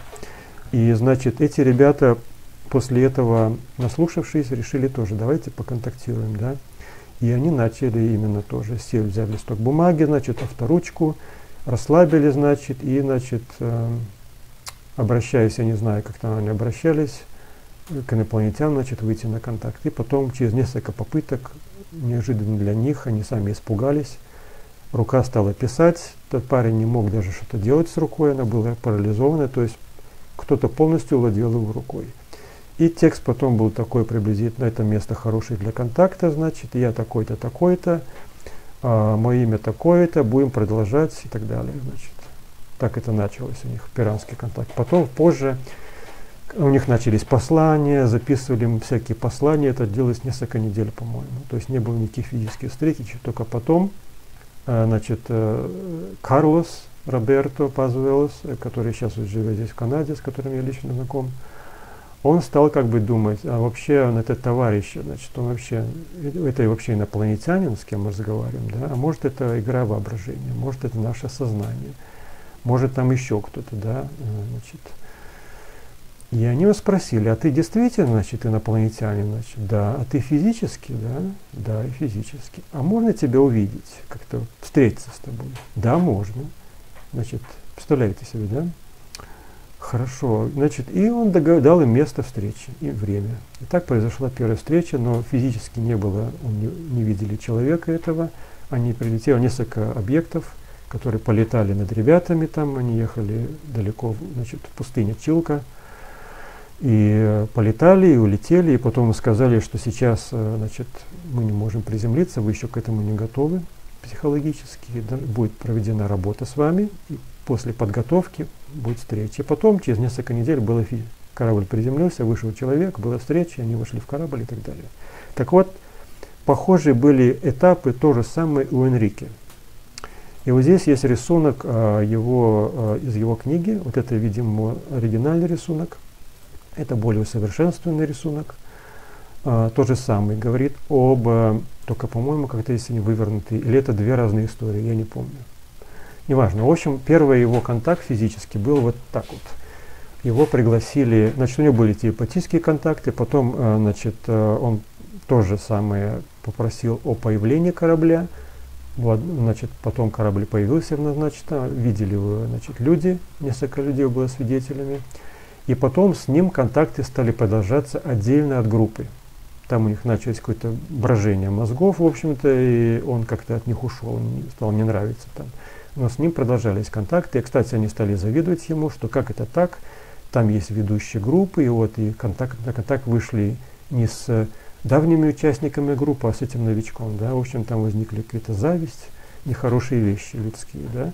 И он оттуда ушел, с ним продолжались контакты, и произошла первая встреча, его, значит, назначили инопланетяне место далеко где-то, он должен был ехать, он долго ехал, там несколько часов на автобусе, а, в какую-то местность удаленную, значит, там а, вышел попросил, чтобы автобус остановился. Этот шофер сейчас спросил, а вы точно сюда хотите? Да? Говорит, да, точно сюда, потому что там ничего нету, поле, там куда-то далеко горы и все. И ночью причем.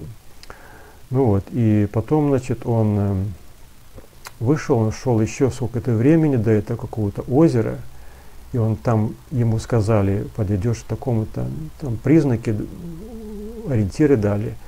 он должен был найти под каким-то в каком-то определенном месте, там каким-то деревом, кажется, шар.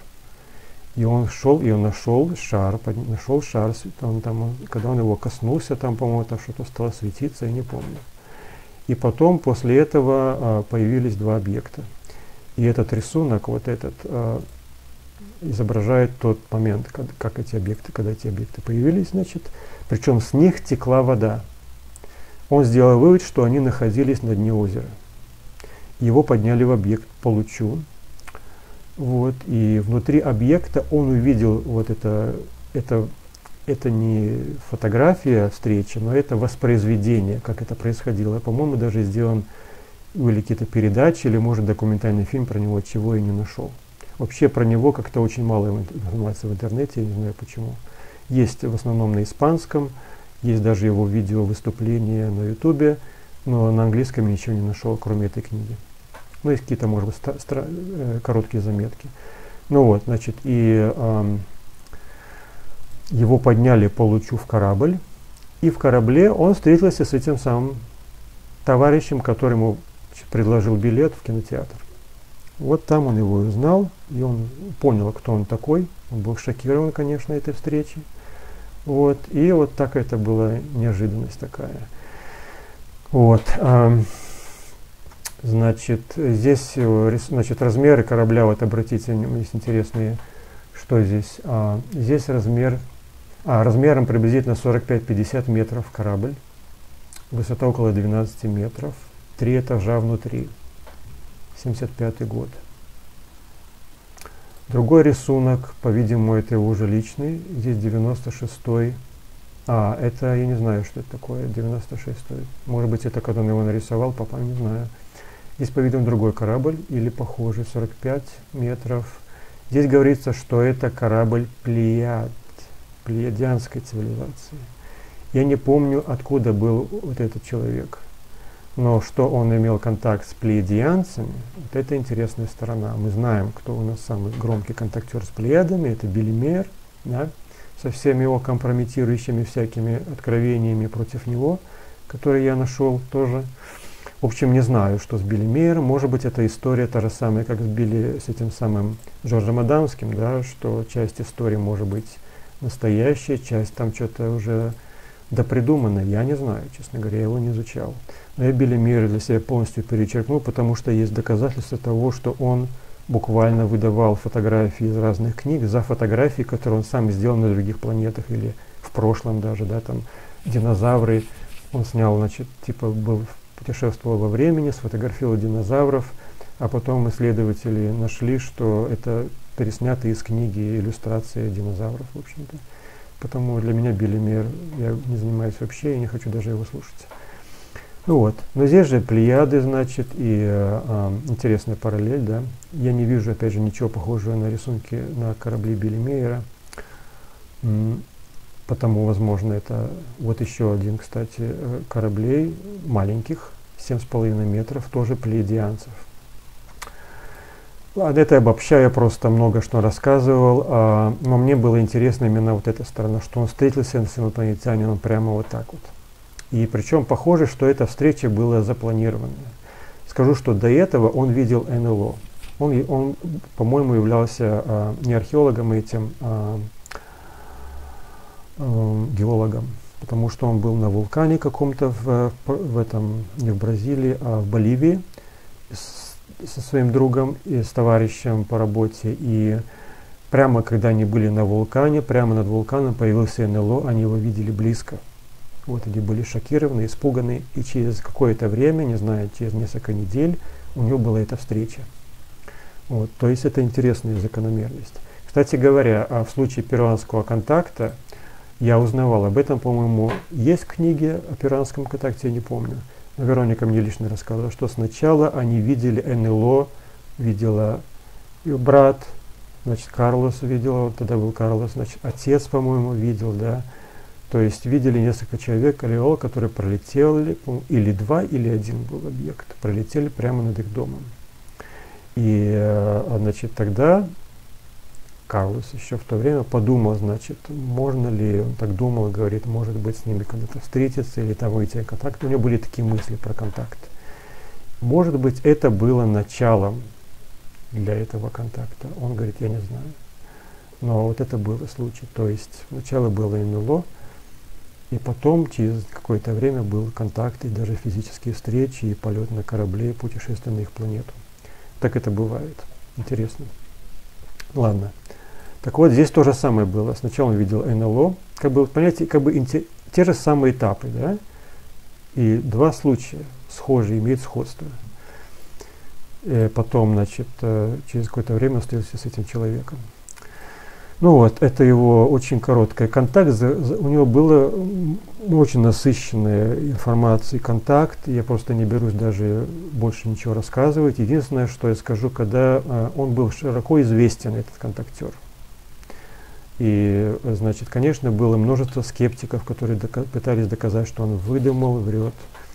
И были передачи с его участием. И как я читал в книге, что однажды, э, значит, видимо, дошло до того, что значит, стали требовать доказательств. Я не помню ситуации. То, что он сказал, что они предоставят доказательства. Какие он не знал, ему не сказали. И они сказали, что в такой-то день, в такое-то время будет доказательство. Э, значит, что было? Значит, был яркий солнечный день, ни одного облака над городом, это был какой-то крупный город, я сейчас не помню. И прямо в указанное время над городом стало собираться тучи, и пошел дождь. То есть никаких прогнозов, да, ничего. Точно в указанное время, которое он сказал, будет доказательство. Стали собираться тучи, и пошел дождь. И потом эти, эти тучи разошлись, я не помню, как это закончилось. Но вот он сказал, ну вот, и это, это было известно, то есть это было широко опубликовано, что будет доказательство, понимаете, там камеры, вероятно, стояли, ждали, я не знаю историю, не помню все истории, об этом в книге есть. Но вот такое было предоставлено доказательство, то есть э, интересный ход, да, никаких кораблей, ну вот, пожалуйста, вот вам облако посреди белого дня, и, и дождь пошел. так вот, э, и как закончился контакт? Там похоже, что планы были очень большие. Выступления у него очень такие, значит, э, высокие как бы темы, которые он затрагивал, и связаны там и с о том, что человечество делает с землей, значит, охрана природы, изменение климата, чистота природы, там, раз, против войны, сейчас не помню, в общем-то, довольно, я бы сказал, э, схожие темы, которые, э, о которых говорил и, например, Eugenio Сирагуза, и еще там какой-то контактер, я сейчас не помню. В общем-то, было время, когда вот контактеры такие вот послания давали на эти темы. И он тоже об этом говорил.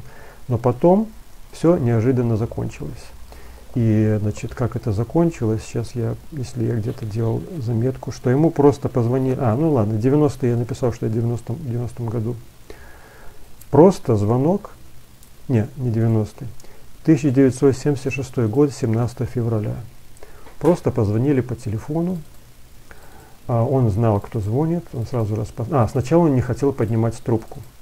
Тоже вот, и, такая маленькая интересная такая подробность. Значит, э, он, э, слыш, он был в гостинице, он готовился к выступлению. Очередное его выступление, масса зрителей, значит, его ожидают – и в телефоне, значит, в номере звонит телефон, звонит, звонит, он не поднимает. Потом, а, значит, эм, или он поднял, положил, по-моему, да, поднял, положил. Ну что, он готовился к выступлению. Как только он поднял, положил, телефон сразу стал звонить опять. И вот он в книге, он, значит, логическое рассуждение. Вообще очень логичный человек, он много такой логических рассуждений, то есть он, он был трезво мыслящий, скептично мыслящий человек. Вот что потому интересно читать его книгу. И, значит, он потом думает, значит, он пишет в книге, значит, я не представляю, с какой скоростью нужно набирать номер телефона, потому что вы знаете, да, что раньше, это сейчас у нас кнопки, а раньше был диск, надо было набирать номер, да, и это занимало сколько-то секунд.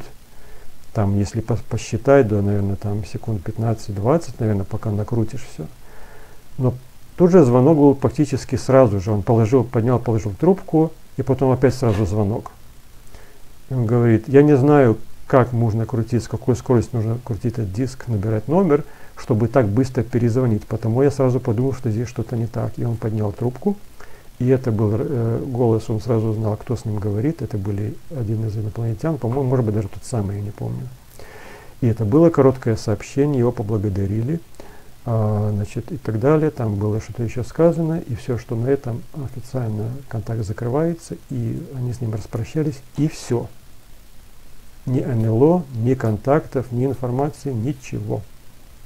Полный конец. Никаких так вот, и там развивалась какая-то ситуация, я сейчас не помню, там, э, значит, споры какие-то, скептики. Я так понимаю, а, зная, как бы, как это бывает, э, что может помешать, я думаю, что ситуация в обществе стала развиваться в нежелательную сторону, которую бы не хотели. И они посчитали, что продолжать контакт в таком, а, при, при том, как развивается ситуация, дальше не плодотворно, и они его сразу закрыли. Похожая ситуация была а, в перуанском контакте уже в нашей группе здесь в Торонто, когда а, значит, у нас были планы, вообще этот контакт имеет определенные дальние цели. То есть не просто полетать, значит, и доказать, что эти ребята имеют контакт, что мы можем вызвать НЛО, а то, что есть дальняя цель. Это выход открытый, на, на открытый контакт, но посредством групп людей, которые долгое время имеют общение с этими инопланетянами, они знают, кто они такие, они знают эти цивилизации, и потому если произойдет... То есть есть кому обратиться и спросить. Есть люди, имеющие многолетний опыт общения с этими людьми с других планет, понятно, да, с конкретными. Вот. И а появление НЛО в назначенное время, так же, как это было вот который я переводил книги, да, про пиранский контакт. То же самое у нас здесь было, да, и это было сделано в Южной Америке в 90-е годы, когда была масса журналистов, и все это видели. И планировалось сделать то же самое в Канаде, в нашей группе. И цель была постепенно привлечь внимание средств массовой информации, постепенно это станет более и более известным. То есть это было бы приблизительно, ну, скажем, мы можем, мы имеем контакт с инопланетянами, можем это доказать публично, да, мы можем попросить их, чтобы они пролетели в такое-то время, вы все это увидите. На таком приблизительном уровне. Да? И сделать публичное заявление. Все журналисты, кто хочет приехать, пожалуйста, добро пожаловать. Представьте себе, если бы приехал один-два, например, да, появились бы объекты, может быть, даже днем, они бы это сняли, потом бы сказали, что мы можем повторить всем, кто желает. Поехало бы уже больше. То есть постепенно нарасталось бы внимание общества к тому, появлялись бы вопросы, спрашивающие, и так далее, и так далее. И все представляете, да, что за история, откуда это. Не бы узнали о перуанском контакте, например. И потом, в конце концов, конечная цель была привлечь высшие слои общества в смысле а, руководств странами, в частности, конкретнее, это Организация Объединенных Наций, потому что, по их оценке, это единственная организация, организация на Земле, представляющая всех. То есть не одна страна, а какой-то центр – и более-менее представляющие все страны. Да? Что-то, какой-то аналог этой федерации да, галактической. Вот. Худо-бедно, но это единственное, что у нас есть. Так вот, и главная цель, конечная цель была привлечь внимание на таком уровне и в конце концов сделать физическую встречу. Но физическая встреча должна была иметь цель не а, рассказать о чудесах Вселенной, значит, не сделать космические подарки и не раскрыть тайны там, космоса, а именно сделать предупреждение – что ваша цивилизация идет в направлении к разрушению, разрушению вашей природы и Земли, ну, в смысле природы и экологических условий, которые станут, в конце концов, невыносимыми для человека, что придет фактически деградации и исчезновению человеческой цивилизации. И это их предупреждение. И э, контекст того, что, во-первых, они сами существуют, говорит о том, что э, сам их пример говорит о том, что есть какой-то путь существовать миллионы лет – и не исчезнуть. То есть а, их факт существования говорит о том, что каким-то образом можно жить так долго, чтобы прожить миллионы лет и достичь такого уровня. То есть возникнет вопрос, а как же можно жить, что же нужно делать? Да? Так вот, они, э, это главная будет цель, э, как, как, как, насколько я знаю, главная цель встречи будет такой публичного выхода, да? показать своим личным примером, во-первых, что можно жить по-другому и жить долго и процветающе. Вот. И второе, что вы э, на Земле должны изменить э, свой образ жизни э, в направлении, значит, как бы сказать, неврожденным для Вселенной и неврожденным для вас самих. И тогда вы сможете продолжать ваше существование дальше, неврожденные в том числе для природы, да, ваше существование дальше и процветать. Вы сейчас на развилке, то есть или вы продолжаете ваш теперешний путь, и вы исчезаете в конце концов, или вы меняете, пересматриваете принципы, как вы относитесь друг к другу, к странам, страны друг к другу и так далее, как относитесь к планете, что вы делаете по отношению к ней. Вы это пересматриваете, вы корректируете свои э, действия, да, корректируете себя, тогда у вас меняется ваше будущее, которое они показывали, имеют не очень светлое, да. Вот. И тогда вы выживаете, вы развиваетесь, процветаете. Вот это, да, это дальняя цель перуанского контакта. Наверное, не единственный контакт такой, я не знаю. Но э, в нашем случае это так. Вот. Я немножко уклонился, значит, э, в сторону. Вот, но, значит, в его случае, в случае Энрике Кастилла Ринкона, по-видимому, дело... А, значит, почему я начал говорить? Значит, было, были планы где-то несколько лет назад начать делать такие публичные выходы у нас э, в Канаде, в Торонто, в той группе, где я есть. И э, однажды у нас были встречи периодически, но однажды Вероника пришла и в чем таком плохом настроении и сказала, что ей сказали, что деятельность группы на время приостанавливается. То есть то, что планировалось, не, не будет реализовано сейчас. Почему? Потому что ситуация в обществе сейчас неподходящая. И в обществе имеется в виду вообще на Земле, не просто Канада или какая-то страна, в обществе вообще, да, не, не как бы не целесообразные для того, чтобы сейчас им так проявиться. И это было отложено на какое-то время. Вот, и э, так это произошло, да. То есть я вижу параллели, опять же, э, то есть наша группа не закрыта, сделана пауза, а, значит, Вероника я сейчас видела, она делала, значит, Паула Харрис брал интервью год или два назад, год назад. Теперь вот я видел Веронику, пригласили на несколько уфологических а, конференций впервые, насколько я знаю. Как ни странно, вот сейчас это вдруг началось. Вот, возможно, будут видеозаписи. Вот. Но я вижу просто параллели с тем, как вот резко прекратили контакт с Энрике Кастило Ринконом, и как вот у нас э, в нашем случае здесь сделали такую паузу на, э, значит, на, на, тех, на том, что предпринималось, планировалось предпринимать. Но я так понял, что это только пауза. Ну вот. Э, значит так.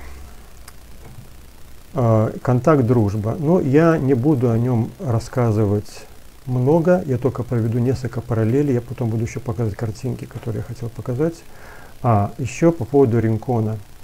Что еще интересно было, вот эта картинка я сейчас показываю, это то, что он видел, что имеется обучающий центр у них, это было где-то в Андах. Обратите внимание, Анды тоже, да, горы. Я, я сейчас не помню, Перу ли это была часть. А, значит, а, я даже не знаю, Анды все полностью это Перу или еще какие-то страны, неважно.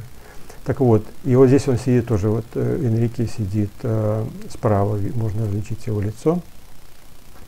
И он видел, значит, э, он, значит, э, его привезли в такой, как бы, можно сказать, центр, да, то есть сделаны были несколько там дом, домиков, в которых жили люди. Он видел, что это люди с разных точек Земли, потому что разных рас. Явно был кто-то из Европы, какие-то был азиатские, э, расы, значит, был чернокожий, в общем, люди с разных точек планеты. И все они проходили обучение. Инопланетянин, как вот здесь на картинке, сидел и там давали знания по определенным темам. Контекст был такой, что будет определенный момент, когда это будет необходимо, и эти люди должны эти будут знания раскрыть. Интересно, что Джерри Уилса, о котором я буду рассказывать, видимо, в следующий раз уже, говорит точно о том же, ему тоже давали знания. Но ему давали знания иным способом.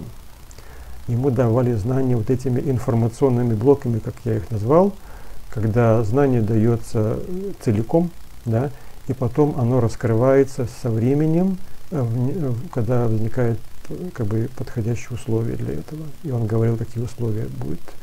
Он должен был изучать научную литературу, там какие-то теории, еще что-то, да, научные вещи. Он должен был иметь научное какое самообразование, чтобы эти знания как бы дать основу для раскрытия этих знаний, то, чтобы он не просто, как бы, видимо, нужно, вот это нужно иметь собственное знание, да, как бы базу, да, базовые знания должны быть, чтобы это, это могло раскрыться.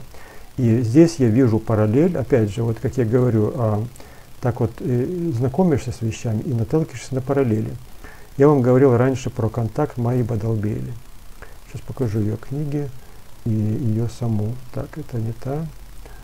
Так, Майя, Майя, вот у нас Майя Бадалбейли. Это контактер а, я сейчас извиняюсь, Азербайджан или откуда, я сейчас не помню, откуда из того региона. Вы найдете, если будете искать, на Фейсбуке она есть, но она сейчас про контакты не пишет. Она написала вот эту книгу «Голоса Вселенной», она у меня есть, а, мне ее дал мой знакомый, который ему она лично подписала. Или это мне была копия, я сейчас не помню. Книга выпущена в 2002 году. Вот. «Голоса Вселенной», где она полностью излагает как с ней начался контакт. У нее началось через автоматическое письмо, а потом она слышала голос. В общем, там интересная очень тема. А, это важная тема, что информация у нее была научного характера. Но чтобы эта информация научного характера у нее корректно излагалась, и она понимала, о чем идет речь, она должна была изучать научную литературу по конкретным тем астрономия, там физика, еще что-то. Она говорит, я вообще вообще далека от этих вещей, а она там художник, она там связана с культурой, стихи пишет, и вот она должна была углубляться в эти вещи. Она говорит, это было необходимо.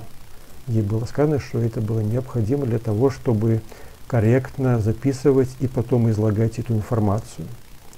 И она это делала, она изучала эти научные э, разные материалы нашей науки, да, вот она об этом пишет, и потом она уже понимала, что когда что-то идет речь, она имела понимание, что она записывает. И это было важно почему-то. Вот. Потом у нее были встречи с учеными, филологами, там, с каким-то известным философом, которые тестировали.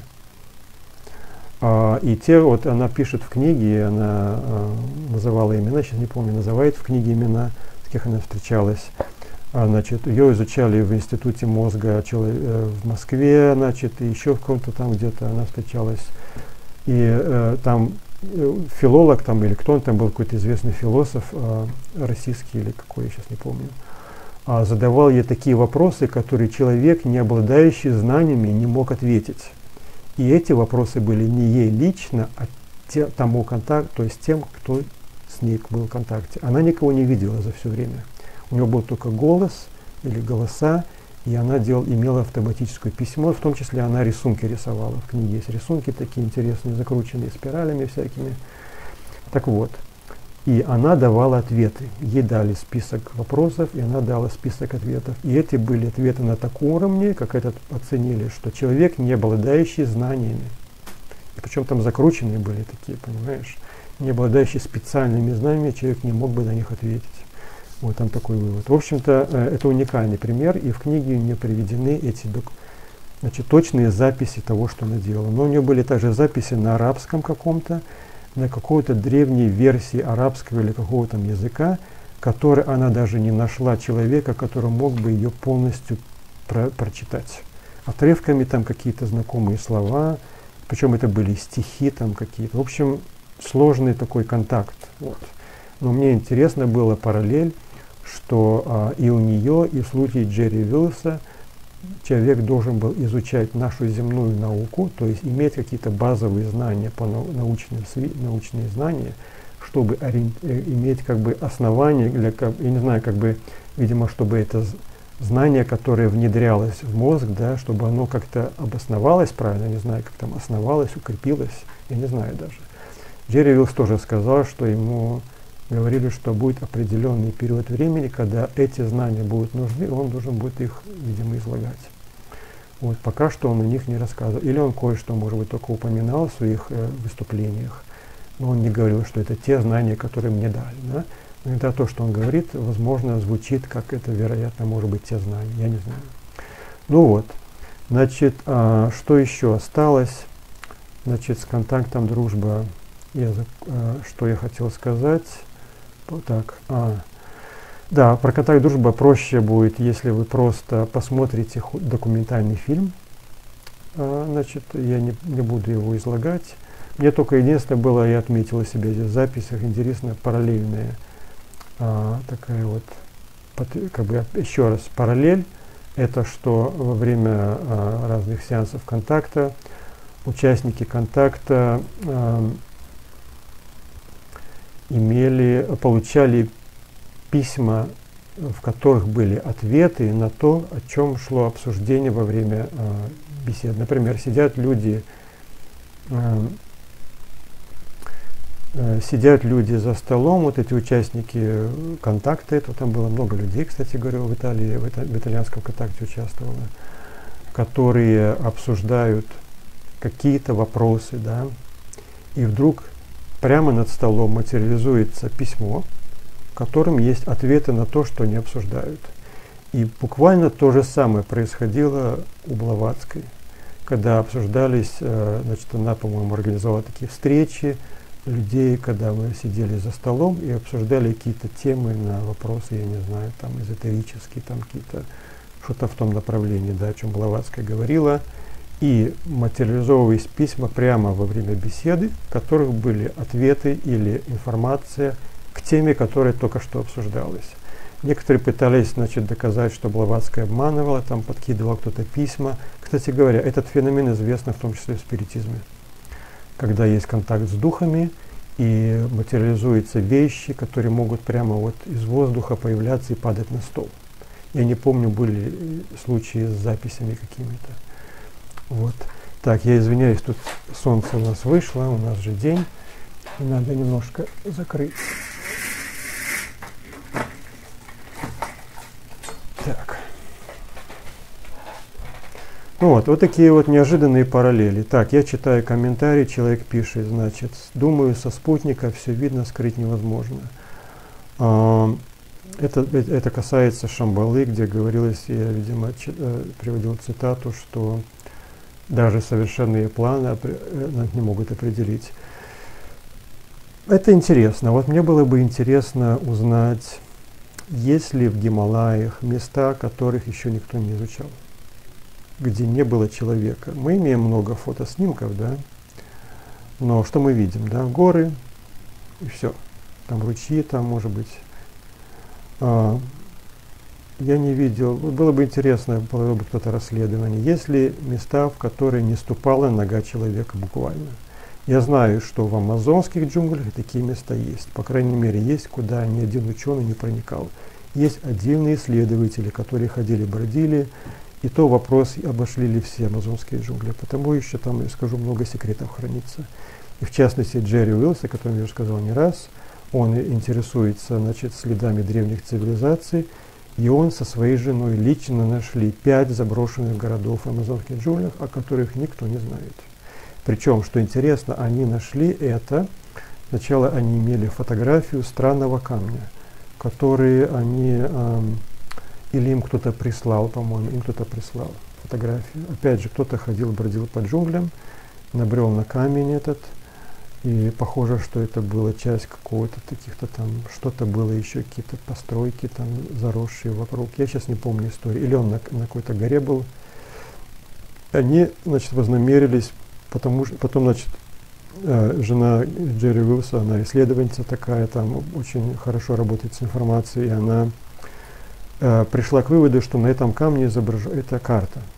Там изображена местность. Она говорит, но нам нужно проехать туда и больше посмотреть, то есть нужно на место прийти. И они поехали на место, и они получили подтверждение, что это карта, потому что они говорили с местными жителями, из каких-то там еще с гидов каких-то местных. И а, она задавала вопросы, если это карта, то это должно быть вот это, вот это, вот это, вот это, там находится пещера.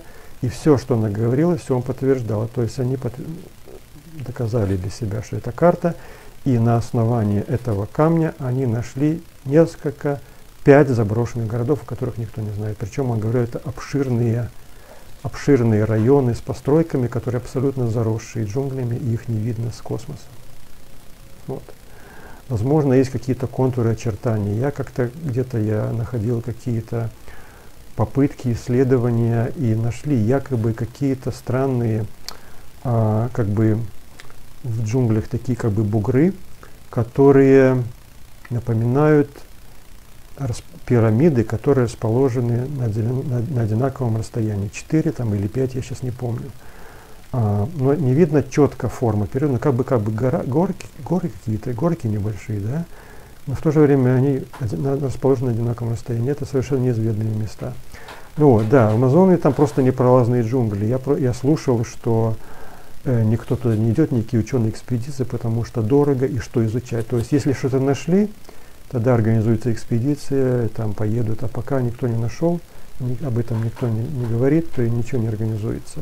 Опять же, это дорого, там, не знаю, там дорого и это опасно, потому что там насекомые ядовитые, всякие рептилии, там и комары, там и болезни, в общем, это опасное предприятие.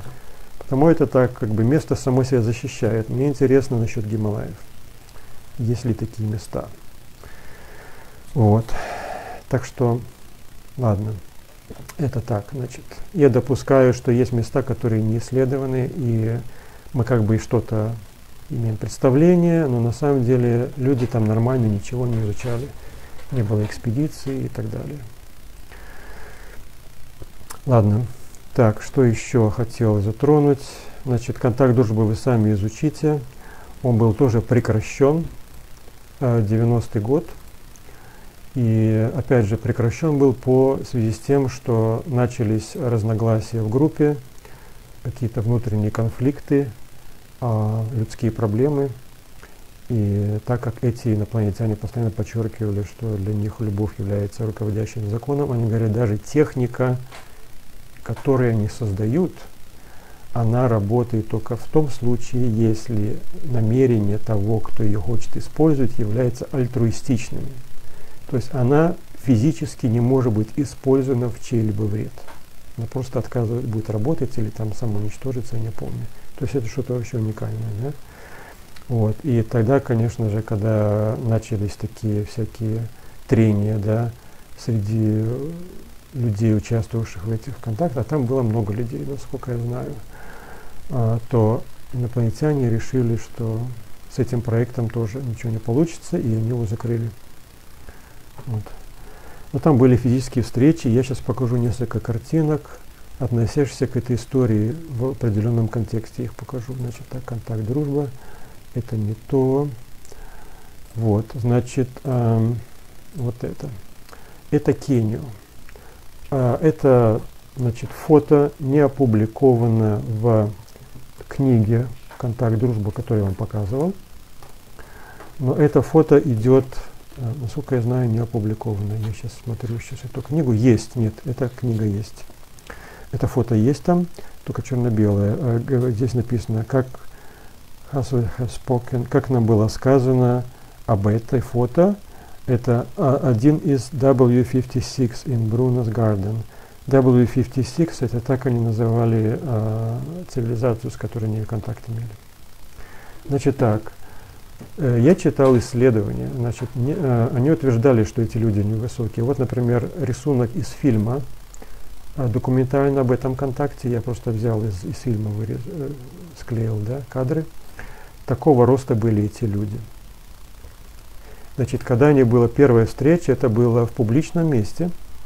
Это было какой-то замок там, значит, туристическое место, там музей, по-моему, я сейчас не помню но там были какие-то скрытые входы куда-то под землю. Там был выход в одну из подземных баз, который потом, видимо, был закрыт. Э, они говорили, что подземные базы, то есть, опять же, ну, я называю базу, да, имейте в виду, что это огромные подземные помещения, в которых там они живут и работают.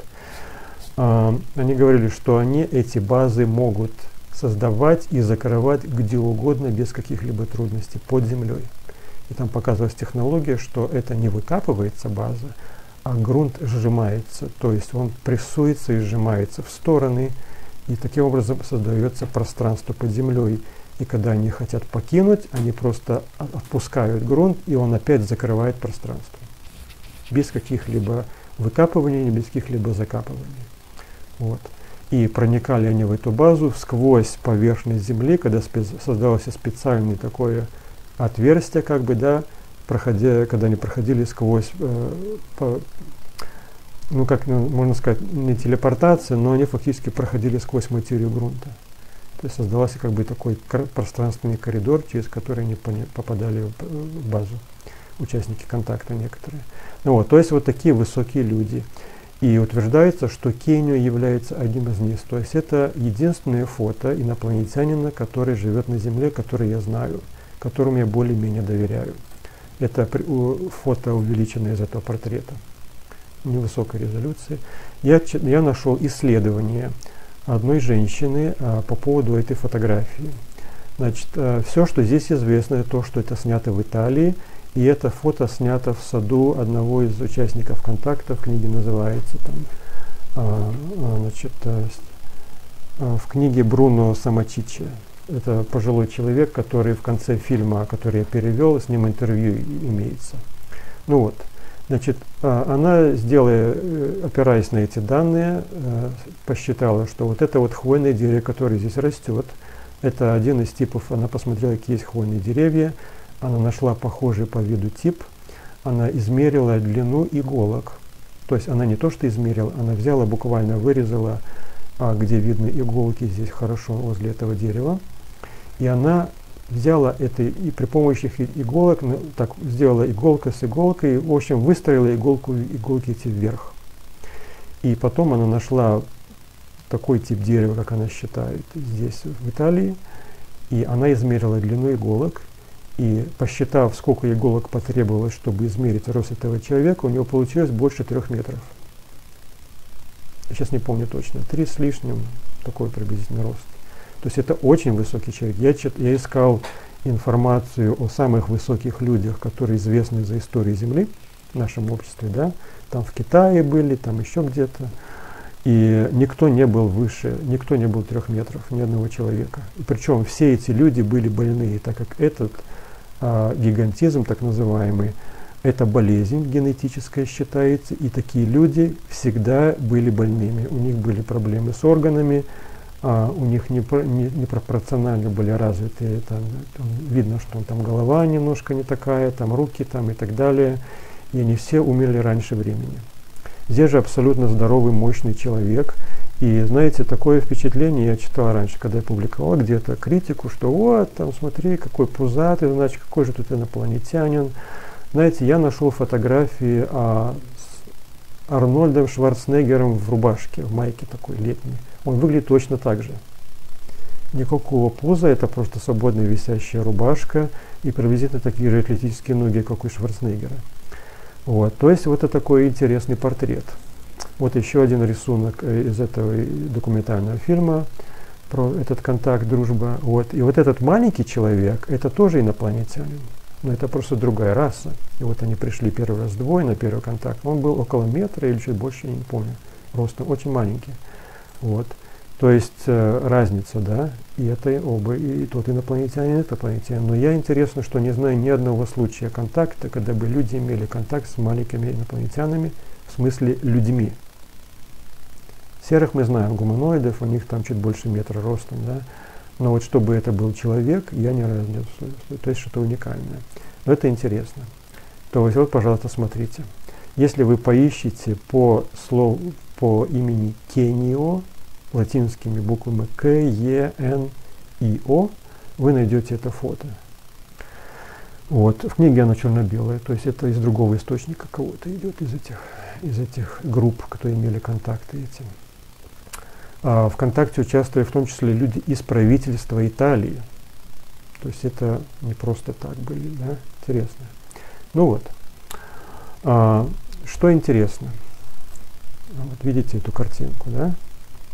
Это рисунок, а, значит, сделанный Вероникой, насколько я знаю, перуанского контакта. Один из контактов, когда была встреча с инопланетянами.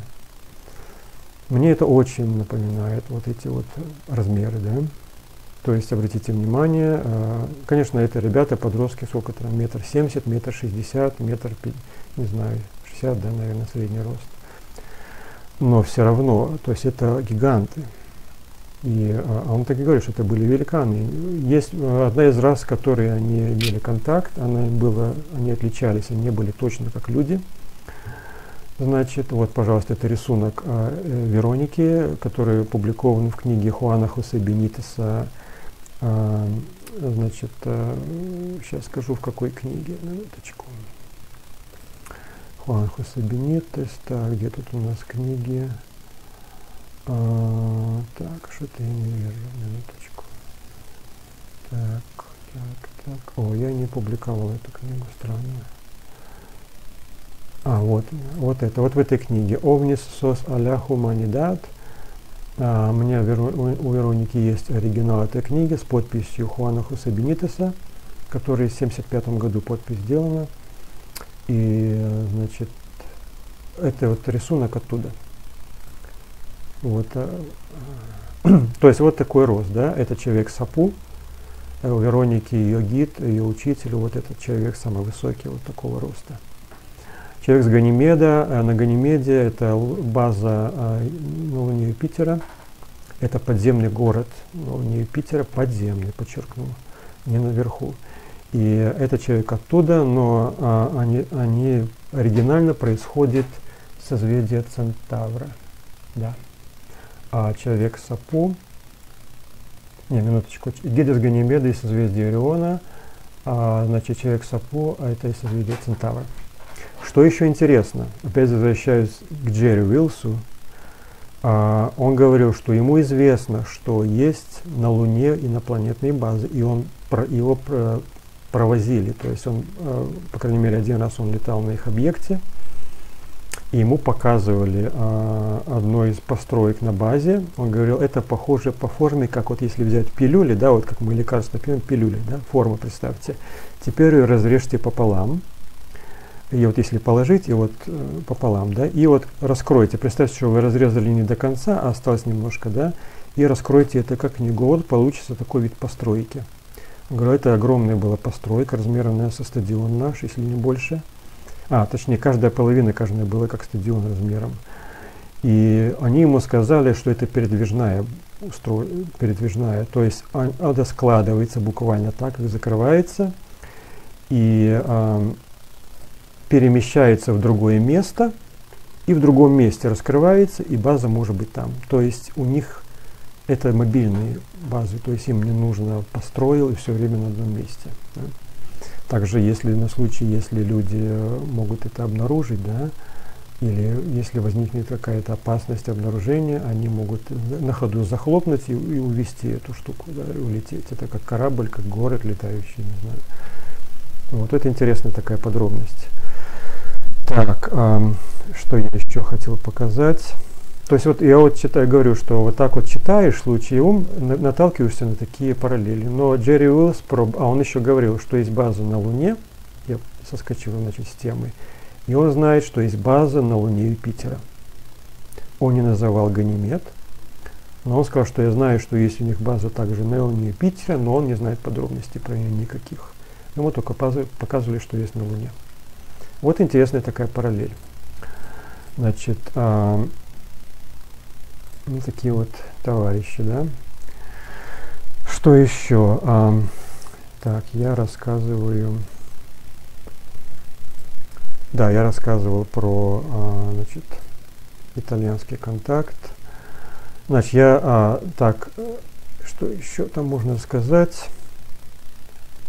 Значит, так, гиганты, вот этот товарищ. Так, я делал потом сравнения некоторые. Наверное, все-таки я затрону немножечко, так как я здесь хотел это подать в одном контексте. Это э, обратите внимание на лицо вот этого инопланетянина, да? справа, который стоит. Я скажу, что у меня был сон, который я все еще называю сном, но он слишком странный, потому что я во сне видел вот такого же инопланетянина. И это был сон, что я взят на корабль, я не видел, что я взят, но я, я решил, что я на корабле, потому что я видел Землю, как вот бывает снимки НАСА, да, Земля из, издалека в космосе. Вот.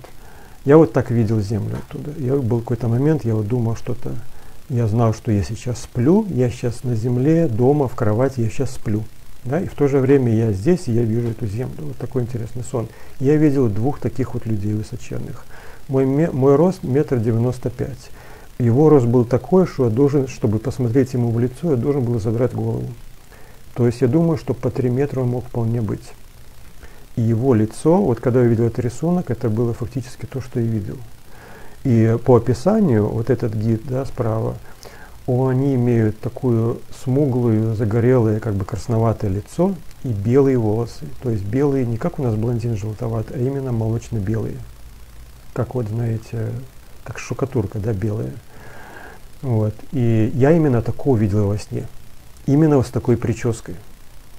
Именно такое глаза поставленные широко, да. Вот, я читаю, значит, я шокирован был. Причем я этот сон видел где-то, я не знаю, я не слышал об этой истории, я не видел этих рисунков, и, конечно, я не знал описания. И у меня другое, другое было другое представление о пришельцах. И э, я этот рисунок увидел, и я был шокирован. Это был сон, наверное, был где-то за, за год, не знаю, до этого. Конечно, я в, до Канады вообще. То есть это было, я записывал сны, тогда у меня были. Но теперь, значит, что я хочу показать. Это, это вот а, это Джерри, фото Джерри Уилса. Значит, а, когда я его увидел, это одна из причин, почему я считаю, что он не врет. Потому что тип лица, который я вижу, это тот тип лица, который мне знаком из моего сна, и а, похожий тип лица, который описан на том рисунке. В отличие от, от, от этих всех, а, он был, вырос здесь на земле с самого младенчества. Но он сказал, что он, его а, рождение было не на земле, он родился не на земле. Его сюда принесли по определенной программе, которая осуществляется неземными цивилизациями. Это когда а, ребенок их вырастает здесь на земле как человек, но он имеет их сознание и их знания, и он оказывает определенные скажем так, воздействие на развитие нашей цивилизации с, с такой позиции, как человек. И он сказал, что ему сказали, что есть, а, я сейчас не помню точное выражение, но, скажем так, есть а, действия, скажем так, я сейчас не помню, известные, да, которые были сделаны такими людьми скажем так, открытие, не знаю, какое-то достижение, какое-то продвижение в жизни социума, да, еще что-то, которые были сделаны людьми, происходящими не с Земли. Повторяю, он родил, он сюда был принесен в 52 году. Вот, а, вот его фотографии из интервью, когда он был на уфологической, на уфологической конференции. Его рост более двух метров. 2 метра 3 сантиметра. Он выше даже меня. Я из Литвы, где все высокорослые. Да? Но это, он говорит, я с детства я знал, что я вижу, что я не такой, как те мои родители, которые его усыновили. То есть, а, конечно, эти люди вокруг него стоят, это, скажем так, среднего роста, это дев, женщина светлая, вообще маленькая, но это средний рост, ну, скажем, метр семьдесят, я не знаю, там. Но Понимаете, да, 2 метра. У нас э, Сабонис в Литве был, если не помню, сколько он, 2.13 был, известный баскетболист, я сейчас не помню роста. То есть это такие интересные параллели для меня. Конечно, я видел другое фото, где он с другим человеком, который, ну, почти его роста, да. Если бы я с ним был рядышком, был бы не слишком большая разница, но все-таки 2 метра 3 это для меня очень большой человек, и это баскетболисты. Значит, но я о нем буду больше рассказывать. Просто я все это сложил в одну кучу здесь, чтобы провести эти параллели. И, на мой взгляд, параллели существуют. Вот, но о Джерри я буду рассказывать отдельно. Вот такие вещи.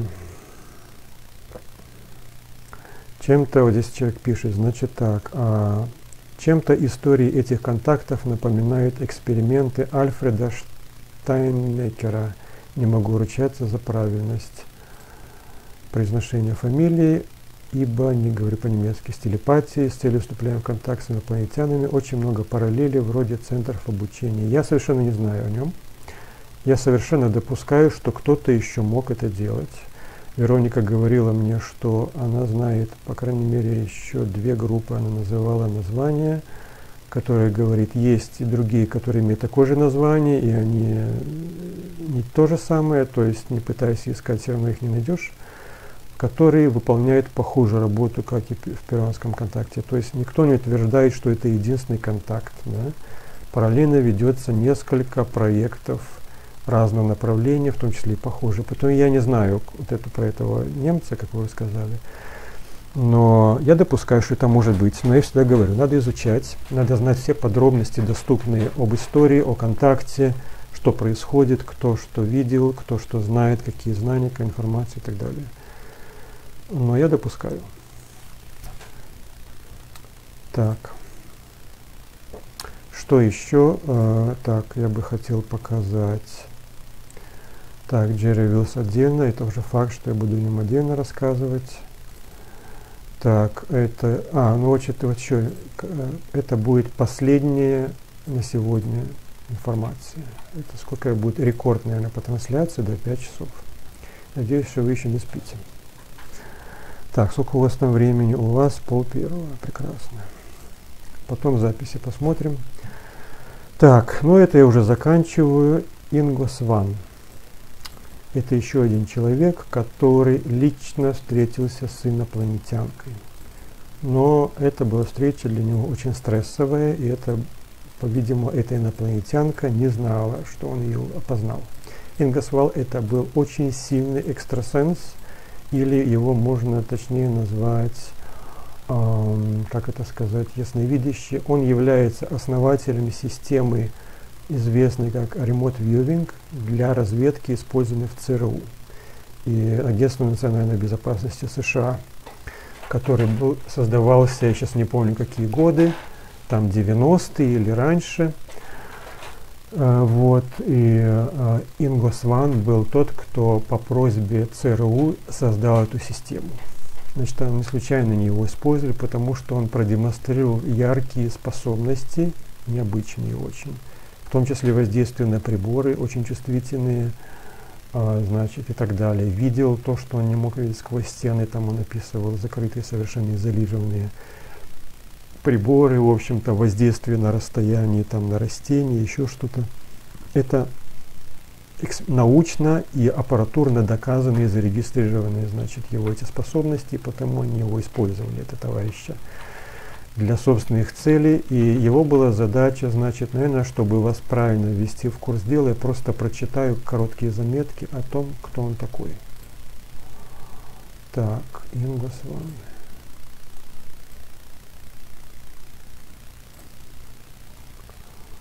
Сейчас я найду про Ингу с вами минуточку. Это очень интересный человек. К сожалению, на русском о нем фактически ничего нет.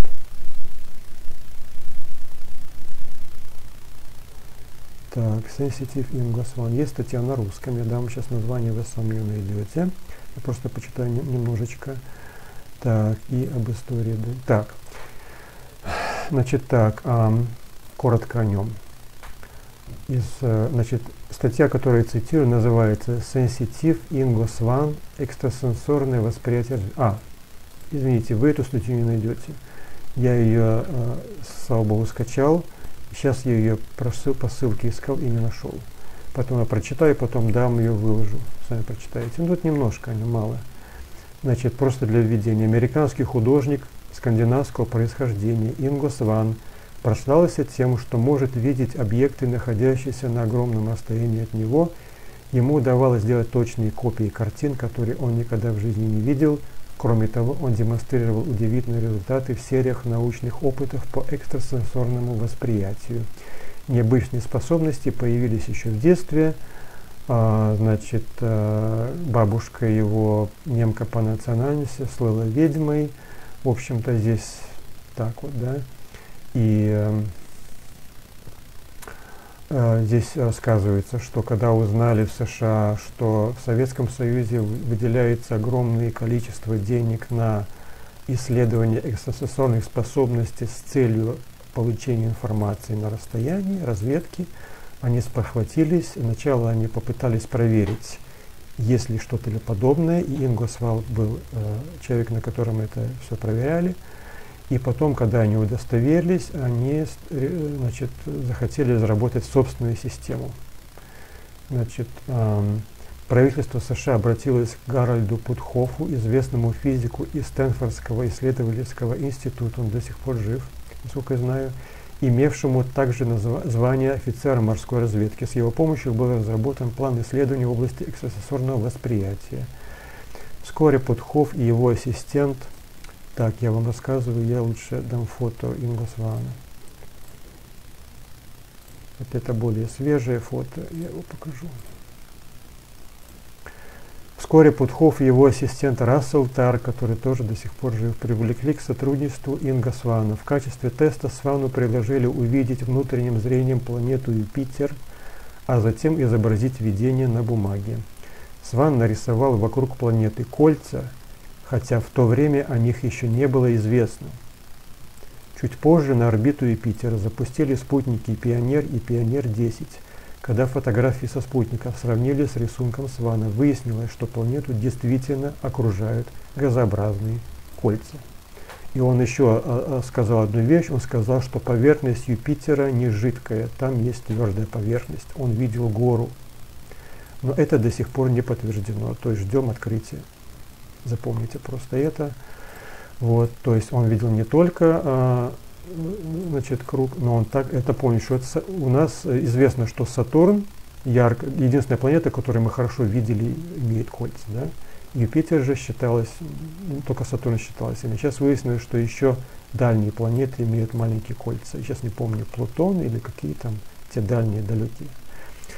Вот. Эм, Свану пришлось пройти множество других тестов. Во всех опытах он демонстрировал блестящие результаты. Впоследствии в лаборатории появился второй медиум Пэт Прайс, бывший комиссар полиции. Оба экстрасенса обладали способностью вести дистанционное наблюдение за различными объектами, что в боевых условиях весьма пригодилось бы.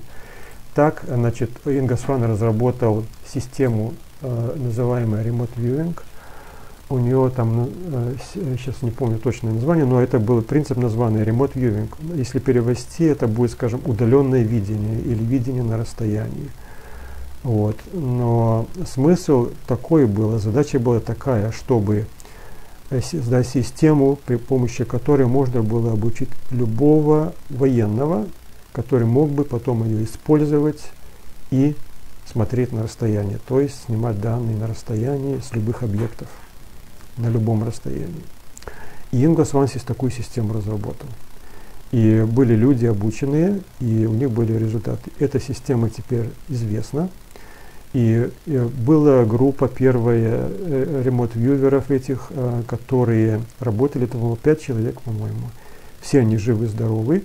Проект официально закрыт, он просуществовал 20 лет, он финансировался правительством. Потом его закрыли из-за определенных проблем одна из которых это было э, предубеждение людей в правительстве.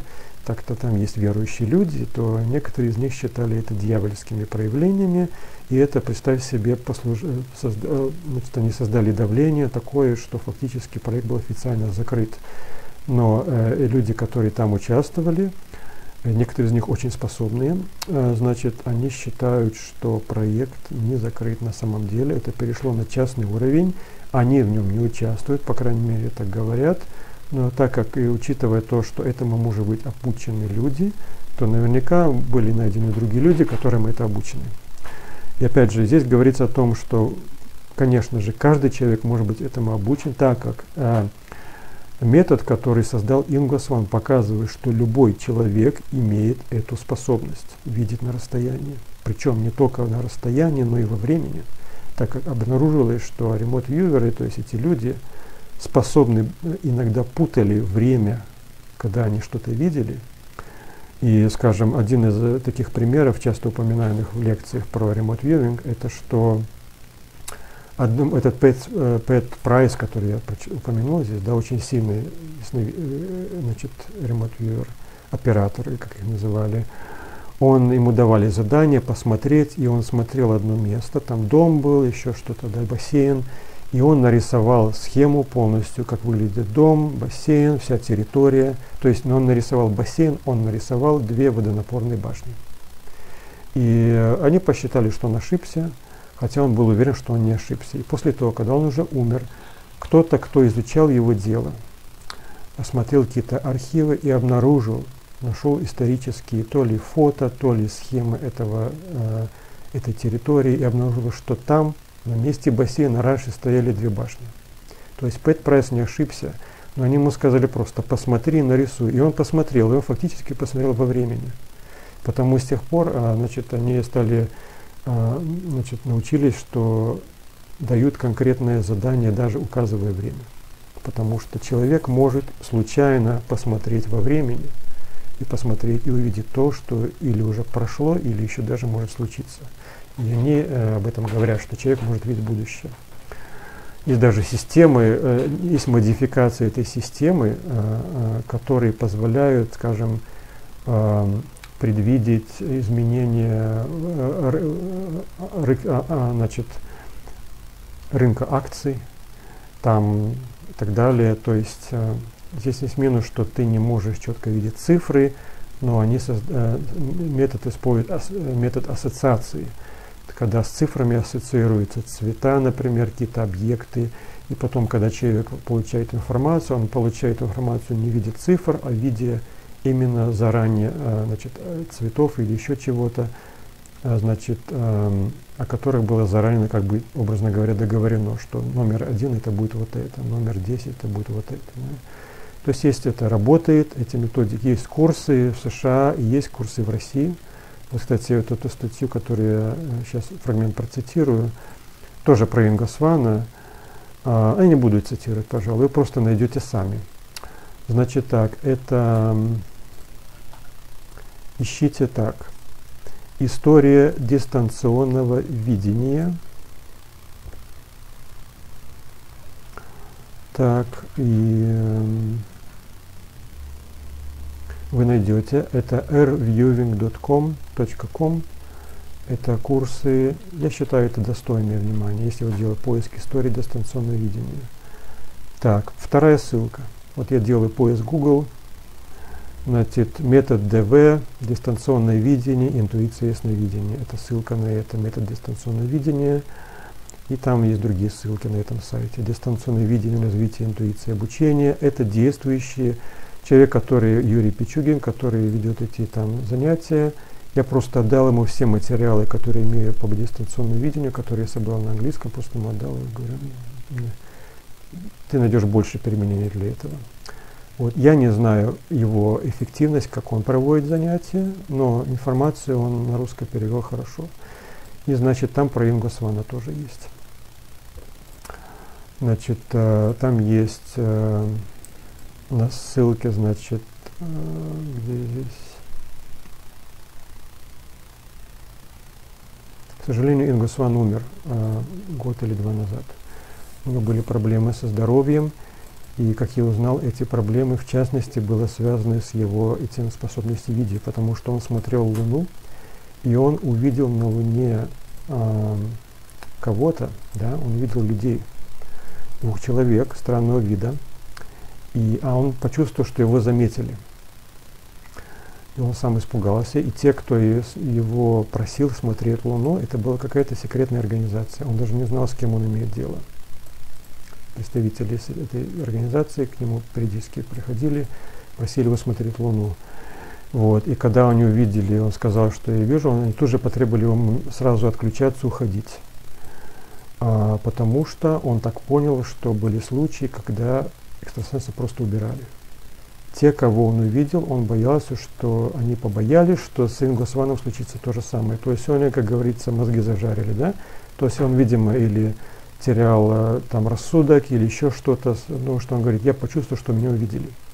Когда он смотрел, э, ты смотришь на расстояние на Луну, он говорит, я вижу поверхность, вижу двух, два человека что-то делают, они абсолютно голые.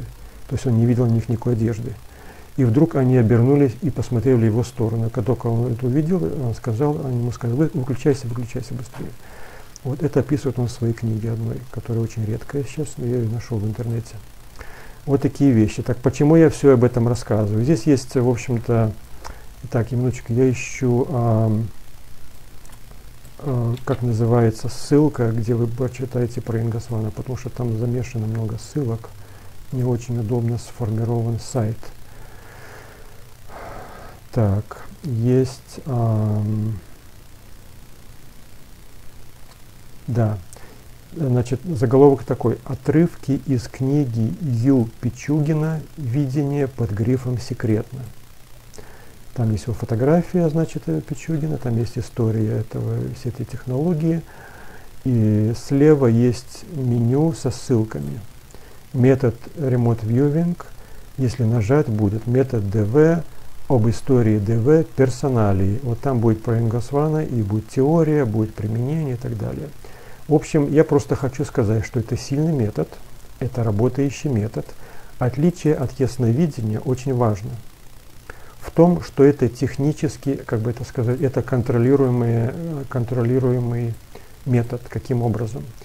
Человек не сидит, не медитирует, значит настраивается, ой, я что-то вижу. Есть конкретные пункты, по которым человек, который должен что-то посмотреть, проходит. Я сейчас не помню все, я нашел просто значит, инструктаж, как это делается. Это люди, которые работали в ЦРУ, они полностью раскрыли этот метод. То есть он есть в интернете. Ничего сложного нет абсолютно, это простейшая вещь. Ну просто, значит, что э, причем один из этих ремонт-вьюев рассказывал, значит, что это со стороны выглядит так, все два человека разговаривают, пьет кофе, там может быть даже там коньяк может пить, и он сидит на бумаге что-то записывает, значит, разговаривает, он опять что-то записывает. То есть никаких специальных медитаций, настроек, вот. Есть пункт, есть метод, пункты, по которым проходит человек, если он, конечно, уже мастер, он быстрее это делает, и он может видеть вещи на расстоянии. И там, например, пункт такой, значит, дви, как, что ты видишь, там движение, какое-то, какое ощущение движения, да? И вот он описывает, есть движение, нет движения, статично, не статично, ощущение материала. Материал там твердый, пористый, там мягкий, еще что-то там там еще может быть цвет, я сейчас не помню. В общем, по таким параметрам есть колонки, все это заполняется. То есть человек не просто смотрит, ой, я вижу там, да. Это буквально по таким пунктам записывается информация. Потом есть, в общем, есть целый порядок. Постепенно и в конце э, Remote Viewing э, этот оператор, может быть, еще у него есть импульс какой-то, что-то нарисовать. Скажем, какая-то закорючка, там какая-то линия. А, он может это нарисовать, а, но не знает почему, у него импульс это сделать. И потом, значит, что еще? Ну и так, в общем, я обобщаю, да. И ремонт-вьювер не делает вывода, что он видел. Эту информацию передается в случае ЦРУ. Есть, значит, люди, которые должны были работать с информацией. То есть ремонт-вьювер не знал, что он видит – что он смотрит. Ему не давали адрес, ему не давали фотографию, ему давали задание, пронумерованное случайным номером, запечатанное в закрытом конверте. Он просто настраивался на конверт, в котором лежит номер. Причем э, конверт приносил человек, который, э, значит, значит, так скажем, я даю задание, да, э, посмотри мне место на карте, вот такое-то координаты. Я придаю этому месту случайный набор цифр. Я пишу это случайно цифр на бумажке, запечатаю в конверт. Приходит другой человек, я ему говорю, вот конверт. То есть второй человек совершенно не знает вообще, о чем идет речь, он даже не знает. И этот второй человек идет к оператору и говорит, вот конверт, здесь задание. Это называется двойной слепой метод. То есть, э, э, значит, там может быть даже третий человек. Одним словом, полная защита того, что ремонт-вер будет иметь хоть какое представление о том, что он смотрит. Так это все разработал э, Ингосван. Он мог смотреть, он давал очень точные сведения, ему этому этот метод не нужен был. Так вот, со всеми этими способностями Ингосван описывает, как он встретился, увидел инопланетянку в Голливуде. Значит так, я сейчас расскажу. Значит, это уже США, это уже наше время, и это будет последнее, о чем я хочу сегодня рассказать. Так, а, минуточку. Проблема в том, что я не переводил эту историю. Да. Потому я расскажу в общих словах. Здесь большой текст, целая глава. Значит, э, книга называется Penetration. Проникновение, если перевести. И сейчас я найду обложечку этой книги. Это редкая книга, но я нашел ее в интернете. А я, когда искал на Амазоне, думаю, куплю. за сотни долларов продается книга. То есть это что-то вообще невероятное. Где тут у нас penetration? А, так, где тут у нас...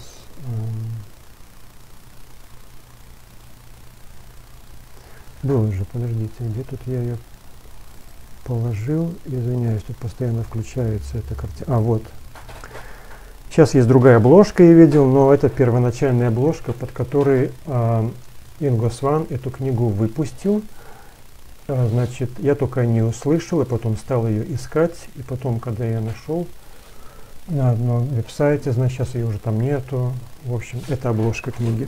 Это чтобы вы имели представление какое-то, да, о чем идет речь.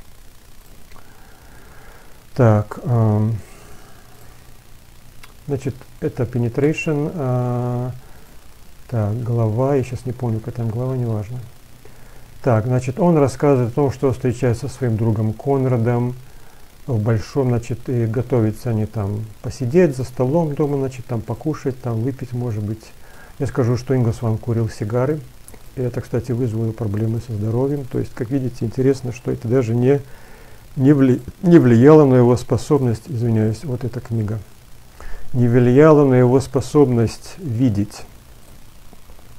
Но я не поддерживаю это. И, кстати, в Агни-йоге говорится, что любое использование средств возбуждающих, типа табак, наркотики, они как бы противоестественны, и они, они против этого. Они считают, что надо достигать. Они считают, они говорят, что самый лучший способ достижения раскрытия способностей естественным способом, естественным развитием, то есть э, очищением от негатива, а, работа над собой, в общем, как это, что у нас называют духовная работа над собой. Да? Это очень обобщающее, конечно, понятие, но в целом это избавление от негативных сторон в себе, в своем характере, в своей жизни и так далее. Это одно из условий. Вот. И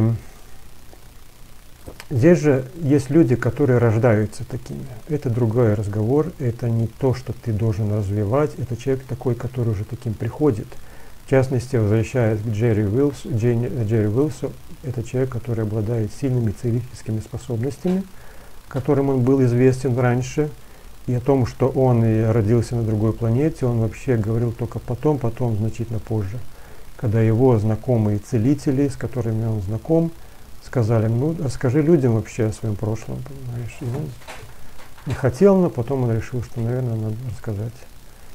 Так он вообще был известен, как, известен до сих пор как очень сильный целитель. И есть свидетельства, о которых я буду рассказывать в передаче о нем, видеосвидетельства, которые показывали по Fox News США, записи из телепередач, свидетельства живых людей, значит, удивительные вещи. Очень сильный целитель. Ну вот. Так вот, здесь говоря значит, о, об Ингосване, значит, он планирует со своим другом Конрадом встретиться, значит, и отправился в крупный супермаркет в Голливуде, Голливуд это город, уточню, а, купиться продуктами.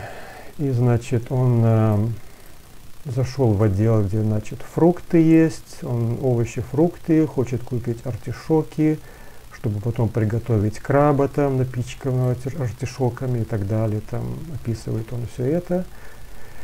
Значит, он э, говорит, что в супермаркете он видит большие столы, наваленные с артишоками. Он остановился возле одного, а, и возле одного из столов с артишоками он увидел потрясающую женщину. Он так и пишет. Потрясающая ravishing woman. Не знаю точно, как перевести потрясающая женщина. Да? Значит, что было заметно, он сказал, что прежде всего не только, что ее ярко выраженные женские значит, особенности, да, видимо, большая грудь там и так далее, бедра. Но он сказал, что его больше привлек в тот факт, что они, все эти женские красоты были фактически почти ничем не прикрыты. То есть на ней был какой-то одет минимум-минимум. Вот. Она была одета там, он описывает какую-то минимум одежду, значит, там розового цвета, там что-то какие-то горошек там, в общем, я сейчас не хочу переводить дословно, а, что-то такое крайне модное, видимо, мини. Вот, и кор- очень короткие шорты, настолько короткие, что фактически почти их нету, этих шортов. Вот, и, э, значит, и все это завершает пара, значит, обуви на очень высоких каблуках и платформе. Значит так. И потрясающие копна черных волос. Ее глаза были прикрыты э, очками с пурпурными стеклами. Значит, все это было абсолютно потрясающе, как он описывает в своей голове. И я подумал, Боже небесный, значит, он тут восклицание такое. И э, фактически ему захотелось подойти поближе, чтобы все эти прелести рассмотреть поближе тоже, да. Так он я сокращаю, значит.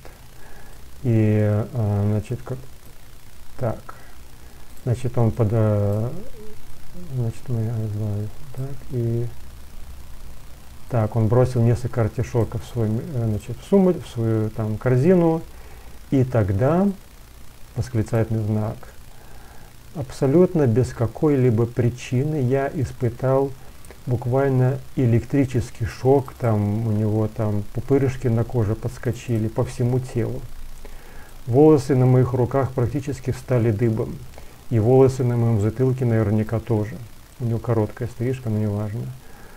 Значит, без какой-либо объяснения и, э, не понимая, что происходит, какой-то знание, какой-то мыслью у себя я вдруг понял, э, понял, что она является инопланетянкой. Мое горло пересохло, мои руки вспотели, стали тряслись. Я решил немножко отступить и начать анализировать, значит, что происходит. Отошел там к апельсинам и там а, грейпфруктам, и значит, там стал делать внимание, что там он интересуется. Значит, ну какие там апельсины и грейпфруты, когда, значит, это, да, и что он видит дальше? Он вдруг видит в этом же зале, в этом же магазине двух человек из той секретной организации, которые к нему приходили и просили его смотреть на Луну, смотреть Луну на расстоянии, да. И причем эти люди были близнецами, там такие странные близнецы таинственные, которых он постоянно здесь пишет. И вот вдруг он видит одного из них, совершенно потрясен тем, что он его здесь увидел, который этот товарищ одет, значит, типичный, значит, костюм, черный костюм, черные очки, значит, ну, как люди в черном, да? Вот, и он смотрит тоже на эту женщину.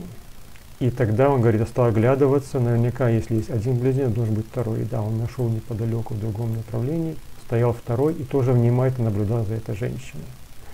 Значит, пытаясь понять, что здесь происходит, Значит, этот один из них его тоже заметил и знаками показал, чтобы он немедленно отсюда удалялся. И, значит, и он отсюда ушел, и фактически потом, значит, э, еще там продолжается рассказ его, как он там с Конрадом беседовал, сидел, разговаривал. И он, значит, э, на встрече с Конрадом была еще какая-то удивительная, там какая-то женщина, его подруга или кто. И, значит, э, видимо, она имела какие-то знания, потому что, значит, он спрашивает ее. Рассказал о том, что это произошло, и она сказала, да, значит, э, это, а, он говорит, что я видел, значит, что я видел. Он говорит, ты видел инопланетянку? Что-то в таком духе она его спрашивает. И он, значит, а, в каком смысле, значит, чего ты решил? Он говорит, ну, потому что, говорит, э, их тут полно. Они что тут есть, говорит, их тут полно. Вот, ну и так далее. В общем, такое э, странная такая встреча. Что было потом? Значит, у него была потом опять встреча с этими представителями этой сверхсекретной организации, которых он даже не знал, кто они такие, откуда. Вот, и они его усердно спрашивали – как ты думаешь, она тебя заметила или не заметила? Она поняла, что ты ее видишь, или она не поняла? То есть они его допытали, были какие-то признаки, хотя бы какие-то признаки, что она поняла, что ты ее видишь, что ты его познал. Говорит, да нет, вроде ничего такого, все нормально. А что, в чем такие беспокойства, значит? И а, они ему дали понять, что, по-видимому, а, они, у них был раньше другой человек, другой экстрасенс, с которым они работали. И, видимо, он а, значит, имел похожую встречу, похожий случай. И они фактически его, видимо, вывели из состояния, довели до такого состояния, что он потерял свои способности, я не знаю, может быть, он сошел с ума или что. Я сейчас не помню точного изложения информации, но суть в том, если подвести итог, что а, они явно не хотели, чтобы люди, способные видеть, могли их увидеть и знать, кто они такие. И это, значит, эм, потому эти люди из какой-то тайной организации так усердно интересны, что не боялись, что с Господом случится то же самое. Я здесь опять же вспоминаю параллели. Значит, я здесь не упоминаю сегодня одну контактершу из Канады, из Ванкувера, которая имела контакты с пришельцами, у нее много контактов, значит, с детства. И в частности, она а, интересовала, значит, а, она увидела этих инопланетян физически, когда она была в Северной Америке, в районе, где живут племя э, Хопи американские индейцы, одно из племен называется Хопи. И он прямо на территории племени увидел инопланетянина, которого она сразу узнала, потому что она, не помню, видела их раньше, но тут ее поразил тот факт, что он там свободно находился. Там было какое-то кафе. Кафе сидели еще два человека из племени Хопи. Продавец, значит. И заходит этот человек. Представляет себе ситуацию. Свободно заходит. Он одет э, в костюм обычный, там одежда бежевого цвета, они носят бежевого цвета одежду. Вот. И они говорят, мы встретились глазами, и он мысленно ее спрашивает, что ты здесь делаешь? И она ему также мысленно отвечает, я сюда пришла, потому что я иду домой. Такой был ответ. Там у него был контекст определенный, что он называл идти домой. Я не буду углубляться, но короткий ответ. Они, значит, обменялись взглядами. И ее что поразило, что никто в кафе ни продавец, ни два сидящих человека совершенно не обращали внимания на этого инопланетянина. То есть как будто его здесь и нету, хотя он имел выразительную наружность, то есть у него необычные глаза такие.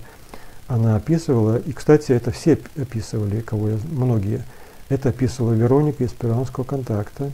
Это описывает Джерри Уиллс, который видел инопланетянина, тоже лично встречался в Перу на Мачу-Пичу а, из цивилизации, а, это из цивилизации со, э, с этого, как называется, Плеяды, да, из, не созвездия, а это группа звезд Плеяд называется, оттуда, опять же, Плеяды, обратите внимание. Потом еще кто-то упоминал, я не помню. Одним словом, я периодически встречаю это, что у них необычно яркие э, глаза, причем необычного цвета. Например, Джерри Лос говорил, ярко-бирюзового цвета.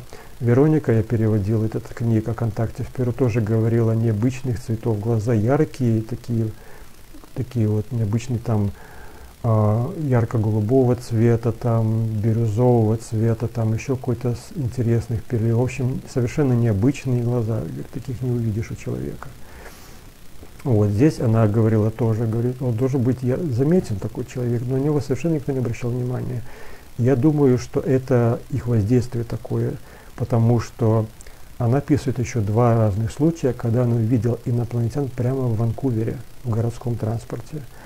Значит, а, не инопланетян одного было. Значит, она была, она живет в Ванкувере, или сейчас, не знаю, возможно, она переехала, но она из Канады, из того района. И а, я, кстати, был в Ванкувере э, недавно. Вот. И, значит, она ехала, она уже знает, как она выглядит, а, ехала в городском транспорте в автобус, и вдруг на остановке в автобусной заходит инопланетянин прямо в автобус. И говорит, это он выглядит со стороны необычно, то есть, ну, черты лица, скажем, человеческие, все, но вот эти глаза там и это явно, ну, люди обратят внимание, никто в автобусе ничего как будто не видит, как будто его здесь и нет. Он на нее пристально смотрит, она сидит на него пристально смотрит, значит, пораженная, что будет происходить дальше. Он приезжает на остановку, выходит. Другая была ситуация, когда она ехала на машине по Ванкуверу, и вдруг подъезжает рядышком, значит, параллельно э, по движению подъезжает другая машина, открытая, и за рулем сидит, и говорит, сидит человек, значит, он рулит, да, то есть это город, представляете себе, да? Значит, и он едет, и он вот так вот поворачивает, говорит, на нее так смотрит, и он дальше продолжает управлять автомобилем. И, он так, и это, говорит, такого же типа человек, значит, и, и я еще не помню, он один ехал или двое было. Значит, он так ехал и на нее смотрел пристально. Потом он, значит, э, э, развернулся, я сейчас не помню, и у нее обогнал или он отстал. И есть, э, она об этом рассказывает в своей книге, которую она выложила бесплатно. Blue Star, Prof, Blue Star Prophecy, по-моему, значит, предсказание, пророчество о синей звезде или голубой звезде. Это одно из пророчеств племени Хопи, кстати говоря. А, о, о, о, как бы, о временах, когда будут значит, какие-то важные события на Земле происходить. И они знают, кстати, об инопланетянах. Это, индейцы вообще очень интересное направление в их культуре, когда они абсолютно... Эта часть является их культуры. Люди со звезд, star people, как они называют, э, это часть их культуры, их традиция связана с этими, с инопланетянами. Единственное, что они об этом не рассказывают, потому что это как бы для них сокровенное знание. Я слышал такой вот, э, когда один из индейцев, э, представителей говорил, что говорит, когда индеец видит, скажем, летающую тарелку, это, скажем, да, НЛО, или происходит с ним контакт, он об этом не будет рассказывать, потому что в его понимании это то, что случилось для него лично. То есть это что-то личное, связанное с ним, и он не, он не обязан совершенно этим делиться, рассказывать, что инопланетяне реальны и так далее. То есть это его личный опыт. Это личный опыт, связанный там, с духовным ростом. Ну, в общем-то, совершенно другое отношение к этому. Да? И потому они об этом фактически ничего не рассказывают. Но в их культуре занимают место люди со звезд Star People. Вот. И, кстати, есть у меня одна лекция одного из представителей вот, индейцев, он как бы является хранителем веры, я сейчас не помню, какой точно его. И вся лекция полностью посвящена этой теме, так как он стал это намеренно изучать, и он сказал, считает, что надо раскрывать эту информацию. Ну вот, вот такие интересные вещи. Я не сказал значит, об этом, но это важно. И, значит, Так, ну, я, я вот что думаю, значит, что, пожалуй, пожалуй, на сегодня все. Сегодня была очень длинная и очень, пожалуй, богатая лекция с точки зрения информации. Опять же, я не, не, не берусь, э, э, не ставлю это все в такую позицию, что верьте, я вам доказываю, я просто даю информацию. Значит, моя точка зрения такая, что, во-первых, э, Э, я слышал такие мнения. Вот тогда информацию мы сами разберемся. Там, типа, знаешь, ну вот, пожалуйста, я даю информацию, сами разбирайтесь. Но я не просто даю случайную информацию, а я даю то, что я проанализировал, оценил, и то, что я считаю достойным внимания. И я это даю просто, потому что, ну, как бы, просто хранить для себя. Я просто вижу, что есть недостаток информации. На английском много информации, на русском – очень мало. Новые, вот все, что я рассказываю, да, разбросано или не переведено. И э, я просто думаю, что нужно это дать. И вы сами разбираетесь. Кто не верит, это ваше дело. Я просто даю информацию, вы сами, как говорится, решаете, что вы с этим будете делать. То, что я даю, я считаю настоящим. И я как бы пытаюсь это аргументировать и подвести под это основание. Ну вот, значит, понятно, что сегодня про Джерри Уилса ничего не будет потому что о нем самом много рассказывать. И сегодняшняя лекция была очень длинная. Так, значит так, про Джерри Уиллса я, вероятно, буду рассказывать или через неделю, или через, э, или следующие выходные, да, в воскресенье, или еще через неделю. В зависимости от того, как я буду готов – и мне все-таки интересно, как он отреагирует, согласится ли он на интервью. Я это не буду интервью записывать, чтобы здесь показывать. Я его запишу лично для себя, просто чтобы бывает объем информации, просто не успеваешь переварить. Вот, и э, просто буду иметь какие-то знания, которыми я поделюсь, если он что-то скажет. Есть одно направление информации, которое раньше не рассматривал всерьез и которое сейчас начинает присматриваться. А, в зависимости от того, что скажет Джерри Уиллс об этом, я об этом буду говорить или не буду говорить. Ну что, на этом я заканчиваю. Следите за обновлениями на странице ВКонтакте. И, э, пожалуй, все. Значит, если у вас будут вопросы, спрашивайте вопросы здесь на странице или в личном сообщении. А если какие-то мнения, то же самое. Ну и все, на этом я заканчиваю. До свидания и до следующей трансляции.